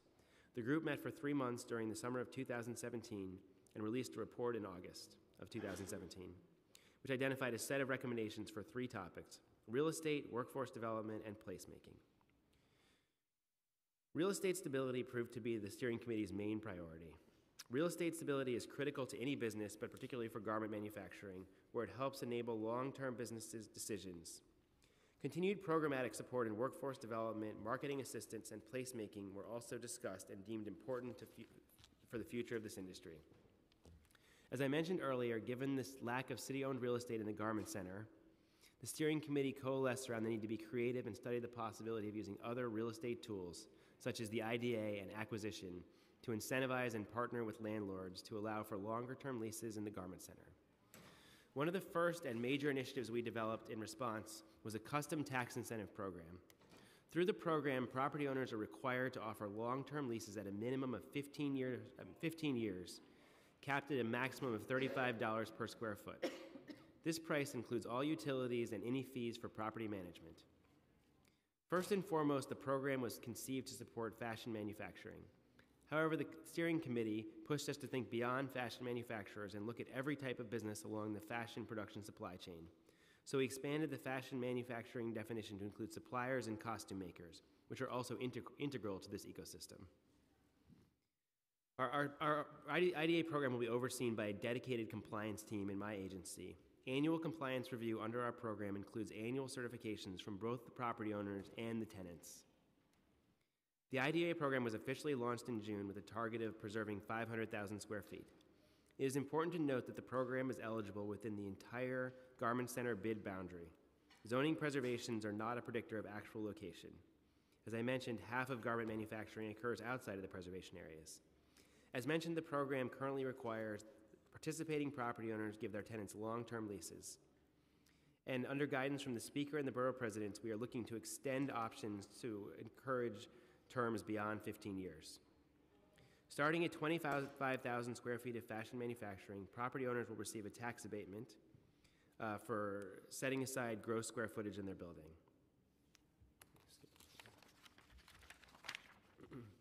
We are actively working with multiple owners to secure 300,000 square feet of garment manufacturing space. In September, the IDA board also authorized three properties totaling 200,000 square feet of fashion manufacturing space, and I believe a few owners enrolled in the ITA, IDA program are with us today. For fashion manufacturing businesses in these buildings, this means considerable real estate security and longevity. We are also in active conversations with property owners to enroll more space into the program and are fully committed to continuing aggressively marketing this program. Our goal is to sign up as many buildings as possible and provide long term stability in the district. Another long term goal of the steering committee was to secure a building in the Garment Center. This was a priority the Speaker made clear. We have made good on our promise to help achieve this goal by releasing an RFEI last month. This will provide up to $20 million in city capital to acquire a building and secure a not for profit partner. We are confident that the city's historic commitment of $20 million in funding will enable the acquisition of a sizable, sizable building for dedicated garment space. For the RFEI, we purposefully created a procurement process that would allow as much flexibility as possible, considering the variability of the real estate market and the need for a strong partnership. At the suggestion of the steering committee, we expanded the eligible geographic boundary for the RFEI beyond the Garment Center Special Zoning District and bid boundary. The boundaries are now all the way south to West 26th, as far west as 11th Avenue, and east to 5th Avenue. The public benefits for tenants are clear and will match the IDA program. At minimum, these will be 15 year leases capped at $35. Finally, I would like to touch on programmatic support, the last element of the committee's recommendations. The city, the CFDA, and the Garment District Alliance, which is the bid representing the area, have agreed to fund and deploy a set of programs to support garment, garment manufacturers and designers. This builds upon many years of collaboration between the city and the CFDA. To date, these grants have supported more than 30 businesses. We are currently working with CFDA on a new scope of work that would total $14 million of direct investments. We are very proud and excited about this collaboration. Priority areas have been established as continued technology modernization and workforce development to support competition and innovation and to train the next generation of skilled workers. Additionally, the bid was approved by the City Council just yesterday for up to $2.5 million per year over 10 years, which is a unique commitment from this district to support this critical industry. This suite of programs, in addition to custom real estate programs, represents an unprecedented and comprehensive approach to providing stability for and growing the garment industry in the Garment Center. We are proud to be a part of this new chapter for this industry in the district. Thank you for your time. Now I'd like to turn it over to my colleague Edith Hsu-Chen, the direct Manhattan Borough Director of City Planning. Thank you, James. Good afternoon, Speaker Johnson and Chair Moya. Uh, my name is Edith Hsu-Chen. Uh, I am the Director of the Manhattan office at the Department of City Edith, if you could put the mic a Oh, little excuse closer. me. Thank you. I think I know that by now. Okay. Um, I, let me repeat a little bit. Uh, my name is Edith Hsu-Chen. I'm the director of the Manhattan office at the Department of City Planning. I am joined here by my colleague Dylan Sandler. I'm here to present DCP and EDC's proposal for a zoning text amendment to the Special Garment Center District. Our proposal updates the zoning regulations of the special district by removing the requirement to preserve manufacturing space. We believe the preservation requirement is not reflective of the land use in the area, which includes the evolved needs of the fashion industry. Next. Thank you. Um, the, the Garment Center Special Zoning District was established in 1987 with the goal of preserving apparel manufacturing and fashion related businesses. Within the district, preservation areas were created on the side street blocks. Within these areas, uses were restricted to industrial, retail, or wholesale showrooms. Converting to office use within these preservation areas was permitted only with a CPC chair certification and a restrictive declaration confirming that an equal amount of space for manufacturing use was preserved in perpetuity. Along the avenues, the underlying M16 zoning applies, which permits commercial office as a right. Uh, you may recall also the district was amended in 2005 in conjunction with the Hudson Yards rezoning to allow for a broader mix of residential and commercial development west of 8th Avenue. Next slide, thank you. Despite these zoning efforts to bolster the industry in the garment center, apparel manufacturing continued to decline significantly over the next few decades.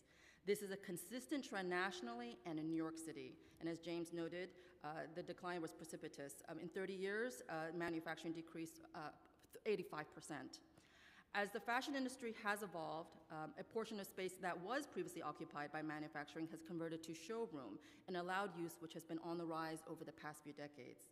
Similarly, there has been an increased demand for office space for fashion related companies within the garment center. That has led to some illegal conversions of some previously industrial space. Next, please. Even though garment production has declined, it remains an important part of the fashion ecosystem in Midtown Manhattan. The apparel manufacturing companies that remain tend to be small, though, with an average size of 5,000 square feet and about 10 employees per company. Approximately half the space devoted to garment manufacturing that remains in the garment center is located within the preservation areas, and half is located outside where there is no preservation requirement. The real estate programs being implemented by EDC are designed to provide affordable space for these types of apparel manufacturing businesses. The Garment Center has also seen a growth in office based sectors, including fashion companies, nonprofits, architecture, software companies, and others. The proposed text amendment is intended to ensure that zoning is reflective of the mix of uses in the Garment Center, which includes thousands of office based tenants. Next. So, to our zoning proposal. The proposed text amendment would reinstate the underlying M16 zoning district in the preservation area between Broadway and 8th Avenue, creating what we now call A1. This would eliminate the manufacturing preservation requirements and allow many existing property owners that are currently non-conforming office uses to receive the proper certificate of occupancy and to cure outstanding use violations. We are also proposing modifications to create bulk envelopes that better match the existing buildings and neighborhood character. Next. The preservation area between 8th and 9th Avenues would now be called A2, and the underlying C64M Hudson Yards regulations would continue to apply. However, in the A2 area, existing regulations that restrict office and residential conversions of buildings greater than 70,000 square feet would be modified so that these larger buildings could be converted to office use. Residential conversion in these existing large buildings would continue to be disallowed. Um, and then across the entire district, we are proposing sign regulations that are consistent with C64 districts, which is more restrictive than the underlying M16. This would reduce the allowable height and size of signs. Within A2, where there are more residences, we propose that flashing signs be restricted. Finally, the proposed text amendment would also create a zoning special permit for hotel use within the district, and this would be consistent with the proposed M1 hotel special permit. Thank you very much. Thank you. I now want to turn it over to uh, Speaker Johnson. Uh, thank you, Chair Moya. Thank you for your testimony today. I have a few questions uh, that I think we can get through pretty quickly. Uh, as you know, and as you acknowledged, uh, James, uh, the borough president and I, and the uh, almost in the entirety of the steering committee, pushed very hard at the beginning of this process for the city to do everything in our power to acquire a permanent home for garment manufacturing. You mentioned the RFEI went out. Uh, can you talk a little bit more about the process, the timeline, and any reassurance you can provide us that we're making progress on finding a permanent home and dedicated building for garment manufacturing within the district that you outlined in your testimony? Absolutely, thank you. Um, so, so the, the RFEI went out last month um, as a result of you know your and the borough president's advocacy for this. Uh, we committed $20 million as a part of this. Um, so we've looked at the financials of this. The average building um, in the garment district area is between 75,000 and 100,000 square feet. Prices for per square foot range from 500 to $700 per square foot. What that means is that a price for a building could be anywhere from 40 million to 70 million dollars. $20 million as a portion of that from the city is an enormous down payment on that because it would be married with some investment from the purchasers as well as debt financing. We're very confident that the finances of this pan out. And at the same time, I'll tell you, um, you know, as we have discussed, you know, it's, it is not uncommon for people to put proposals in that are um, that that have funding gaps, and we, we regularly work with them to resolve those between ourselves and the uh, and the parties who are bringing in the proposals. We have a lot of members of the steering committee who've expressed, or members of the steering committee who've expressed an interest in partnering with us on this. You know, we're only a little more than a month into the RFEI, so we would not have expected any responses yet. But we're keeping this open for an extended period of time, and we're committed to getting a resolution and are confident that we can. How long uh, will the RFEI process be open for? So the, the RFEI is open for uh, one year, and we started accepting submissions uh, beginning at the beginning of this month. We did not expect anyone to be able to put together a proposal within 30 days, but uh, we're, you know, we're, we're in conversations with some folks, and we're hoping to see a proposal um, early next year. But you are committed to, over the next year, working with potential respondents and being creative and thoughtful and strategic with them to find a building to ensure that any issues that come up around financing uh, on a potential building, you're going to work with them because you all support finding this building. We support this. I think it was a it was a critical concept to preserving the industry overall. We support it. We will work with them to resolve this. We know it's a critical priority of yours, and we're committed to working with respondents to getting uh, a result that is a permanent home for the garment district in this neighborhood. Uh, You also uh, mentioned in your testimony the progress that's been made on the IDA front in securing currently 200,000 square feet of manufacturing space that we preserved through the IDA program. There was uh, an aspirational goal through the steering committee to try to get up to 500,000 square feet, though I think people acknowledge that that was going to potentially be difficult to get to that number. But I think there was uh, a level of expectation and hope that we'd get to 300,000, 400,000 square feet. Uh, Can you talk a little bit more about, uh, in a more specific detail, uh, about some of the challenges that has presented itself on getting additional square footage through IDA and what you all are doing uh, over the next month in ULURP to continue to try to get folks to participate in the IDA program to preserve additional existing manufacturing space? Absolutely. So I mean, you know, the, the, the challenge is frankly that there are many, many different property owners um, in this neighborhood, some of, of varying levels of sophistication and comfort with working with the city. We are we know every property owner, have identified every single property owner that is uh, that that has manufacturing space in this neighborhood, and we have reached out to all of them. We've knocked on their doors. We have met with any and all of them that will take our meetings. Uh, we have done this repeatedly, and that's what's resulted in the transactions that we have before us, and what's resulted in the additional uh, the, the, the, the 200,000 square foot that we have approved through the IDA and the remaining um, conversations that we're having. We are in active conversations with a series of property owners. We are going to continue to aggressively pursue those. Ultimately, it is up to the property owner to be comfortable with the structure, and we are doing everything within our power to encourage them to come to the table, to reach a resolution, and we are committed to getting as close to 500,000 square feet as was in the city's power. Uh, Thank you. I just, you know, 200,000 is not the number that I want to end up at. I want to un- end up at a higher number, uh, closer to somewhere between 400 and 500,000 square feet. I know, and so I'm not saying this in a critical way of you all, because I know how hard you've worked in engaging property owners to get people to understand the benefits of the IDA program and to uh, sign up for the preservation and the benefits that are transferred to them if they do that. But uh, we have to sort of redouble our efforts over the next uh, three or four weeks to conti- to continue to to press uh, folks to understand those benefits. And, and if there's anything that, that I can do or that other stakeholders, the community boards, the borough presidents, uh, other folks can do, we really want that number to be increased. I understand. We will do everything within our power. We're laser focused on this. I have a list of of everyone, um, and we're going to work together. And we'll t- appreciate your offer of assistance, and we'll certainly be taking you up on that. Thank you.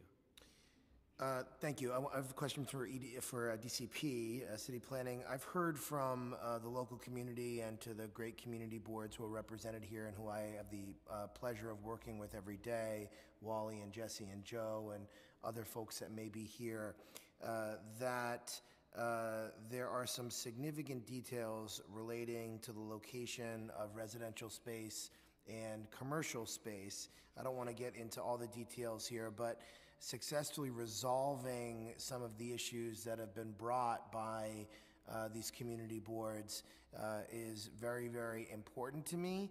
And I've mentioned this to the president of EDC, to James, that these are not, in, in my estimation, hugely complicated or significant issues that shouldn't be able to be resolved with some uh, thoughtful collaboration between the community boards, the Department of City Planning, and the Department of Buildings. I think these are things that should be able to be resolved pretty quickly. So I, I wanted to uh, see if you've heard of some of these concerns and what's being done to address these concerns over the next few weeks in ULURP. Thank you, Speaker Johnson. Yes, we've heard of these concerns, and we are happy to continue to work with the community and with property owners uh, to come up with a solution for um, the, the issues that you uh, speak of. So we'll be in, in close touch with the community boards in particular. So we need to get this done. This is important to me. It's important to the community boards. It's related to residential and commercial space for projects that I don't think are crazy or they're asking for anything special. It's kind of minor stuff that because of the outdated zoning that exists in this area has been difficult for the community boards to get through projects that have community support.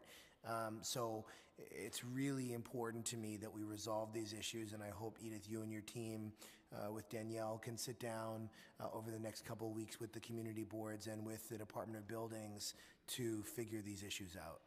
We'll do. Thank, Thank you. Um, And then, under the zoning that is in place today, some property owners have uh, converted their manufacturing space to commercial space, and they've enjoyed the benefits of legal conversion. Can you tell us how much space in the preservation areas have been legally, not illegally, legally converted, and how much space has restrict, restrictive declarations on it that governs the preservation of manufacturing space? Yes. 180,000 square feet of space was legally converted in the preservation areas, and those properties also do have the res- restrictive declarations. 180,000 have been legally converted uh, to, uh, uh, from manufacturing to commercial space, and all of that space has restrictive declaration on it. Yes, the, the, the conversions required uh, a CPC chair certification as well as a restrictive declaration. So why, uh, why would we not keep these restrictions in place? Well, frankly, we believe that the underlying zoning that led to, that, that created the preservation requirements are no longer appropriate. And, and Speaker Johnson, I appreciate your blunt language when you talked about the ineffectiveness and the outdated um, uh, zoning at, at- in your introductory remarks. Um, we don't think it's good policy to continue to hold the property owners to the requirements that we think are inappropriate. And um, this policy is consistent with precedent uh, when we eliminated the preservation requirements in Chelsea around 23rd Street um, a number of years ago. So one of the issues that we ran into in this entire conversation and that the uh, really I think showed the uh, inadequacy and ineffectiveness of the existing zoning was that there were millions of square feet that was um, out of compliance uh, on preservation uh, that was happening every single day, every single year, and that number kept growing. Has DCP checked to see whether building owners who did the legal conversion that they are complying with the restrictions that they've recorded against their properties?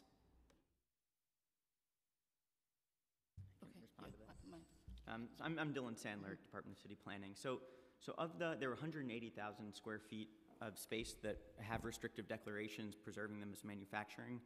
Um, those were mostly preserved in the early to mid 90s, um, and, and for a time did have manufacturing space, but a big, a large portion of those actually have converted to illegally converted to office. Uh, we think it's about uh, 60,000 is currently manufacturing, and 120,000 is currently office.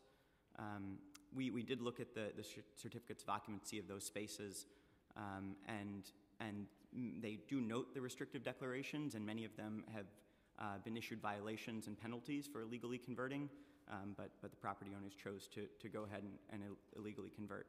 Um, and, and I guess one, one other thing to add is that the, the enforcement is complaint based, and so, so presumably some, some properties did convert, and uh, if, if there were no complaints, uh, there, there, was no, there was no recourse that, that immediately happened from that conversion.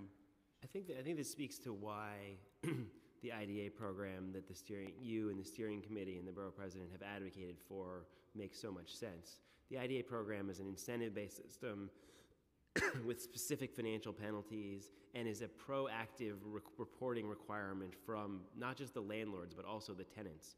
We have to receive every year a, a, certification from the tenants that their landlord is complying with the terms of the IDA agreement.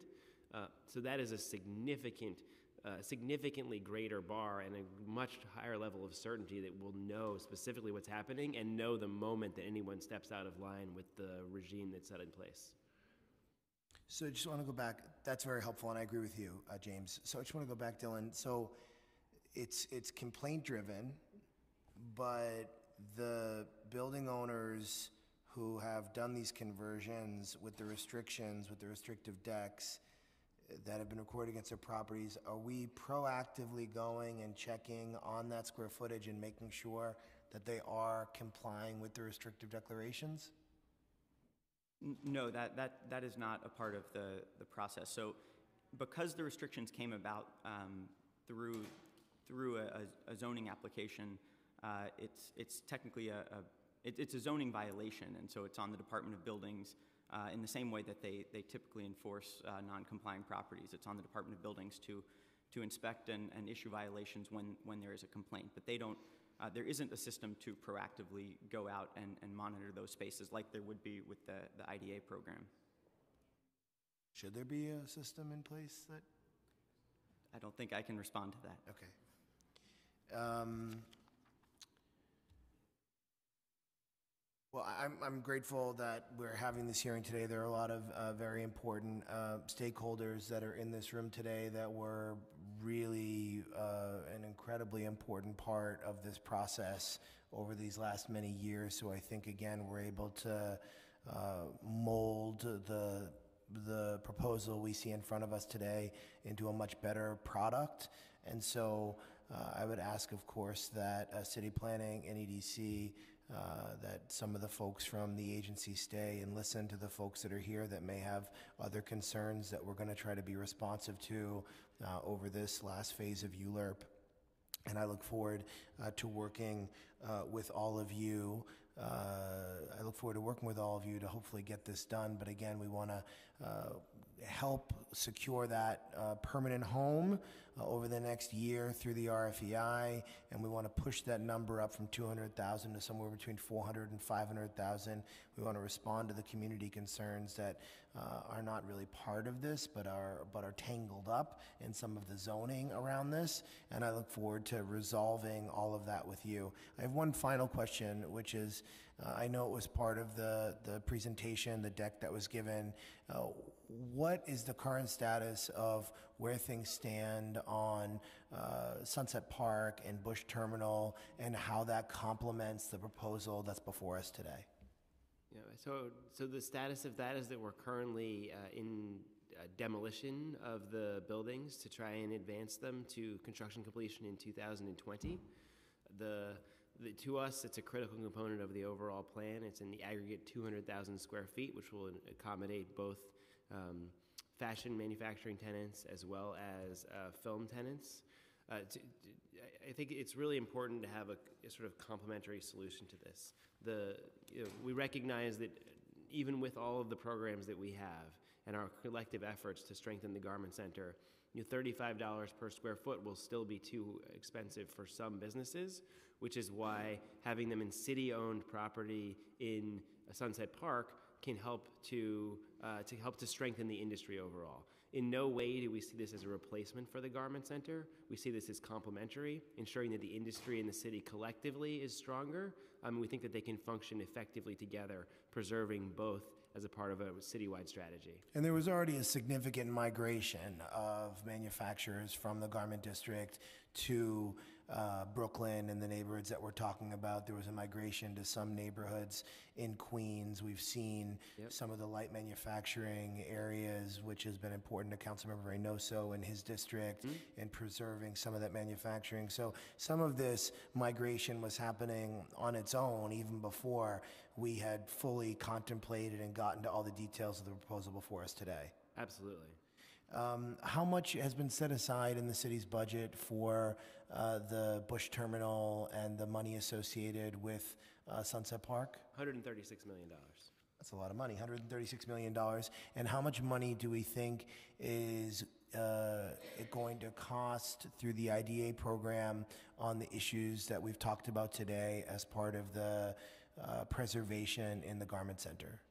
Well, so the, the IDA program alone, we don't have a specific estimate because you know we don't know the extent of it, but it's tens of millions of dollars for the IDA program, just the buildings alone that were that we currently are, are that we currently have approved, um, and so we could expect it to hopefully be significantly higher than that.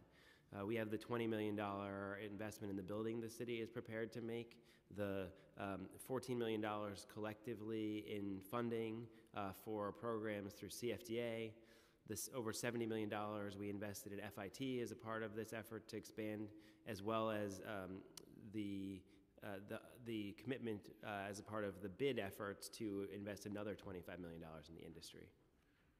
And would you categorize those programs as uh, incentive programs, um, subsidy programs? How would you categorize the programs that we're talking about today? It's a it's a variety of things. It's you know the, there's the investment. It's just so setting aside the investment in the building, which is an investment in real property, um, as relates to the other the other efforts. Um, you know, we we see them as a combination of incentives to encourage people to preserve businesses, as well as investments in businesses to strengthen them. So it's to improve the you know it- to give technical assistance to businesses, uh, to help them invest in uh, modern manufacturing equipment so they can be more successful over time, to help them market and advertise, investments in workforce development. All of those are a critical part of the plan. And the vast majority of the businesses that are taking advantage of these programs are small manufacturers. Absolutely, in the garment district. Within the average of how many employees? Yeah, I think I think that hi Cecilia Kushner. There is a range, but um, there are a lot of small factories in the garment center where you have 15, 20 employees. Um, so a lot of the businesses that have been helped through the FMI um, uh, grant program, for example, the last 30 businesses that we helped with two and a half million dollar through the CFDA were uh, generally small firms. So for them to be able to receive half a million to a million dollar of new equipment, which is an equipment they would never be able to purchase themselves, is a really tremendous direct benefit to their firm, and it really translates into being able to produce more garments and being able sometimes to hire someone that otherwise they wouldn't be hired. So kind of direct programming and direct um, funding given to manufacturers is really a really important complement to the real estate stability through IDA. Well, I'm really glad this is going through ULURP. Yes. It's, I think it's, the public review is very important. Mm-hmm, understood. It's important that we have public review of land use projects that involve a significant amount of money and investment and subsidy, which I think has been a good process. And I think we've gotten to a good place through the process, which I think is completely counter to what we're reading about in the news. And this is not a personal attack on you, James. You and I have a great relationship, and I have deep respect for you. Uh, but it, it, it, this process has showed what you can do when you engage stakeholders, elected officials, when public dollars are involved, compared to a cloaked, secretive, in the dark process that cuts out the public charter mandated review of the city council. And again, these are not exactly the same uh, things, nothing is, but uh, we're talking about uh, taxpayer dollars. We're talking about a significant geographic area. We're talking about a complicated uh, issue that involves multiple neighborhoods and stakeholders. We're talking about infrastructure. We're talking about all of these things, which is what we should be talking about in Long Island City. It's what the council should be talking about in Long Island City. It's what public review is for. It was not your decision to uh, go through the general project plan process. But I think it is a very stark contrast that today, after multiple years of conversation, we're able to get to a place that is going to be- benefit small businesses, not multi billion dollar or trillion dollar valuated companies, for the good of the city, for the job market of the city, for the ecosystem of the city, and we're going to get a lot of benefits out of it compared to, I think, a deal that uh, I understand, of course, we disagree on this, uh, but, I, you know, there's a pretty broad disagreement on. Um, you know what the potential benefits are. So today's not about Amazon, but I think it's important to uh, give the comparison between when land is involved and dollars are involved, the importance of a transparent process. I think that is sorely lacking in what we're seeing uh, in Long Island City, but I'm grateful we've had that here today. Thank you. You're welcome. Thank you, Chair Moya. Uh, I couldn't agree with you more, Mr. Speaker. Uh, Thank you so much, and thank you for uh, the panel for uh, your testimony uh, today. Uh, Before we go to the next panel, uh, I just want to open up the vote. Uh, We are joined by Council Member uh, Rory Lancman. Council? Vote to approve 260, 261, 262, and 263. Lancman. The land use items are approved by a vote of eight in the affirmative, no negative, and no abstentions, and referred to the full land use committee. Thank you. Uh, The next panel, I'd like to bring up James Lloyd uh, from the Manhattan Borough President's Office, uh, as well as uh, Jeannie uh, Lour- Lourdes, Lourdes, um, Michelle Feinberg, and Dan uh, Del, how do you say that? Domanian?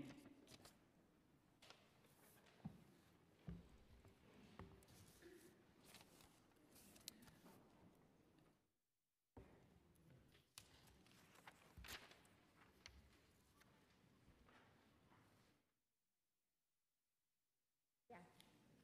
Okay, great. Sorry. Jeannie? Is that, we have Jeannie? Michelle? Yes, I'm Okay, Michelle. yeah. Good morning, sorry. And Dan. Right. Uh, So we are going to start with uh, James Lloyd. James, you can take uh, your time because you're here on behalf of the Borough President. I just want to remind everyone that uh, we have a two-minute um, uh, timeframe uh, for your testimony. Good afternoon, Chair Moya and members of the subcommittee. My name is James Lloyd, Deputy Director of Land Use for Manhattan Borough President Gale A. Brewer, and I'm here to make a statement on her behalf in support of our plan for preserving a significant core of garment manufacturing in the borough of Manhattan. The application for a zoning text amendment to the Special Garment Center District before you today is a component of our plan.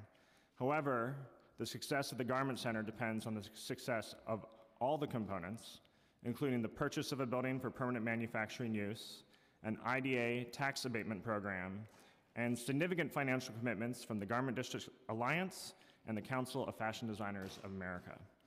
I call, I call the plan our plan because the Garment Center Steering Committee, formed by Speaker Johnson and the borough president, has played an instrumental part in the proposal before you today. I would like to thank all the elected officials, community boards four and five, the New York City Economic Development Corporation, and representatives of manufacturers, designers, unions, and real estate for their continued efforts. Their recommendations have provided valuable guidance for addressing the needs of the garment industry. Through their collective efforts, we have come a long way from the original proposal to lift the zoning restrictions and not provide any accompanying assistance for the garment industry and specifically manufacturers located in Manhattan's historic garment center. The EDC programs that accompany the rezoning are a result of the steering committee recommendations, which prioritize the preservation of manufacturing space in the garment center through a tax incentive program and a building purchase. I would not be supporting this application to lift the current preservation requirements if there were no assurances that manufacturing space would be maintained through these methods. These EDC programs, which incentivize the provision of affordable manufacturing space, are available only within the general garment center area. An industrial development agency incentive will provide property tax abatements for landlords who sign 15 year leases with manufacturing tenants. A second program designed to assist in the acquisition of a garment manufacturing building will benefit from $20 million in city funding. Both initiatives will provide garment production space at an affordable rate of $35 or less per square foot. Together, the building acquisition and IDA program will provide stability to the garment companies that have recently had to deal with escalating rents and evictions resulting from so many landlords illegally converting their buildings into offices.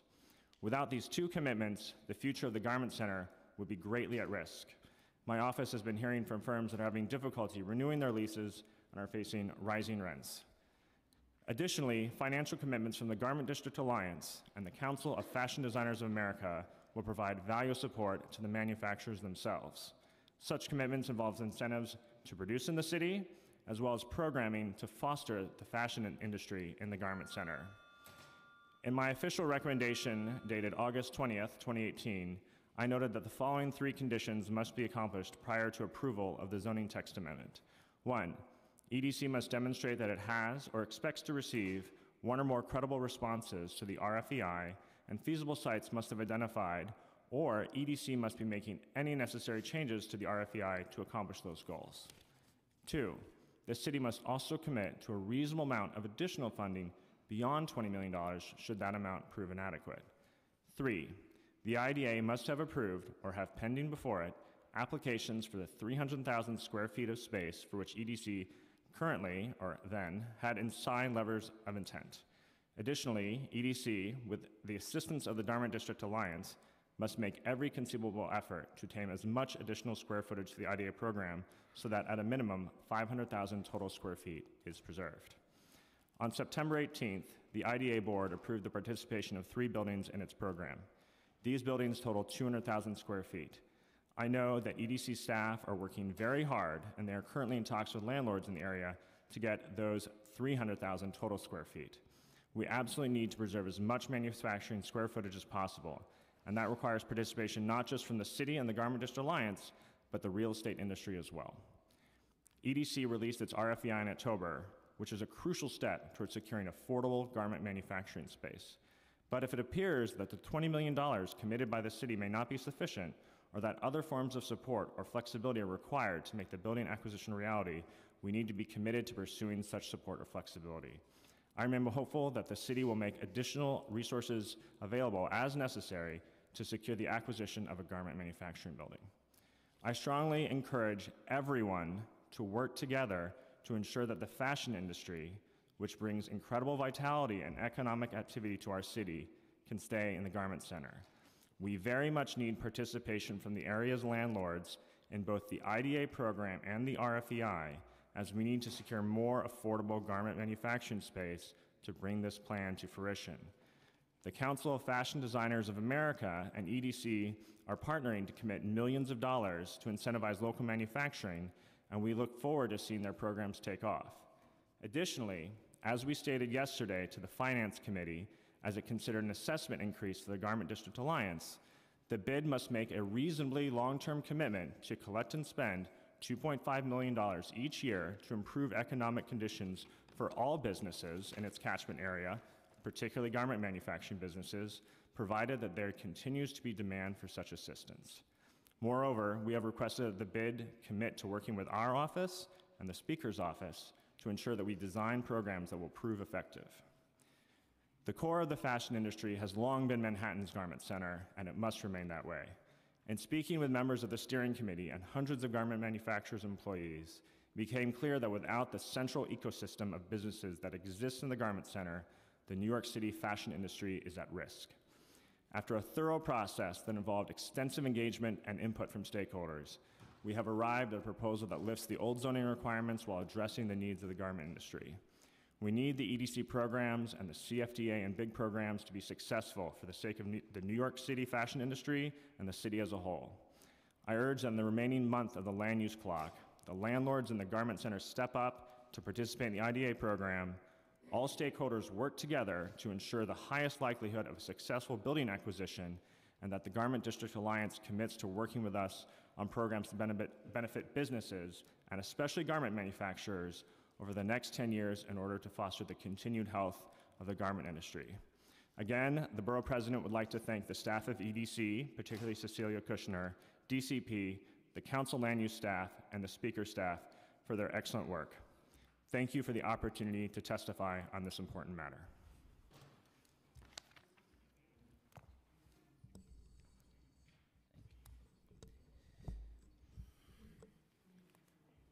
Good morning, Chairman Moya and members of the committee.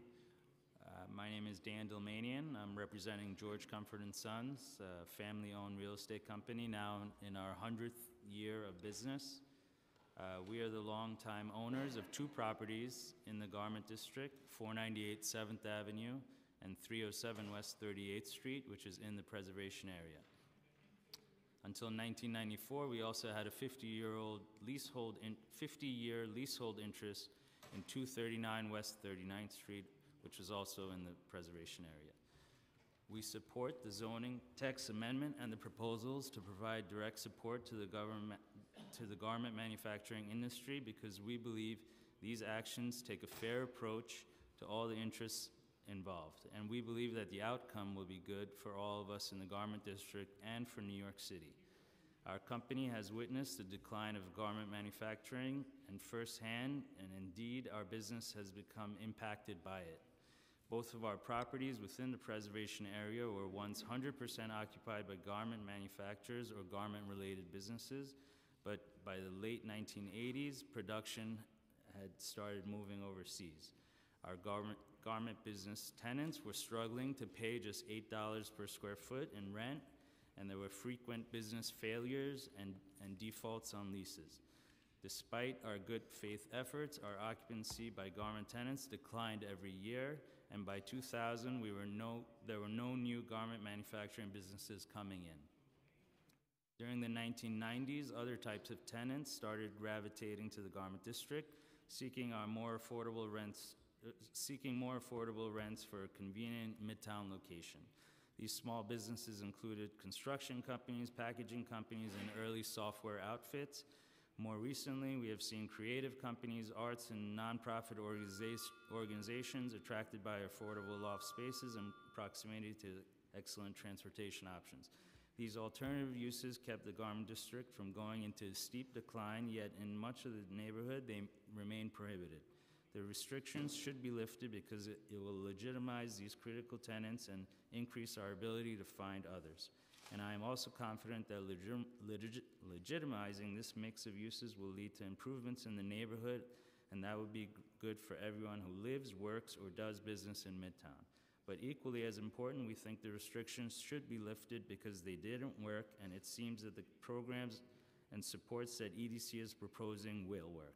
By providing assistance directly to garment manufacturers through tools that address everything from workforce development and equipment to rent guarantees, the city is offering the industry a re- realistic way to stabilize and modernize within its historic home.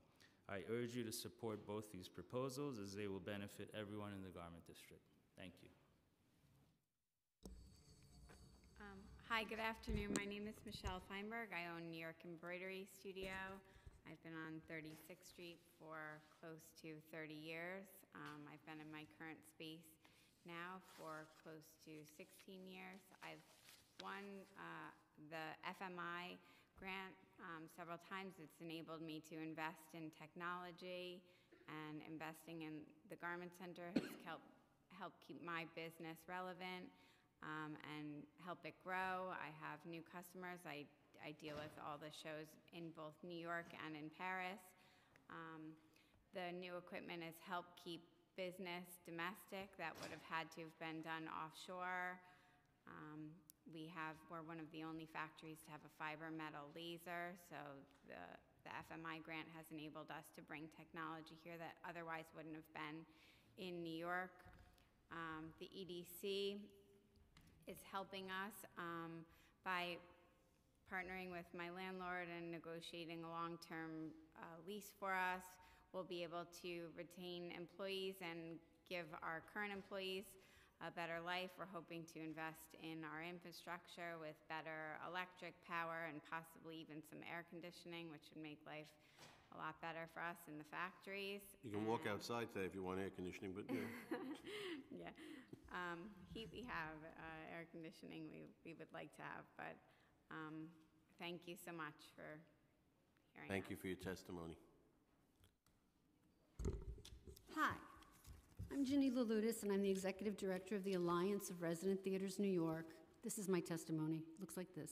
I got you. The service and advocacy organization for New York's nonprofit theaters. We have 400-plus members. I want to thank the City Council Committee on Zoning and Franchise for allowing me to testify at this hearing. Um, Art New York was founded in 1972. Over the years, we've earned a reputation as a leader in providing progressive services to our members, from shared office, rehearsal, and performance space to the nation's only revolving loan fund for real estate, to technical assistance programs for emerging theaters, which have made our organization an expert in the needs of the nonprofit theater communities of New York City. Art New York supports the initiatives set forth by the Mayor's Office of City Planning and the Office of Economic Development to remove the preservation restriction in the garment district and replace it with programs to directly help garment manufacturers. Like New York City's garment manufacturers, New York City's nonprofit theaters have struggled for years to find affordable office rehearsal and performance space. The off off Broadway movement had its origins in the East and West villages and have traveled to Soho, Hell's Kitchen, the Lower East Side, Tribeca, and now Brooklyn and Queens. Those of us who are fortunate found homes in the garment district in the late 1990s. In 2001, Art New York signed a 20 year lease with Gural Family Properties to transform 36,000 square feet of space at 528th Avenue into 20 offices for our member companies as well as seven rehearsal studios. The neighborhood was quite different than it is today. Side streets were dark, and some parts of 8th Avenue were safer than others. Despite these small inconveniences, we loved the area, which was not only adjacent to Broadway but blocks away from Penn Station and Port Authority, as well as dozens of subway lines. We click, quickly attracted 20 companies to rent offices for us, and our rehearsal studios have done a brisk business seven days a week, from 9 a.m. to 10 p.m.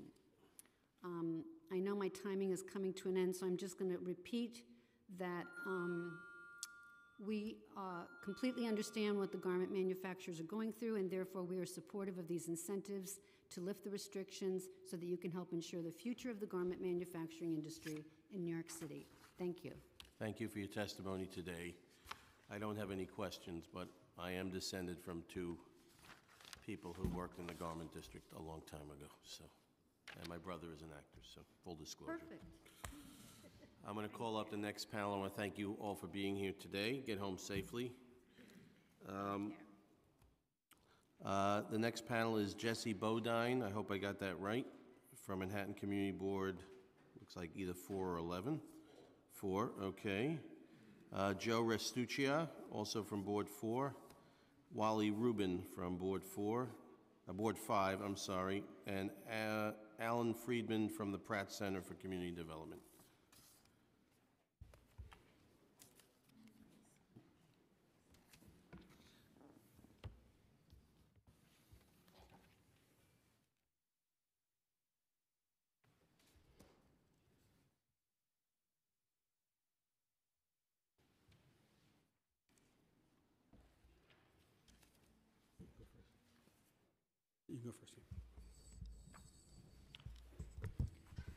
Jesse, if you'd like to begin, or I'm Adam. anybody? You want me I to- defer. Okay. Please turn on your mic, I don't know if, is the red light on? Thank Okay, you. we're good to go. I'm Adam Friedman. I'm the director of the Pratt Center for Community Development. I was also a member of the task force, past president of the Garment Industry Development Corporation, and I worked on the Board of Estimate when this zoning was originally passed. Um, I think the zoning was successful, and that's why you have this incredibly vibrant ecosystem. I'm just going to do my best to summarize the testimony.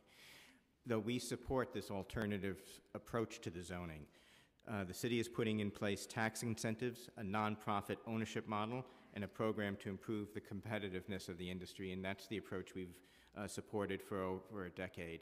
However, there's some really critical issues which have not yet been resolved. First of all, we strongly support the city's efforts to subsidize the acquisition of space by a nonprofit that will tenant and curate that space in the industry's in- interest.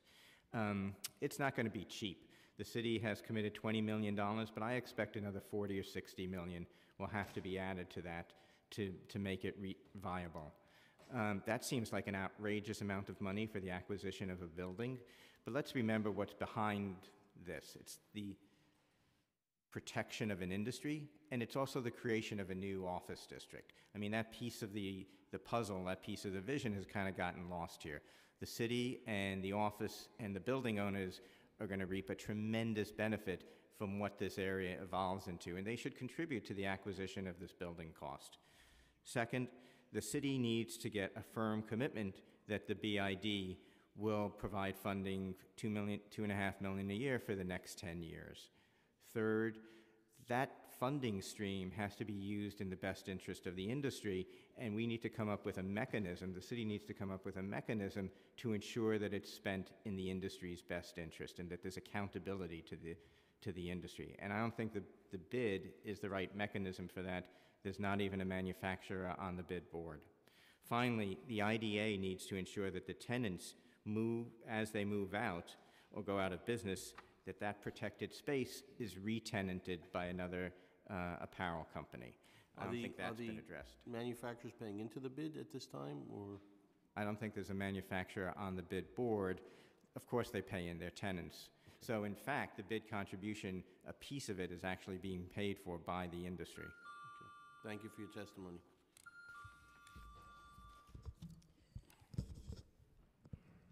Thank you for the opportunity to comment today. We've come a long way since this proposal was first announced, and we want to thank EDC, DCP, Borough President Brewer, Speaker Johnson for all they've done to make the proposal a better, more holistic one. Our goal at Community Board 5 has always been to preserve the garment district and its over 5,000 production jobs and tens of thousands of jobs related to and dependent upon those production jobs.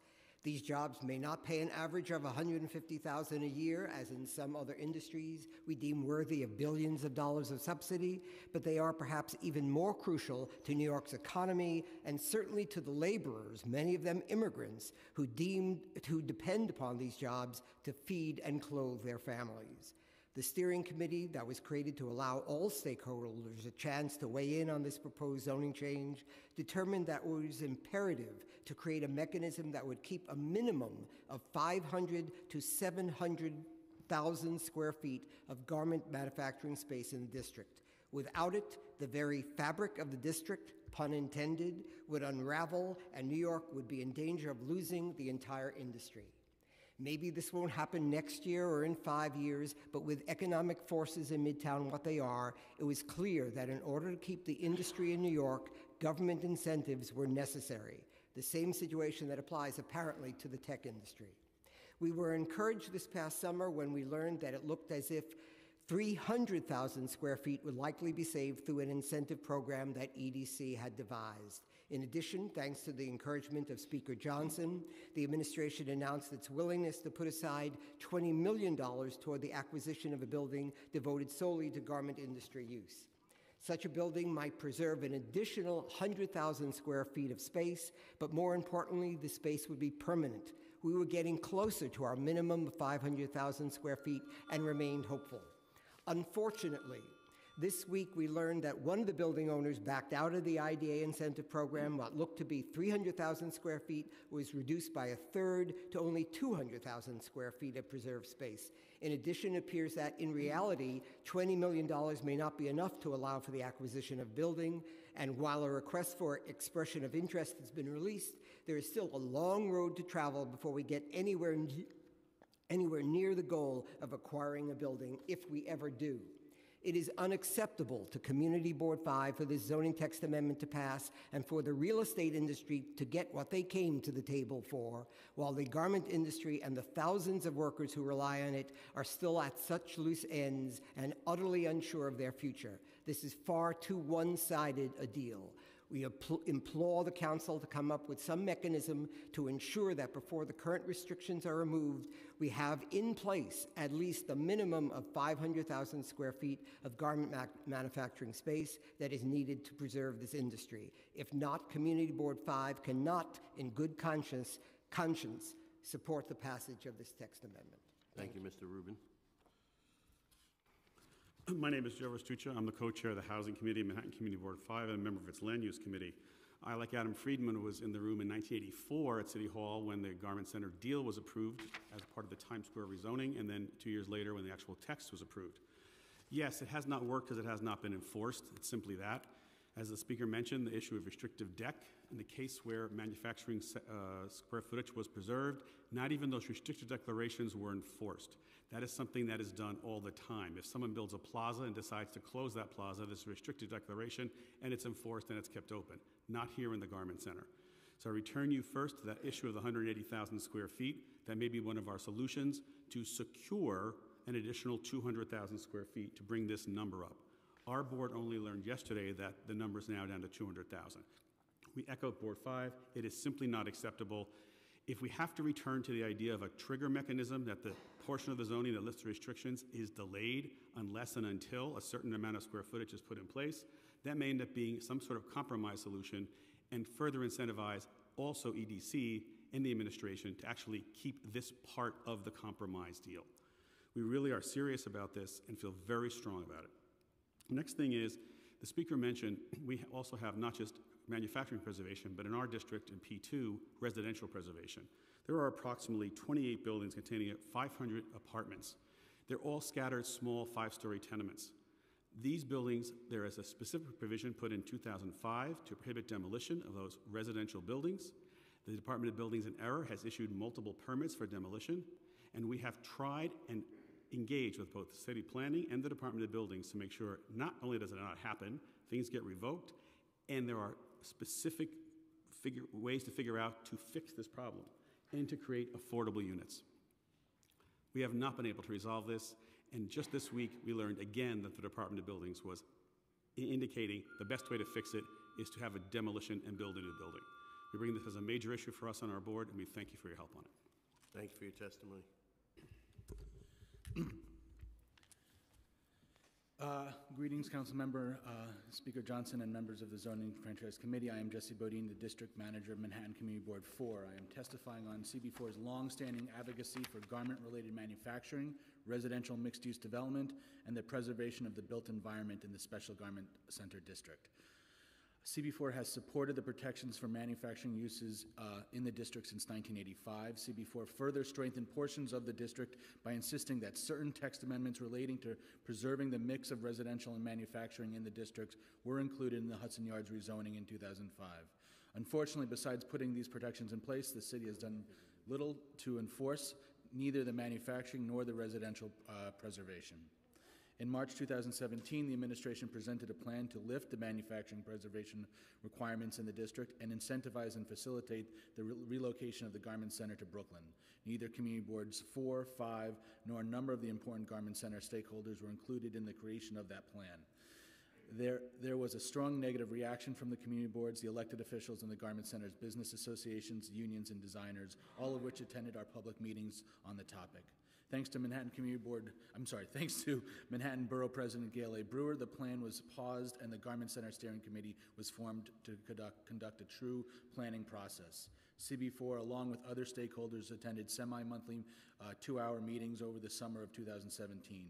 The steering committee's rigorous debate resulted in a, a number of recommendations.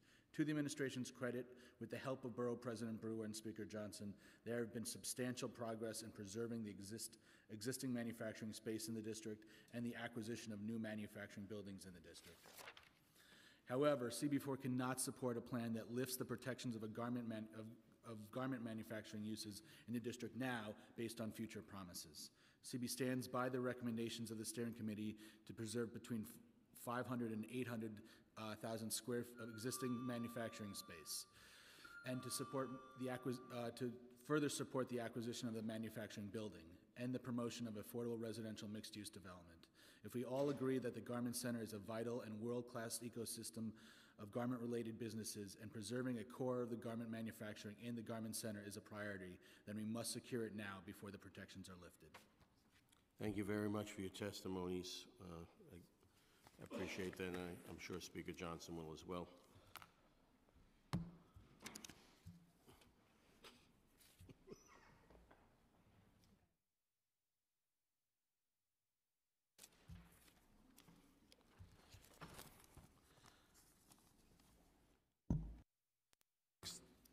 Our next panel is um, Phil Lavoy of the Gotham Organization, Chris Jaskowitz of the Gotham Organization, Tom Block uh, of 499 7th Avenue, and Steve Boxer of Pachyderm Consulting.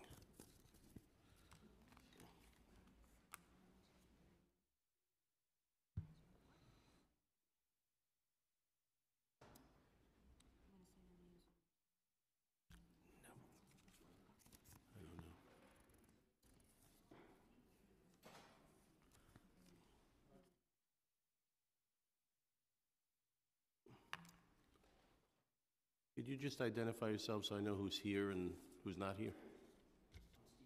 Okay.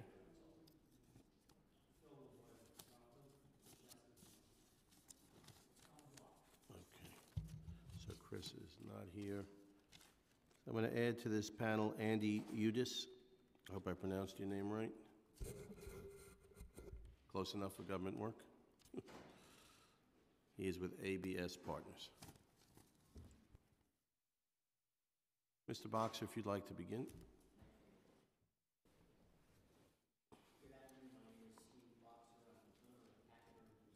Is that microphone, is the red light on? About now, much better. Perfect. Good afternoon. My name is Steve Boxer. I'm the owner of Pachyderm Consulting, an IT consulting firm located in the heart of the Garment District. I support the proposal to lift the use restrictions of the Garment District because I feel we need more office space for companies like mine that are growing in this wonderful neighborhood and have a real need to be located here. I moved to the Garment District in the summer of 2001 because of its central location and excellent transportation network are essential for my business. I and my employees spend our days going back and forth to clients, so having a garment district location makes my business significantly more efficient. In addition, my employees predominantly come from Brooklyn and Queens.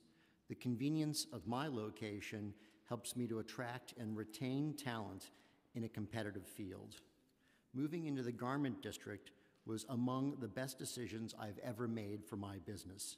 Indeed, several of my clients happen to be in the neighborhood as well. They're interesting non for profit uses working hard to make the city a better place. Some of these clients were already mine before I came to the district, and others because of my proximity to them. In the time since my offices have been located in the Garment District, I've doubled my number of employees, and I'm on my second office in the Garment District. I believe that the amount of space currently being restricted has limited the number of places where my business could locate. Over the past 17 years, I've seen the changes that have taken place and how this area has slowly become more diversified.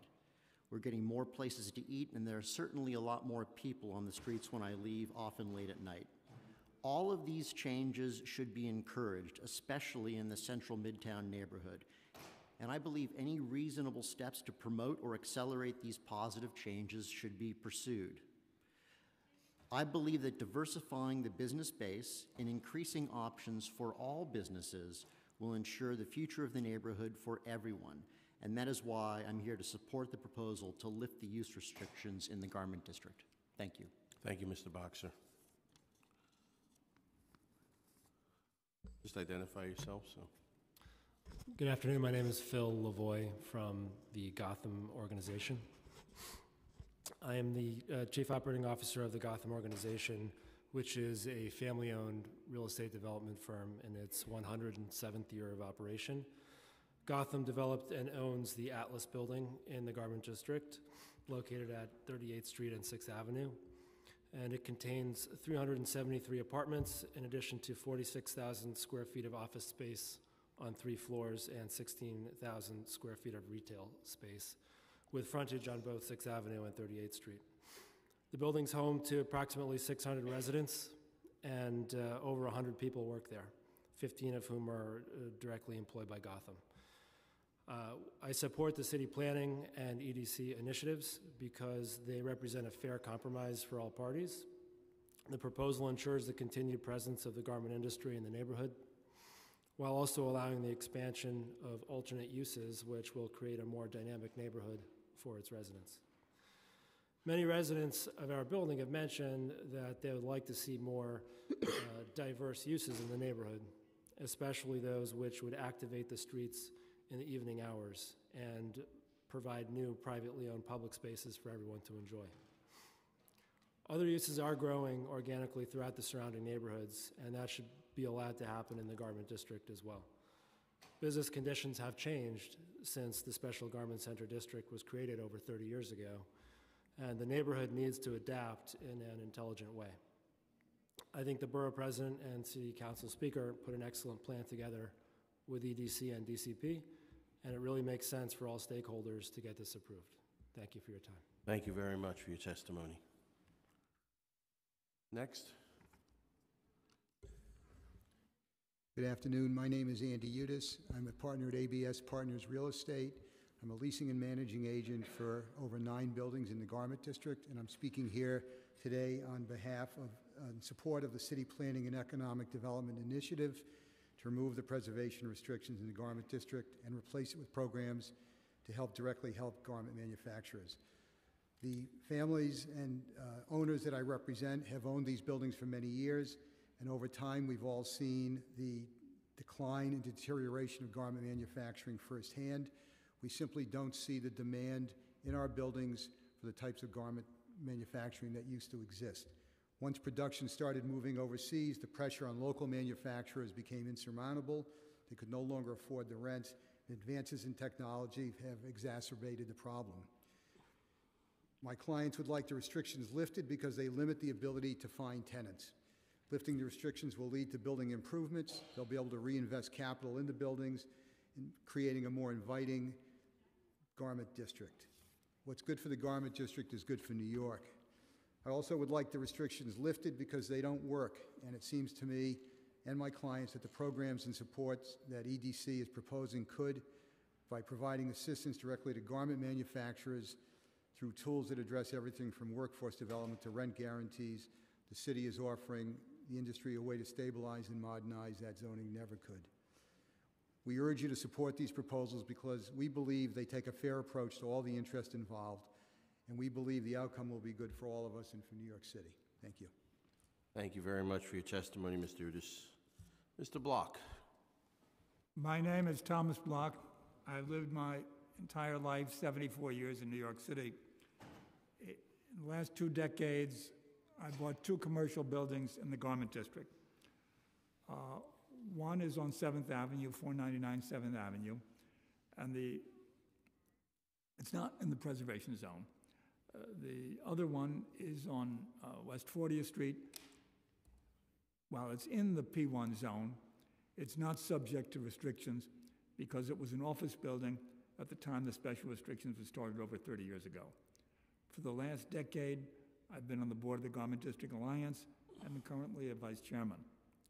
As all of you know, there are about 700,000 square feet occupied by garment manufacturing within the P1 and P2 zones, and another 700,000 outside within the Garment District Alliance, but not in the P1 and P2 zones. Uh, The amount required under the current uh, P1 and P2 zone restrict, restrictions uh, devoted to uh, manufacturing is four and a half million. Uh, The new proposal drafted by the EDC and strongly supported by the Garment District Alliance and improved by Manhattan Borough President, uh, Speaker Johnson, uh, and their staffs, has many benefits. It helps manufacturers with supportive programs and provides assurances that manufacturers remain in the buildings and that will have uh, space uh, dedicated to manufacturing in the garment district and does not require anyone to leave. Uh, The plan opens up space for new and varied industries, which will attract ever more diverse workforce. Those new employees will demand more diverse and vibrant retail. The whole neighborhood will improve. Uh, One may say my comments are self-serving and not altruistic. Actually, it works the other way. Uh, My tenants, at the end of the leases, will have more choices to move within the district than they do now, and because of lifting the P1 and P2 restrictions, uh, I'll have more competition for new tenants. Nevertheless, I support the program because I'm committed to the neighborhood, and I'm dedicated to seeing it continue to evolve into a great place uh, for tenants of all kinds to locate. An improved neighborhood will help us all. Therefore, I strongly uh, support the EDC proposal. Thank you. Thank you very much for your testimonies today. I appreciate your being here.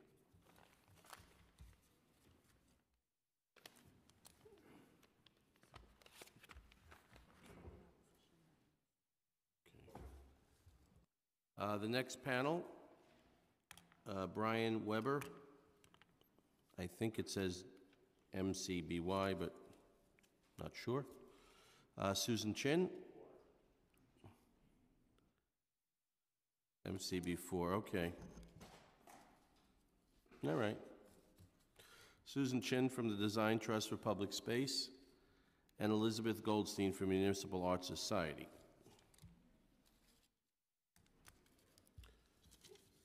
Elizabeth, you're the first person I've chaired two separate committees to hear testimony from, so.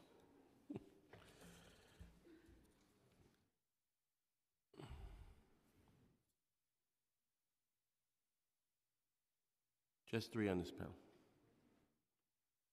I'd say ladies first, but it's up to you guys. Hello. Hi, and uh, thank you for having me. Um, I'm uh, Brian Weber from Manhattan Community Board 4. Oh, okay. Uh, my support is, of course, predicated on the conditions laid out by Joe Restuccia and Jesse Bodine, and I'm here to address one other facet of uh, preservation. We've talked about preservation of jobs, we've talked about preservation of space. A big concern to the community is uh, preservation of our existing uh, current built environment. Um, early, uh, Councilman Johnson spoke about the history and legacy of our neighborhood.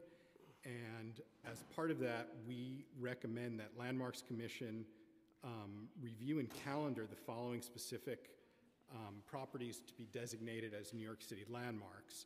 There were seven sites that we identified. Three of them were identified in the ESA done by the DCP uh, in relationship to this rezoning. Those were the Manhattan Center at 311 West 34th Street, the New Yorker Hotel, 481 8th Avenue, and um, the former Sloan, uh, the Sloan House YMCA at 360 West 34th Street. Uh, We identified four additional sites, and this is all just the tip of the iceberg, but four additional sites that we um, identified were a commercial building, three-story commercial building, 300 West 38th Street, uh, the former uh, New York Edison Company building at um, 308 West 36th Street, the former Barber Dormitory at 330 West 36th Street, and the Webster Apartments at uh, 419 West 34th Street. Several of these sites are what is currently considered overbuilt uh, in zoning, but several of them are also soft sites. These are historical sites for uh, social service reasons, cultural reasons, and infrastructure reasons, and they all merit consideration. It's important to the community that should a rezoning occur, that we not lose these historical assets in our built environment. Thank you. That was pretty good timing there. Ms. Chin? Good afternoon. Uh, My name is actually Joanna Crisp. I've been asked I didn't asked to think read. it was Susan, but I, you know, I've seen her name so many times, I don't know that we've, I- ever- I'm there's reading another Susan testimony. Chin that I do know, but she's not here either, so. I'm reading testimony on behalf of Susan Chin. Okay. And your name again? Joanna Crisp. Thank Go you. ahead. Thank you for the opportunity to submit testimony for the Garment Center zoning text amendment on behalf of the Design Trust for Public Space. Design Trust does not yet have confidence that the city will fulfill its commitment to implement a plan to keep garment manufacturing in Manhattan and bolster this creative industry and distinctive neighborhood. Since 2009, the Design Trust has worked with fashion designers, garment manufacturers, suppliers, property owners, government officials, and industry leaders to determine the value and interdependence of this core R&D hub and unique business cluster that nurtures fashion startups and innovation. Its seminal studies, Made in Midtown and Making Midtown, made clear that this is the foundation of our city's creative economy and fading manufacturing sector. And if we do not preserve this complex design and prototyping ecosystem, NYC stands to lose our standing as a global fashion capital, a $98 billion business that employs 180,000 people, or 6% of the city's workforce. The city assured the Garment Center Steering Committee and key stakeholders that lifting the zoning restriction in P1 and P2 would be contingent upon its plan to secure at least 500,000 square feet of production space. When the Department of City Planning issued its certification for lifting the zoning text amendment, the city assured key stakeholders that 300,000 square feet of garment manufacturing space had been secured through IDA. Now we learn there's only 200,000 square feet. The most critical part of the plan is to purchase a building which has not yet advanced. And with the specter of listing the zoning text amendment in this area, will what's now a $700 per square foot property soon sell at $3,000 per square foot? The city and GDA's additional investment of $14 million in the Fashion Manufacturing Ini- Initiative with CFDA is to be lauded, but the timeframe is vague and must go hand in hand with IDA for an entire 10-year period to succeed. Um, So just quickly, uh, Susan has outlined a few key recommendations. Delaying approval of the text amendment until the components that will preserve the district are in place, providing additional city capital funding and seeking state and federal support for a building purchase, continuing to push the IDA tax incentive program, ensuring that the FMI program is in place for a 10-year period, and continuing to work with the steering committee to significantly advance the entire plan. Thank you. Your testimony, you said this is a $98 billion business. Is that in New York City?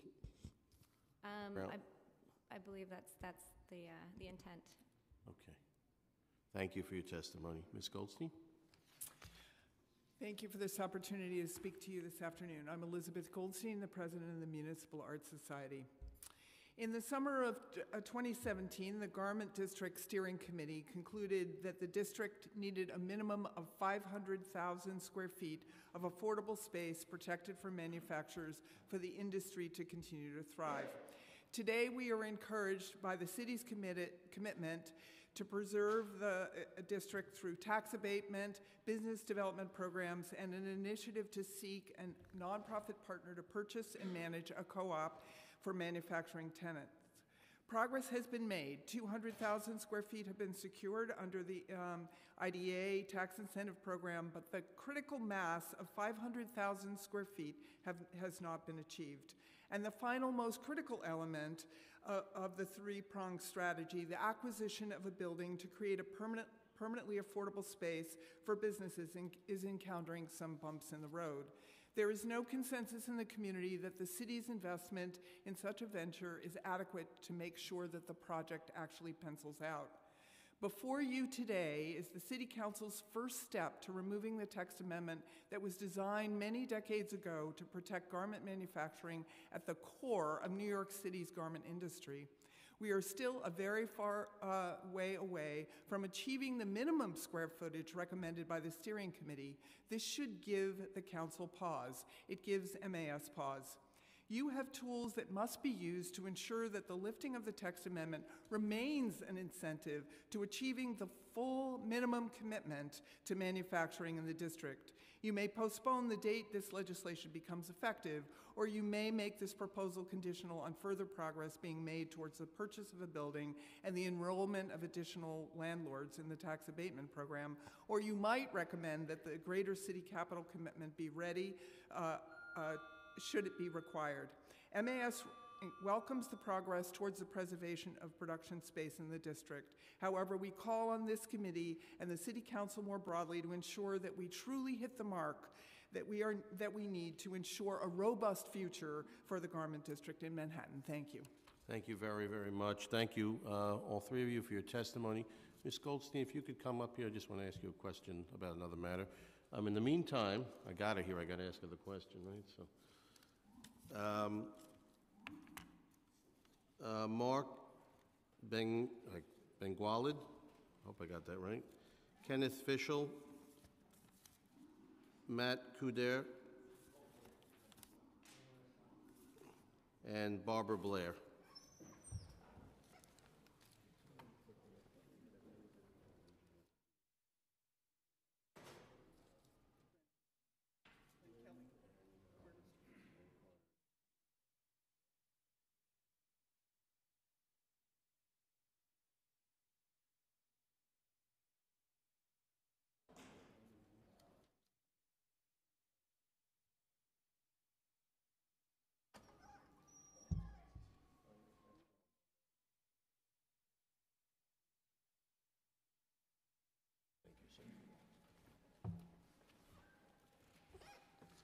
Good afternoon. Good afternoon. Uh, Thank you very much for allowing me to speak, members of the committee. My name is Mark Bengrolid. Uh, We're definitely uh, in favor of the support for the proposal before you, and we've heard a lot of testimony uh, until now about what should or should not be done, but I'd like to share a little bit of an anecdote, what we see in the uh, Garment District. First of all, my father was in the district. You know, he was a shoe manufacturer. He designed, manufactured, and sell shoes. If you remember Thom McAn, Kinney, Grant, those were the uh, people that my father uh, did these shoes for. Um, in the uh, 1980s and 1990s, you know, Taiwan, China came around, and he was unable to compete, so he closed that portion of the business, which is the manufacturing, and basically had basically a small office. Um, on the flip side of it, my father-in-law was in uh, the garment district. He was uh, played against Sam Happy Legs. Those were the production he had there. Again, he had a lot of manufacturing here, but again, when the uh, Vietnam, Taiwan, China came around, he was unable to compete with that, and, and all the manufacturing left the district. And again, he just had a small uh, office and eventually sold the business. You know, in terms of having a real estate, you know, we see constantly um, at least in our building, we have people who are in the manufacturing or designers that come to us um, basically saying that we can't uh, maintain the, the, the amount of square footage. We give them less square footage. They can't maintain that. And basically, because the business is changing, they eventually closed uh, their uh, business or basically are going elsewhere. So we're definitely, you know, in support of the amendment proposed before you the restrictions of the zoning that was placed there really did not work and did not satisfy what it intended to do. We think that what is before this committee is actually will benefit everybody there and as well the Garment District. and I thank you for your time. Thank you. Okay, You're okay. uh, let's do it. Uh, My name is Ken Fischel. I'm the owner of 264 West 40th Street, which is a 20-story building uh, between 7th and 8th Avenues. Before I talk about the building, I want to talk about me. Um, My father and grandfather started a sportswear manufacturing company. We made ladies' bathing suits, and we were the largest supplier to Sears and Montgomery Ward and the Spiegel catalog, among many other uh, catalog companies in the 1960s and 1970s. It was a business that employed over 100 people. We were a union shop. We had um, 40,000 square feet. By the mid 1980s, the business was not a viable business any longer. Um, we faced competition from abroad and we had to close shop and we ended up renting out the space. The next phase of my life uh, was when I purchased 264 West 40th Street in 2003. The building had been a scofflaw building. There had been a sidewalk bridge in front of the building for over 10 years. The facade was crumbling. The building was 50% vacant. Nobody wanted the building. It was nothing but a headache with, riddled with violations. But I wanted the building because I had faith in New York and I had faith in the, in the uh, garment district. I went in and I repaired the facade, removed the bridge, upgraded the elevators, and tried to rent out the space, and there were no takers. I tried to comply with the law. So I faced the possibility of losing the building to the bank for non payment of my mortgage because there was insufficient income to cover it, or renting to tenants that actually wanted the space. Now, those tenants were not manufacturing tenants. I had to then spend additional money, which I really didn't want to do, to upgrade that space from manufacturing level space to uh, otherwise commercial space. And the building rented up, and today the building is fully rented. Um, I'd like to say that I support this proposal for, on a number of different levels. I support it not only as a property owner, but I support it as a former manufacturer. Because I can tell you right now, when we were making ladies' bathing suits, if these proposals had been in place, chances are we would have been able to retain that business and keep those jobs in New York City. So I fully support the proposal. Thank you. Thank you very much, Mr. Fischel.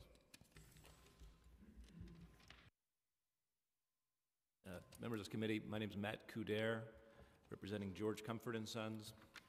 Sorry. And I support the proposal before the committee today. George Comfort and Sons is a family-owned real estate company now in our 100th year of business.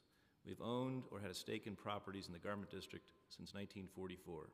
Since that time, our company has seen our building tenancy shift from 100% garment-related businesses to a diverse mix of office tenants, including nonprofits, arts organizations, tech, and media firms. This shift occurred in response to the dramatic decline in garment manufacturing. 40 years ago, at an accelerating rate, garment production began moving out of New York and ultimately out of the country. This left local manufacturers with too little work. Even the garment district's below market rents and protective zoning could not keep our manufacturing tenants from going out of business. As these companies failed, often defaulting on their leases, we saw building vacancies rise. Over time, affordable rents and close proximity to transportation drew other uses to the garment district, preventing this central midtown neighborhood from going into a steep economic decline. We support the zoning text amendment. Legitimizing and encouraging a diverse tenant base in the garment district makes sense for the neighborhood, for Midtown Manhattan, and for New York City. This proposal looks to the future of the neighborhood, and the concurrent EDC economic development initiatives will ensure that the garment industry retains its place in it. These actions take a fair approach to the interests involved, and we urge you to vote in favor. Thank you for your time. Thank you, Mr. Kadir. Ms. Blair. Good afternoon. Council members, my name is Barbara Blair. I'm the president of the Garment District Alliance. On behalf of the Alliance, I thank the committee for holding this hearing today. Speaker Johnson, Manhattan Borough President Brewer, EDC, DCP, and industry stakeholders who, working with the steering committee, has brought us to this moment. The Alliance supports the zoning text amendment being proposed. The amendment acknowledges the evolution of the district and addresses the challenges faced by the garment manufacturing sector. From 2000 to 2016, the district lost nearly 13,000 manufacturing jobs. In the same time period, there's been a remarkable growth in other job sectors 60,000 new jobs in the district, the highest employment numbers since 1950, generated across a broad section of business sectors. Apparel manufacturing has been declining for 40 years, not only in the garment district, but in the city, state, and nation.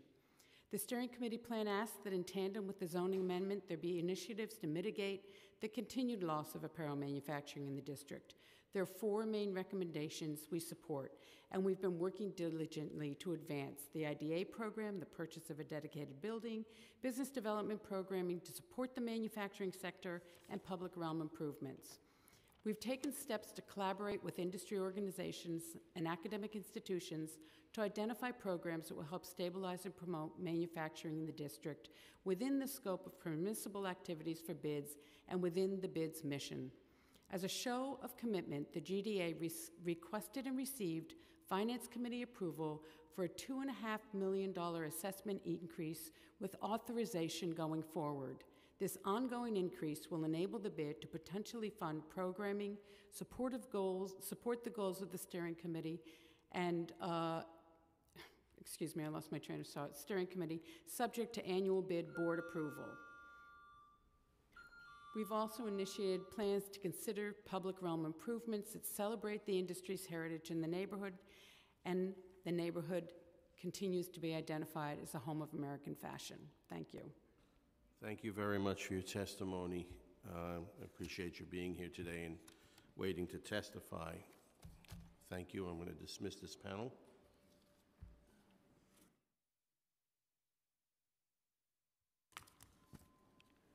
The next panel is uh, Mr. William Silverman from Otterbourg Properties, Samuel Friedfeld of Olmsted Properties, and Jonathan Bowles of the Center for an Urban Future. We're also going to call at this time Eric Gural, uh, also with the GDA.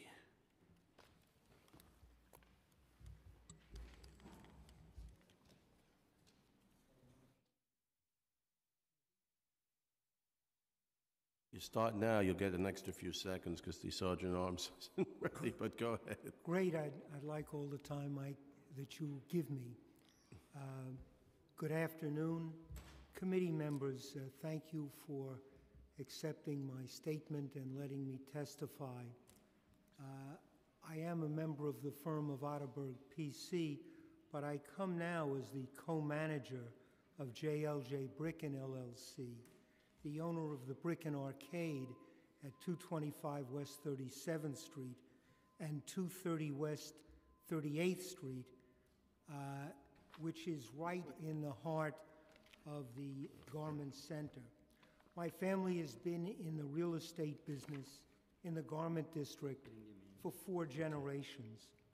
I submit this statement in support of the City Planning and Economic Development Corporation efforts to eliminate the preservation of existing restrictive zoning in the Garment District and to replace those anachronistic zoning provisions with programs to directly assist garment manufacturers.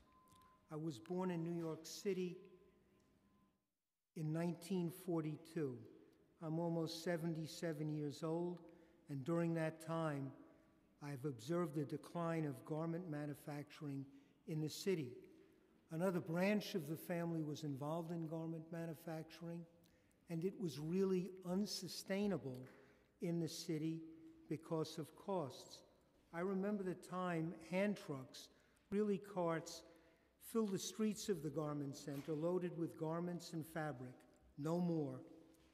First in the 1960s, garment manufacturing went to the southern part of the United States where labor and other costs were lower than in New York City.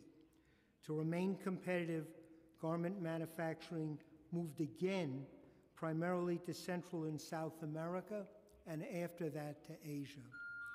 It is entirely appropriate to lift the zone, Is my seatbelt unfastened? No, don't worry. I'll let you know when I've had enough. Thank you. It is entirely appropriate to lift the zoning restrictions, not only because they are not in step with business reality, but also because the zoning restrictions limit the ability to attract tenants that want to be in the garment district and have different businesses that are not involved in garment manufacturing. In addition, the zoning restrictions don't work because market conditions no longer support such artificial restrictions. We certainly don't want to go back to sweatshops where the workers are paid a dollar a day, and that would have been competitive now with the markets in Asia. Removing the restrictions will lead to building enhancements and a better, more friendly uh, garment district. Uh, I think that the EDC programs that have been proposed would be highly beneficial to the city and its people by providing assistance to garment manufacturers, as well as programs that provide for workforce development and rent guarantees, among other things. The city and the EDC are offering the garment industry support to stabilize and update the business of garment manufacturing that zoning or rezoning cannot do effectively. I request that you support these proposals because I believe that the proposals recognize the realities of the 21st century and are fair and reasonable for all parties. The proposals of the city and the EDC will benefit the city, its inhabitants, and really everyone, including the more than 63 million visitors to the city, in positive and constructive ways. Thank you very much. Thank you for your testimony.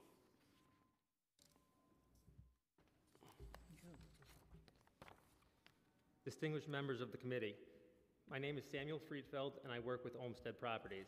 I handle leasing and management for 525 7th Avenue. Olmsted Properties has extremely deep ties to the Garment District as we have owned 575 8th Avenue for close to 80 years and 525 7th Avenue for 20 years. We also manage and help lease several other properties in the district. As you can see, I have not been around as long as 575 8th Avenue, but I have been around long enough to see the changes in the neighborhood and understand its true potential. At 525, we made a business decision to stay a fashion showroom building. As time went on, we realized there were less sample and manufacturing tenants and more high fashion and showroom tenants. Some of our tenants include Hugo Boss, Valentino, Nicole Miller, and Columbia. None of them have manufacturing components within our building. I don't have a tissue, my nose is running. Sorry. Sorry to keep sniffling. Thank you. Appreciate it. At the same time, these companies represent everything that is great about the dis- district's historic past. I'm here today to support the city planning and economic development initiatives. I believe lifting the district zoning restriction is critical because it prohibits property owners from investing in the neighborhood. All the adjacent neighborhoods, including Bryant Park, Times Square, the soon-to-be Hudson Yards, and Chelsea, have benefited from the decades, decades-long uptick in economic activity, but the Garment District has been partially and in many cases fully left out of this equation. I believe that all laws are created with good intent in mind, but as time goes on, a law may become less relevant, so much to the point where it begins to hurt the people it set out to help. I believe this is the case with the Garment District zoning laws. There is factually no proof that any law has helped keep one manufacturing job in the district, or in the state, or in the country. What there is proof of, however, is that new and exciting opportunities in the form of tech, advertising, and media and internet companies are coming to the Garment Center, and they are bringing with them new jobs and the potential for investment. I believe these companies are the future of the Garment Center. With current zoning restrictions on the books, I believe we will stall all the potential growth of the TAMI companies. The economic plan that the EDC has presented will be the most efficient way to provide support to garment manufacturers. I urge you to support both these proposals because I believe they represent a fair and balanced solution to the problem at hand. Manufacturers will receive a more meaningful form of assistance, and the Garment District will finally be able to live up to its full potential. Thank you. Thank you, Mr. Friedfeld. Hi, my name is Eric Gural, and I'm the CEO of GFP Properties, and I'm one of the owners who are putting in their buildings into the IDA program. Uh, we own five buildings in the district, and I didn't prepare a statement today because I wanted to come and try to respond to some of the things that have already been said. So one thing I think is really important as far as treasuring the history of the Garment Center is, is basically right in front of you on that TV. If we're going to landmark anything, we should landmark the button and the needle. That's the most iconic piece of, of garment-related history in that area, and that's to be the only thing that's landmarked in the area to show how exactly how special it is. These other buildings that these people are talking about have no history going back to the garment-related activities in the area more than that does. So I think that's really important to point out. The other thing, there's, there's generally a mischaracterization of, of sort of how these things work. So people think there's two groups. There's like a landlord group, and then there's this sort of fashion group. There's not. There's four groups. There's the landlords who didn't comply, and then there's the landlords who did. And then there are the fashion people who, who support the manufacturers and the manufacturers themselves, and then there's all the other fashion people who do not. Those groups are not equal. So the, the advantage of what this program does is this program connects the two people who've done the right thing, which are the landlords that comply and the manufacturers and the fashion people who support them. The only benefit should go to them. That's it. What government should be doing here is not drawing a line between us. You should draw a circle around us. Put us together in this program. Let us work together. We've been doing it for years. But don't let any of the benefits get outside of the area of those two groups. And that's really important. Thanks. Thank you, Mr. Gural. Good afternoon, Councilmember Grodenchik. Uh, I'm Jonathan Bowles. I run the Center for an Urban Future. We're a think tank. We publish studies about uh, growing and diversifying New York's economy and expanding economic opportunity. Uh, we've written a lot over the years about the importance of manufacturing to New York City's economy. Uh, in fact, in February of 2000, I authored a study about the apparel manufacturing industry. It was called The Empire Has No Clothes rising real estate prices and declining city support threatens the future of New York's apparel industry. So, if you had asked me a couple of decades ago uh, how to support the apparel manufacturing industry, I would have said we need to uh, protect the special garment district. Uh, in fact, this report uh, back in 2000, one of our key recommendations was to do just that enforce current zoning laws in the garment center. I think a different approach is needed today. When I authored the report in 2000, I honestly thought that the garment industry's job losses were hitting a bottom. I was hopeful. But since 2000, since the year we published this report, the apparel manufacturing industry in New York City has lost another 102,000 jobs. This actually represents 99% of all the manufacturing job losses in New York City during that period. And it's also a period when the city overall gained 750,000 jobs. So I think that um, um, the special zoning district no longer reflects the, the realities of today's garment district, but it's obviously uh, an important part of our economy. It's long been an entry point to immigrants. It's long been a point where immigrant owners have been able to kind of climb up the ladder. Uh, it's important for the broader fashion industry, which is important, and that's why I support uh, the, the plan that's uh, under consideration now. As a couple other people have uh, mentioned today, I think it's also important that the Garment Center has increasingly become a place where uh, companies from other industries that can't afford Union Square, Flatiron District, Chelsea, architects, graphic design firms, tech startups, they have been moving to the Garment Center, and those are growing industries that we as a city need to support as well, and I think this plan does that. Thank you. Thank you, Jonathan. It's good to see you. Um, I thank you. Get home safely. It's snowing out. This is it. We have six more people to testify. Uh, Morty Frutch? He left? Okay. Cassandra Diggs? Michael Brady? And Yeohlee Teng. And either they have very similar handwriting or one person filled out all of these. so.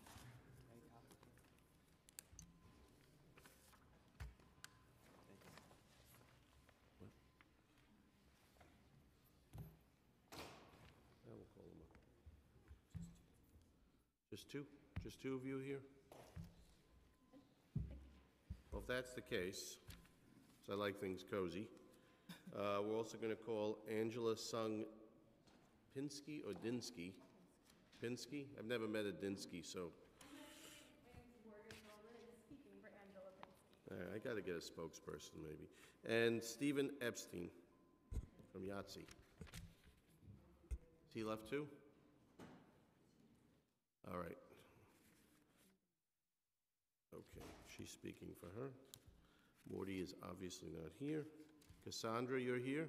Yes, I'm here. Michael Brady, last call. Yeohlee Tang? Did I get, what? I- Okay. And Ms. Pinsky is speaking, and has, also has a spokesperson here. Okay. Ms. Diggs, why don't you begin? Okay, thank you so much. Good afternoon, everyone. Um, My name is Cassandra Diggs. I'm the Chief Financial and Operating Officer of the Council of Fashion Designers of America Foundation. On behalf of Steven Kolb, President and CEO of the CFDA, I'd like to read a statement in support of the New York City Economic Development Corp's initiatives outlined for your consideration today. As the governing body of the American fashion industry, the CFDA not only supports its 500-plus CFDA members and emerging brands through its robust programming, but also stands as a front line of support for the fashion manufacturers. Through impactful programs such as the Fashion Manufacturing Initiative in partnership with the New York City Economic Development Corp.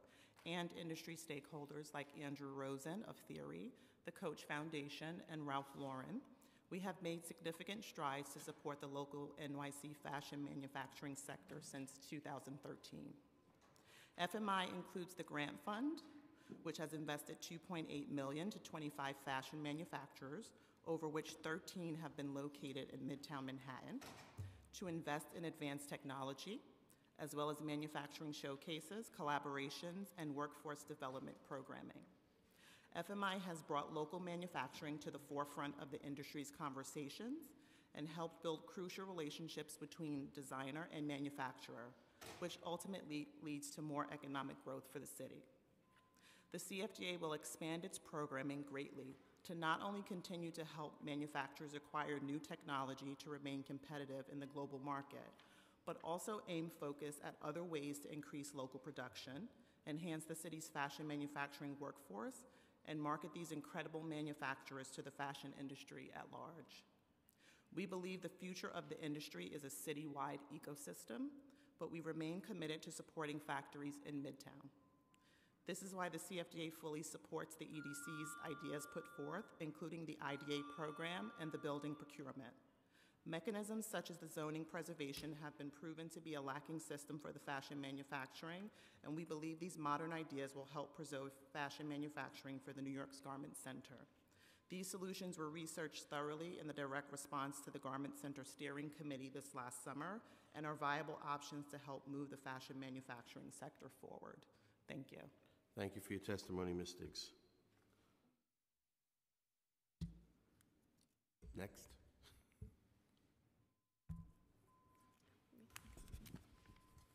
As we covered, my name is Morgan Perlman, and I'm speaking on behalf of Angela Pinsky. Good afternoon. Thank you for the opportunity to testify on behalf of the Association for a Better New York, ABNY. We're a 47 year old civic organization that promotes the effective cooperation of public and private sectors to improve the quality of life for all New Yorkers. ABNY would like to express our support for the rezoning proposal put forward by the EDC and the Department of City Planning. The fashion industry and garment district have been critical components of New York City's economy for hundreds of years. As New York's dynamic economy continues to evolve, it is important to deeply consider the changes taking place from both a land use and economic development perspective. We believe that the rezoning proposal put forth takes a comprehensive look at the future of the garment district and fashion industry at large. The rezoning of the garment district is a project the city has been deeply considering for decades.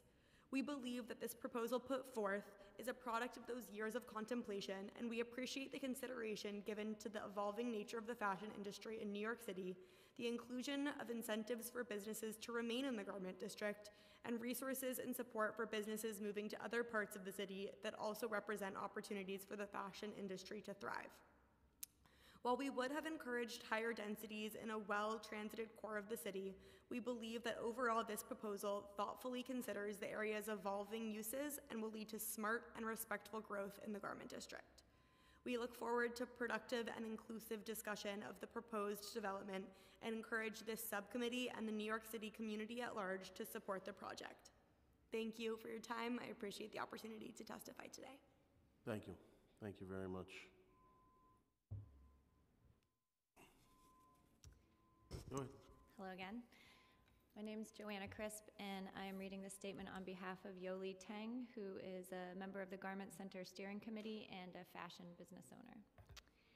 As a fashion company designing and producing in NYC, I assure this council that the garment industry is a vital component of New York's fashion economy. This is clearly evidenced by its continued presence in the face of an across the board decline in New York's other manufacturing sectors. Our garment companies have relied upon the current zoning text to maintain their presence for the industry. To lift that text without first securing the promised space is a disservice to them, the industry, and the process that created this agreement. I continue to be in favor of this agreement, but strongly ask that the 300,000 square feet be secured first, along with the promised permanent uh, dedicated building. I wholly support the statements made by the Design Trust for Public Space, without whose guidance the zoning text would already be history, and the MAS for determining the effects the proposed changes will have on this industry and the steering committee for their recommendations. The city has made genuine progress in these goals, and I ask, what is the harm in waiting a little longer to ensure the space is in place to secure the industry for another 30 years? Thank you. Your last but not least. Yeah, I hope not least. Go Good afternoon, my name is Paimaan Lodhi, representing the Real Estate Board of New York. Uh, REBNY's here today to support the zoning and economic development proposals for the Garment Center. EDC has developed a two-part program in response to the community's longstanding desire to preserve apparel production in Manhattan's Garment District. EDC's first program is the IDA tax abatement program that will generate 15-year leases at reasonable rents for 300,000 square feet of apparel tenancy in participating buildings. EDC's second initiative is the commitment of $20 million for the purchase of a building in partnership with a nonprofit entity to provide space for apparel production long into the future. Both of these programs were developed in response to the recommendations of the Garment Center Steering Committee and represent the most meaningful commitment the city has ever made to preserve apparel production in its historic home. In addition, the city will also lift the zoning restrictions set in 1987 that imposed severe restrictions on permitted and expanded commercial uses. This restrictive zoning ultimately proved to be an inadequate tool in aiding the apparel industry, as has other manufacturing zoning designations throughout the city. However, these restrictions did, not, did nothing to slow the decline of apparel production in the area over the past 30 years, including the first five years in which the restrictions had regular enforcement. Zoning is simply an ineffective tool in protecting an industry from the larger and evolving local, national, and global economic forces. The city imposed a unique but well intentioned burden on mid block buildings to halt the decline of apparel production jobs. However, 30 years of evidence shows that these restrictions did not achieve its goal. Instead, the city has developed a robust economic proposal at the behest of the community and industrial stakeholders, which will retain a core of the apparel manufacturing industry in the Garment Center for the long term. The Special Garment Center text amendment and the EDC proposed proposal represents our best chance to assist the apparel manufacturing industry, and we urge the council to approve these actions. Thank you. Thank you very much for your testimonies today. Anybody else wish to testify that hasn't? Okay, uh, seeing none, I am going to close this hearing now on this application, and it will be laid over. This concludes today's meeting, and I thank the members of the public, my colleagues on the committee, our speaker, the council, and the land use staff for attending. This meeting is hereby adjourned.